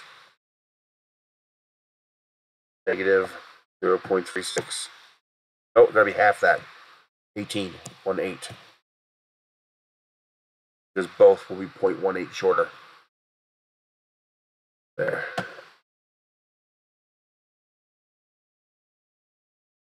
Oh yeah, 27.5. So it makes it an even number. Okay. Makes sense. It's annoying, but whatever. Control D, rotate 180, drop it down to zero. Uh, no, not to zero. Gotta drop it in the right spot. Gotta drop it to that zero. Ah, oh, come on. Why do you gotta put it off the screen? Some things it does so right, and some things are so annoying. Like it, it just little idiosyncrasies that just drive you crazy. I need the other one. I need I need this one down here. But it was off the screen. Okay, now, how tall are we? See, if I didn't get rid of that now, it'd come back to bite me in the ass later. I need to take off 15 millimeters. So if I want to take off 15 millimeters from this one, I have to take off 15 millimeters from this one. So if I take this and make it um, 155. Is that right? Yes. And then take 15 millimeters off this one. 155. There. I have to keep the relationship. Oh, I'm sorry. I'm sorry. I forgot to switch screens again. I have to keep the relationship between these two parts identical so that when they are inserted into this, they all meet at the same point. Otherwise, this plate will end up getting bent one way or another. It'll either get bent this way because the uh, center one's too short, or it won't compress the outside ones because the um um in fact it might actually be beneficial to make this one millimeter bigger than this. Which I can't do so I'd have to make this one millimeter shorter because that will actually compress four on the outside um I don't necessarily need that though but I'm going to do it anyway one millimeter. So we're going to go 154. That will mean the center one will compress slightly more, half a millimeter more on each side, which will help it squish those outer four a little bit better. This way, um, they will all meet at the same point, but no part will be bigger than 210 millimeters. I have a 210 millimeter restriction because Prusa, um, Prusa printers have a 210 millimeter vertical limit. Now, an ender could handle it, but um, I want everybody to be able to print it, at least as many people as feasible. So now I just bring these down. Since I didn't modify these, we're good. Now this should be 210. No, it's 195. Why the hell is it 195? Because this needs to be 210. Duh. This needs to be 210. And we are 209. That's good. That's fine. Okay. Because this. So now I have my center post with threads. I have my four outer bodies with um, um, the slip fit slotted joints. I have my slotted joints here correctly oversized, so the parts should slip together. I'm a little bit worried about, um, I only have a half a millimeter tolerance, and I'm a little bit worried about, um, um, uh, ringing. I'm worried about ringing on the corners, making these slots too big to fit here. Um, you know what I could do? I should have done this to begin with. In theory, it should print okay. Yeah, that shouldn't affect the printability. Okay, what I can do... Yeah, that actually should work. Let's try it. Hi, baby. Um, this, this is an interesting little Tinkercad trick for you guys. Um, so this is 2.1 millimeters wide. That is because the nozzle is one millimeter. And so you need one millimeter on each side, plus a little wiggle room, so that it can make the 90 degree turn um, in order to print this um, fin. If it was less than two millimeters, it would have to use variable width to try to simulate it and print it, and that can cause issues. Um, you guys can see this, right? Yes. Um, now, what I can do, this, I don't know if this is going to work. We're going to have to test it in the slicer.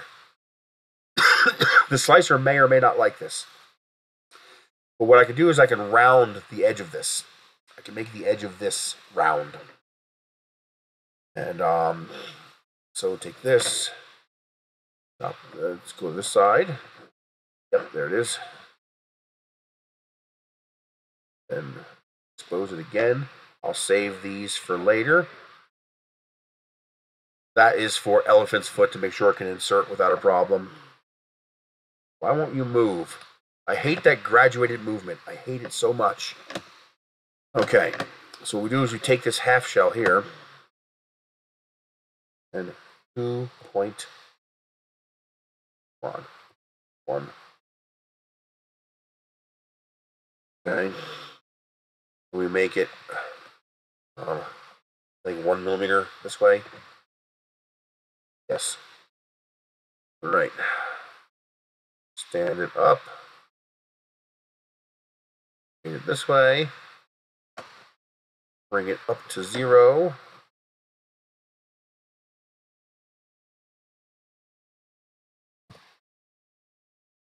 Okay. Basically, we're going to insert it even with this. That's one millimeter. which means I need to make this one millimeter smaller. 39.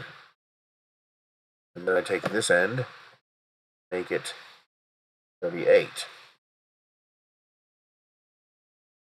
Then we take this and we align it with this. Line, fix here, to here. Um, then to here. Oh, I forgot about that shift. That's annoying. Okay, so it's going to be easier to do that. So now align these two pieces, that and that, not all the fucking pieces, you dumbass. Line it to the end, the center, and now I shorten this. 39 and 38. There. Now I have a rounded edge like that. I'm going to duplicate this. Uh, I can't do that yet. Uh, won't that won't work. Yes, it will. Um, Control D, join it with this, and now I'm going to select this piece as well, since I need one piece that's as wide as everything, so I can properly rotate this. And there. Now, why didn't that work? It didn't rotate properly. Why didn't it rotate properly? I chose it. Wait a minute. Oh, this is separate pieces. I never joined these. These need to be joined. That was my fault. Now if I select this and this, it'll rotate on the center of the bigger piece. And now I'm in position to join to this one.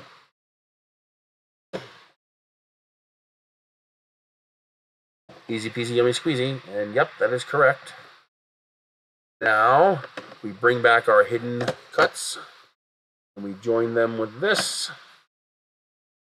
That gets us our elephant's foot buffer. We delete this one, duplicate this one, rotate it one 90 degree turn. There. Now we have our vanes with a rounded edge. Um, hopefully the rounded edge is small enough not to confuse the slicer you know because this is this is just the right size for the nozzle so that it won't have the ringing because um, if the ringing is too much it's going to have a problem going into the slot even though I made the slot bigger to account for that um, if the ringing is too much it'll it'll bulge out the end of the fin usually rounding the edge of the fin is enough to stop it from doing that. Usually, not always. Usually. Okay. Now we join. Course. See, you want to grab all the other fucking pieces too, you asshole.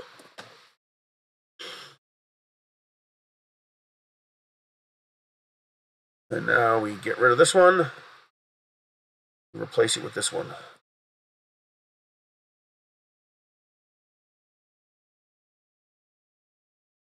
Okay.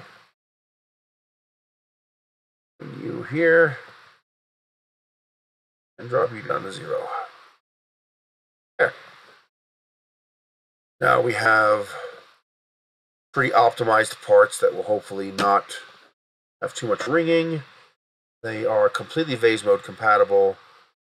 Chamfers should make for easy insertion. I have a half a millimeter tolerance on the slots here. That should be enough. I have 0.2 millimeter tolerance for the chamfer, and I have a half a millimeter tolerance for the um the fins.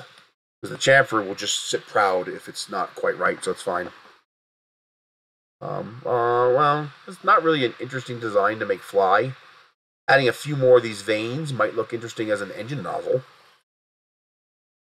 Actually, that would look pretty good. For like a V2 style rocket. Yeah, that would actually look kind of neat. If I were to do something like take these, Control D, rotate them like that. Yeah, that would look pretty slick as the ass end of a rocket. And then have like some you know, 50 style curvy fins here, like a radiator grill rocket nozzle. That would actually look kind of neat. I just, I, I just might have to make a rocket based on that. yeah, I just might have to turn that into a rocket because that was that's kind of neat.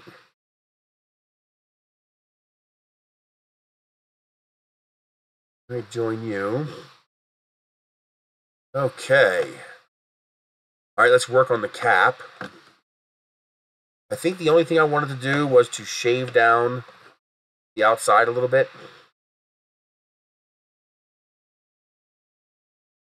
Where is it? Why didn't that work? Oh.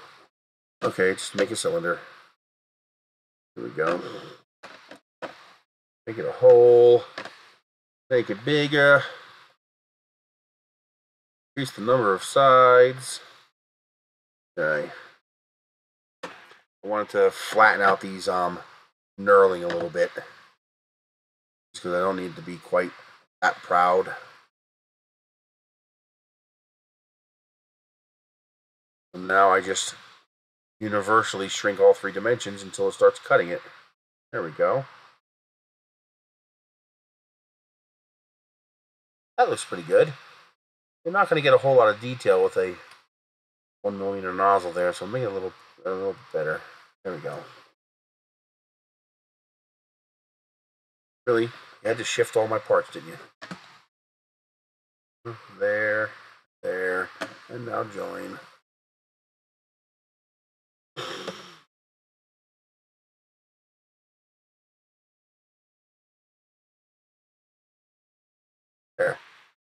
Now our we have a knurling pattern, but it's a little smoother, so it shouldn't be as sharp against the fingers, but it still should provide a grip. We have our chamfer for our base layer, and we are good.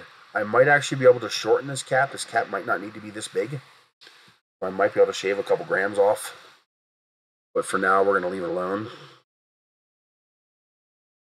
Okay, let's let's shift these. Although I already screwed up and made it impossible to ever go back. So goodbye. that model is now a fixed design. It's it would be very hard to change that now. Seriously? Because I deleted the dog bone. At least the editable dog bone. I no longer have an editable version of that dog bone. That over there. So that's the old models. These are the new models. Where's my new model? Uh, hello. Where the hell's my new model? Oh, that's it right there. This is the model. Uh, this one I don't need. This is my cut tool that I oversized for making the cuts in here. Um, I did want to I did want to modify this cap a tiny bit. Um, yeah, I want to shave out a little bit of that. It's just a little too square. Um, let's drop a cylinder in here. At least the sides. Really? You gonna fuck with me like that? Hole. Center, center. And let's scale until we chop away a little bit of the threads. Just a little bit.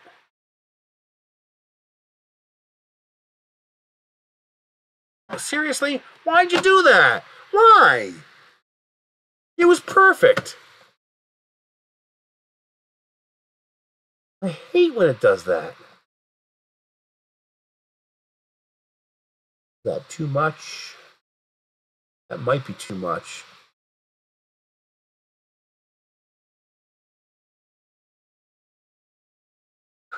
Why is it attached? I'm not touching the mouse buttons, and it's attached. It's because this menu. It's because this goddamn menu appeared. That's what did it. Oh my god.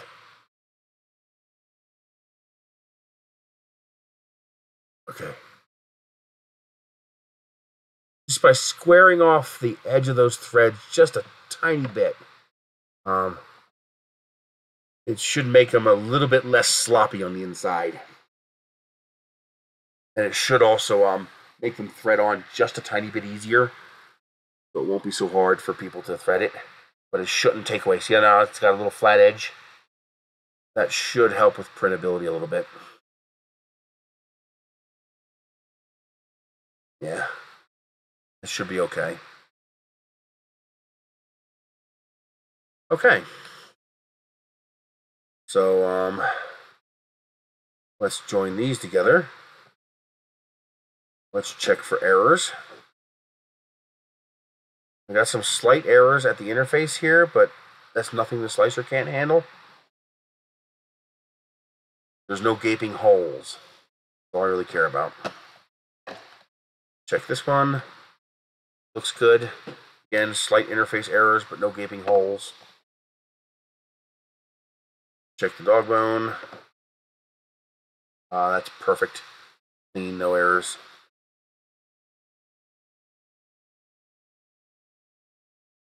And yeah, well, actually, that's pretty clean. Hard to check, but it looks clean. Looks like I got rid of all the rough edges that would normally cause a problem. See, if there's any holes in the model, you'll actually see it as a cavity in here. Actually, pretty effective. Why? Why do you keep bringing that up? Like, I don't want that. Whatever that is, I don't want it. It's like, go away. Punk. Pest. Annoying pestilence.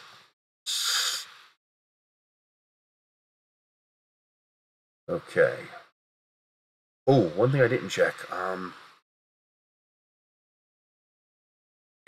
Oh, that's kind of important. We need to know that. Um, this here. I need to bring this down to here. Okay. And then bring this over to here. Ooh, that's not enough. Mm, That's no good. That needs to be bigger. This needs to this needs to stick out a whole lot more. That's not going to work. I forgot I increased this to um, um 20 millimeters. Yep, that's something I needed to check. That will not fly. And it's going to be even worse than that because you're not going to get a perfect mate like this. I need more threads sticking out. There's no way that's going to work. It'll just tear the threads.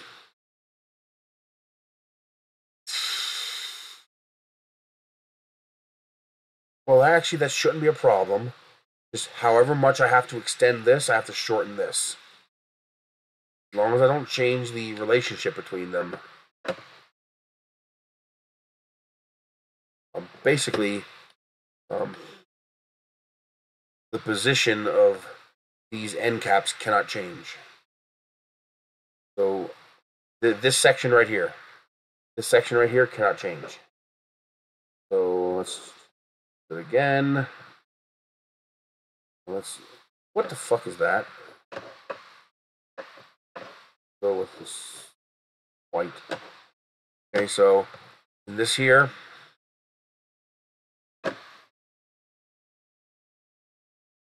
Right, I can only change this. So this here I cannot change. I cannot change it and I cannot move it. This cannot change, this cannot move. If I move this, I have to move these as well.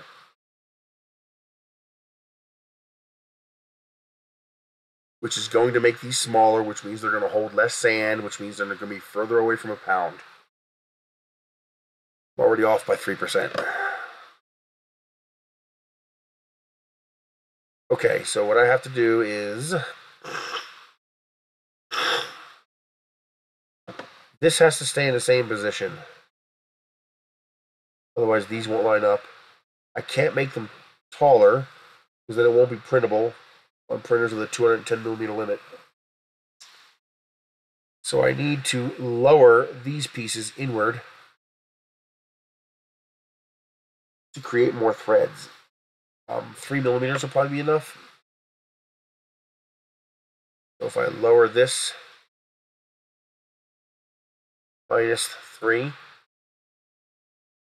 then I shorten this by three. One, five, one. I'll do the same thing on the other side. Um, now the threads stick out further. And instead of, um, well, actually, it wouldn't help at all to do that. So just got to put a cylinder in here. I don't know exactly how big that is.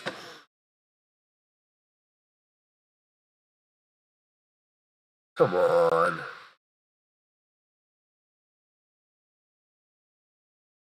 Okay. Take this and this, line it on this piece. Fucking whore. Something's causing it to go off of the red dot, which causes it to deselect what I'm doing, which causes me to be a very angry critter. Um, piece of size. Now we do a universal scale. So we are just a hair bigger. Guarantee we have an overlap. Sink the part in. Shrink this down so it's inside the white tube here. And there.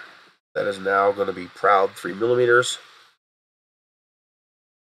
But do I have to be 5?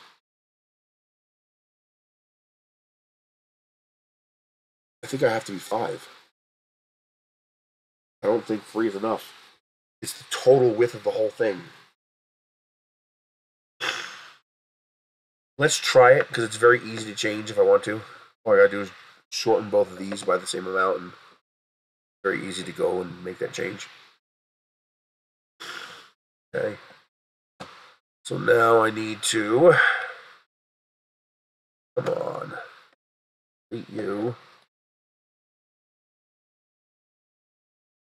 Um, 180 all the way down here.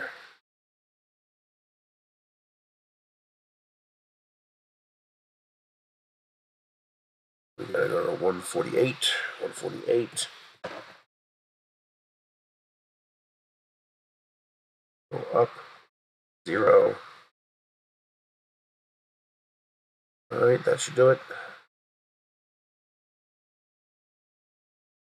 I did not change the position or relationship of the shoulders. Wait a minute.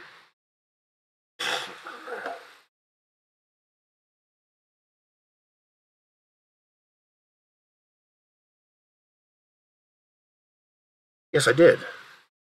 I made it three. I made it six millimeters shorter.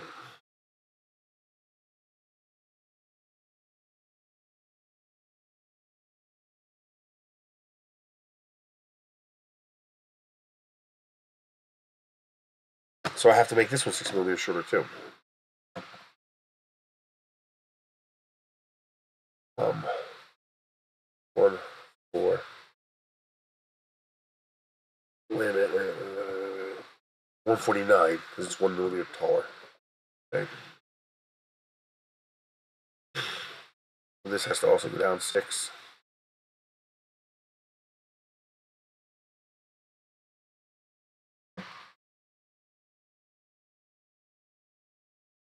Why are you messing with me?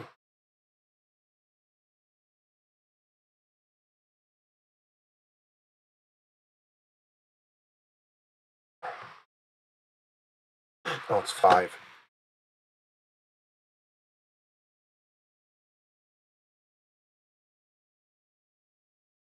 Oh, you're messing with me.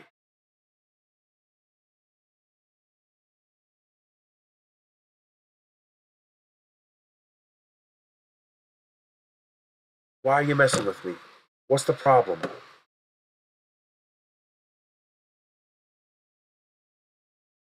One forty nine. What was it?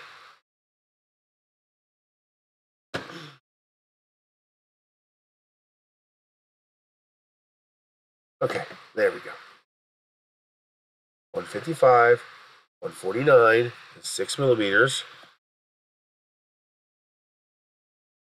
I don't know why that relationship changed. It shouldn't have. There we go.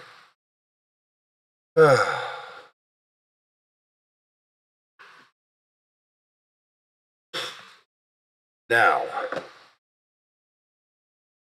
we test fit.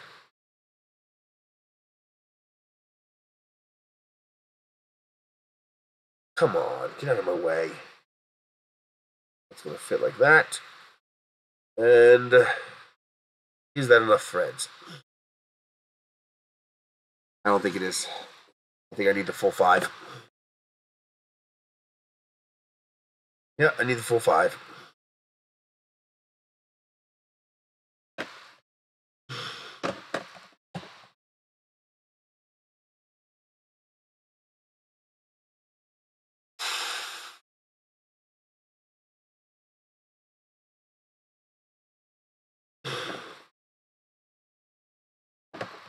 Okay. I'm going to delete you. To split you up back into your parts.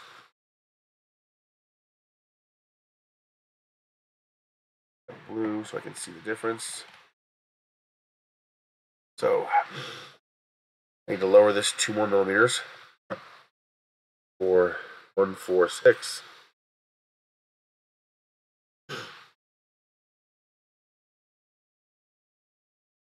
And then lower this millimeters. Why would you do that?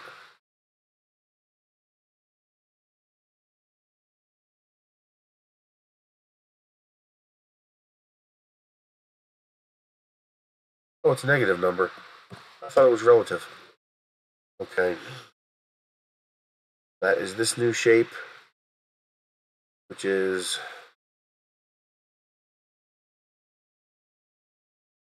joined. Oh, I think I screwed this up too. I got to shorten on both ends. Um,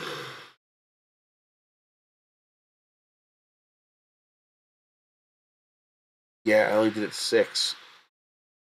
Oh, because this is a unified shape. I did three and three. Um, this one, on the other hand, has to be shrunken on both ends. Um,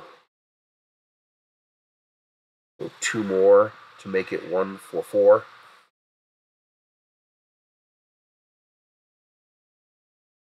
I think I, I think I fucked up something. Um, did I make this three and three last time?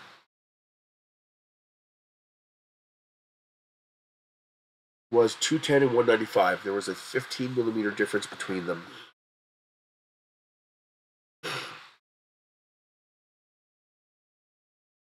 So now there needs to be a 20 millimeter difference between them. And there is. 189, 209. Yes, we're good. Control D, 180, all the way down to here. Make the zero plane here. Grab this part, bring it to zero. Okay.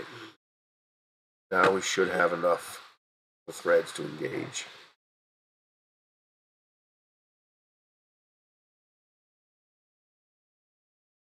That is going to make the weights a little lighter though. Check it.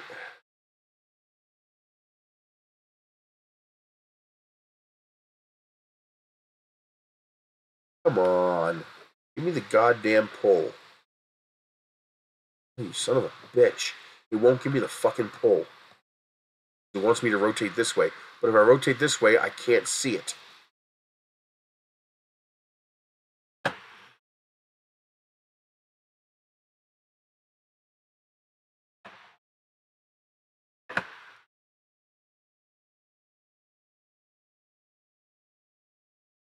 Close.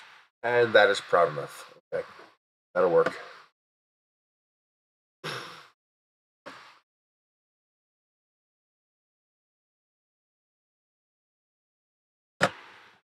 All right, let's zero everything out.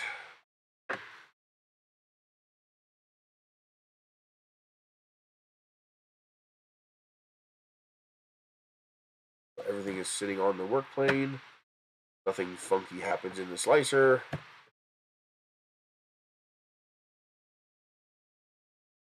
All right, so now I need to print four of these, two of these, two of these, and two of these.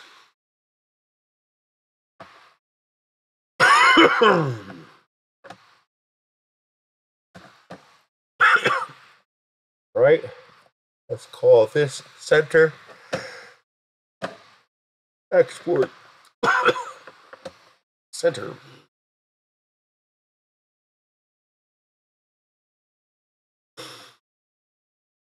And this we're going to call outer. Port CO. This will just be called cap. Sports. And dog bone.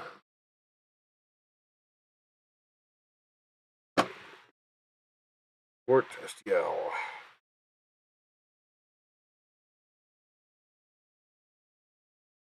Okay. So we are going to go from five, six, seven. We're going to go down to eight parts from 14 parts. No, 10, 11, 12, 15, 14, 17. So we're going to go from 17 parts to eight parts. I call that a win. um, let's see what the slicer looks like. Slicer.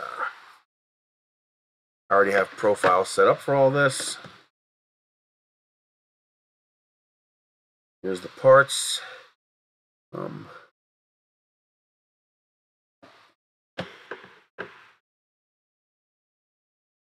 well, I better keep all that. Okay, so let's get my profiles going. That is for the outer. That take our new outer. Memory card setup.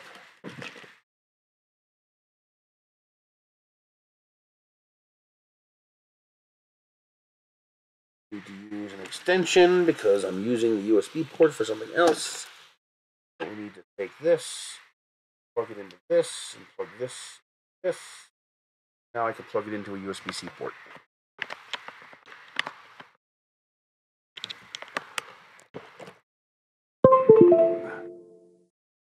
Go. So slice. Looks good. Two hours, 29 minutes. That's at a thick layer height. Oh, now I can, let's see if I can do variable layer. How do you do variable layer in, because if I can make this a much thicker layer height, that would work a lot better. Uh, vase mode, 0.2, layer height four bottom solid layers. We will change the min-max um, to 0.8. Um, now, how do you use variable layer height? Advanced seam position, perimeters. How to do variable layer height?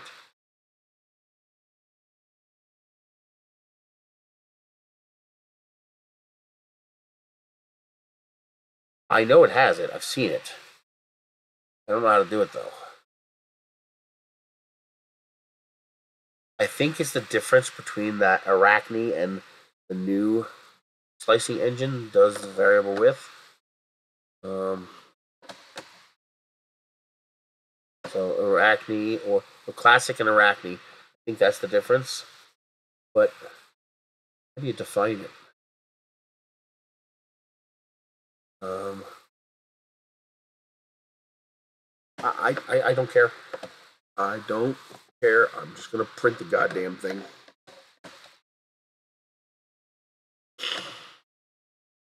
And past the point of caring right now, I'll figure it out later. I just wanna get it going. Okay, everything looks good. Alright. Export G code. We're gonna export to this is going to be called outer.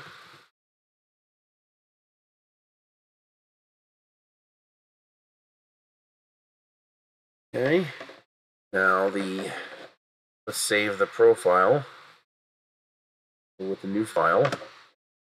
Now, all I gotta do is delete this and install the inner. Get the same result. That is going to be the center. That's going to use the same profile.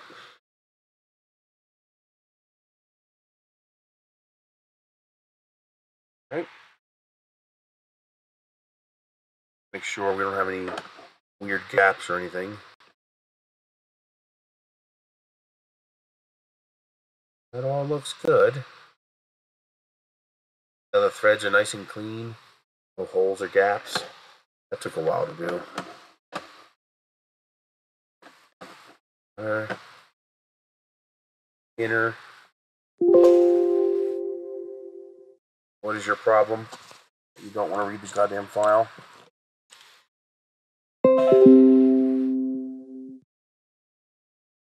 Screw you. Just do what I said. What the fuck does a cycle... Er, what the fuck is your problem? Just do what I say. I don't think it likes this adapter. In the slot.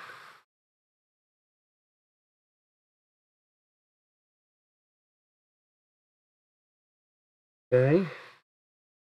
That worked. Right, recent projects. Uh, cap. Just go away. Stop agitating me. Delete the old cap. New cap. Slice.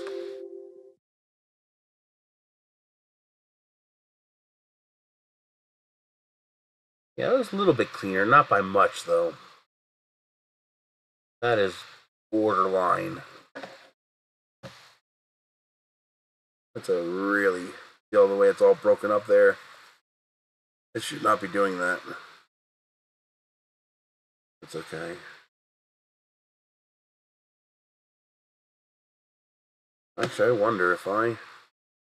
No, I'd rather have the two walls. I don't like the way that's printing though. Or whatever. That's why it's so sloppy. Wait a minute. Two. Full CV. Auto range. Yep, we need two caps.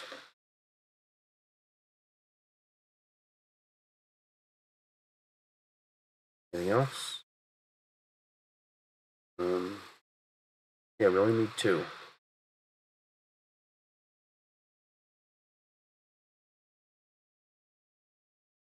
Is it just me or did it shorten those caps? It did. Why did it shorten them?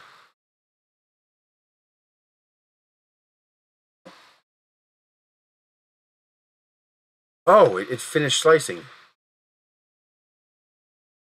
Oh, the preview. The preview was okay. It was just the preview.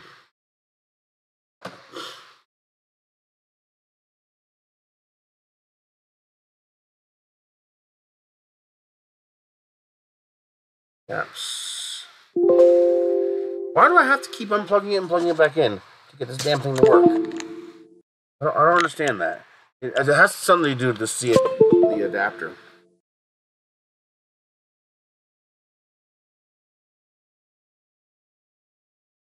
Something to do with the adapter. It's causing it to um not be able to write to the SD card properly. It's weird. Okay, save project. All right, recent projects, Wishbone. Eat the Wishbone. Re-add the Wishbone. Dogbone. Roll. CV. Auto arrange. That is the new one. No extreme angles. Okay. What we are going to do, though, is lower the amount of infill. I found out I, you can't change infill settings unless you have bottom layers. You have to have a bottom layer in order to change infill. I don't know why. You just do. See, I got infill here. Watch if I change my bottom layer to zero. Oh, now it's letting me change infill. Before, it wouldn't let me change the infill until I gave it a uh, bottom layer. Huh. Let's try um, 8%. Well, actually, let's try 6%. Let's see what that looks like. Ah! You hurting your ear, baby? I don't know if that's too loose or not. It does bring it down to only 226 grams. So I only added um, 36 grams, making them um, 30% thicker. That's not bad. I went from 90 to 112. 22 grams extra each. Not bad. But is that enough infill?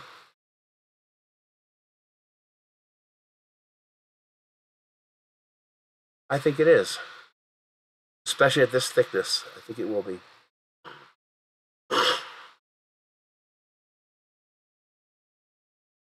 We're going to go with it. It only takes six hours. Nice.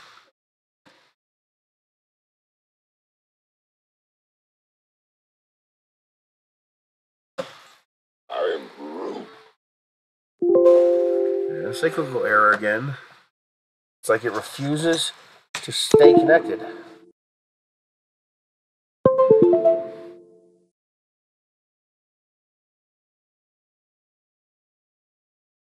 Here we go. That's all the parts. Save project. So we have the 3MF file saved. All right. That's it. I will now print the parts. And um, YouTube is not receiving. What? Are we not streaming anymore? Enough video to maintain smooth read. It's fine. YouTube's just bitching about anything. If I just give it some stuff to see, that'll increase the bit rate enough. To, it's because I wasn't moving very much. Um, that's it. I'm gonna print out the new part. I'm gonna I'm gonna keep both sets of parts. I'm gonna release this as a set. They're, they're both gonna come in the same package. Um, you get one, you get both, whether you pay or get it for free. Um, you print this set if you don't mind struggling with caps and stuff to reassemble it, but you want something that's truly like bulletproof, like you can really beat the hell out of this and probably not break it. Um, the only concern is these, um, but they are strong. Um, I mean, obviously, if you hit a sharp edge, it's probably going to crack one.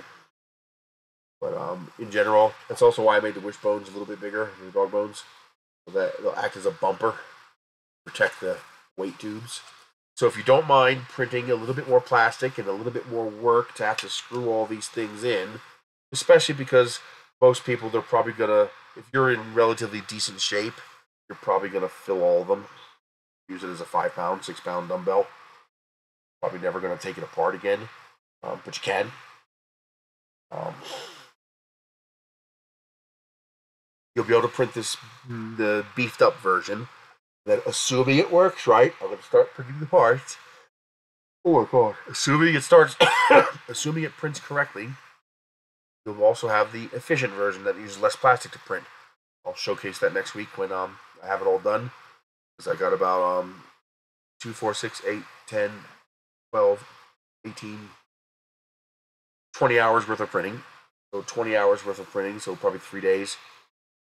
Um, I'll print up all the parts and we'll put together the new version and see how well that goes together. And go from there. I got an idea for strengthening up the center tube by um um I could put little slots in the tube with zero dimension. So it'll it'll be like printing my um, vase mode prints with the little stubs that connect the inside and the outside walls. Except this just won't have a separate inside wall. It'll just have those vanes, and I can make those vanes a spiral, like I did with this. I can't get it out, but like I did with the rocket, the spiral vanes inside, and that'll help stiffen up that center tube a little bit. Um, I might do that just to just to I can squeeze that center tube, but in reality, once you fill that with sand, you'd have to squeeze that pretty damn hard to break it. most people probably can't squeeze hard enough to break that. And I don't have to worry about impact because, well, well that's protected by all this. So what's going to hit that one? So I might not bother, but um, maybe I will make a beefed up version if you really want to beef it up. Um, if you want a heavier model, maybe I'll make center one with the bulbous shape, which will make it both stronger and it'll hold more weight. But as long as your hands are small enough to get in there, my hands are big, so my hands would bump into the other tubes when I did that. But um, yeah, so I will get this. I'm going to get this online so people can start printing it out because this is fine. This is ready to go like it is. Um, I'll I got to do up instructions because if you're not printing vase mode with a one millimeter nozzle, then you need instructions on for how to print this. Most of it is basically just print three perimeters. Um, if you tell it, if you tell your slicer to extrude 0.5 millimeter, then you can just do two perimeters. But you, it's going to take a little bit more plastic, but you're probably better off just doing three. Because the, the little bit of the 0.2 millimeters extra plastic will make up for the weaker um, perimeter style um, printing. So basically, just all these three perimeters, zero percent infill. Um, this one caps three perimeters. The dog bone, you're going to do um, need three millimeters thickness. So four, eight, twelve. You need seven perimeters. So the dog bone, the, this is if you're using a 0.4 millimeter nozzle, you use seven or eight perimeters, and you'll probably have to use at least 20, 25% infill. You want a pretty tight grid like this.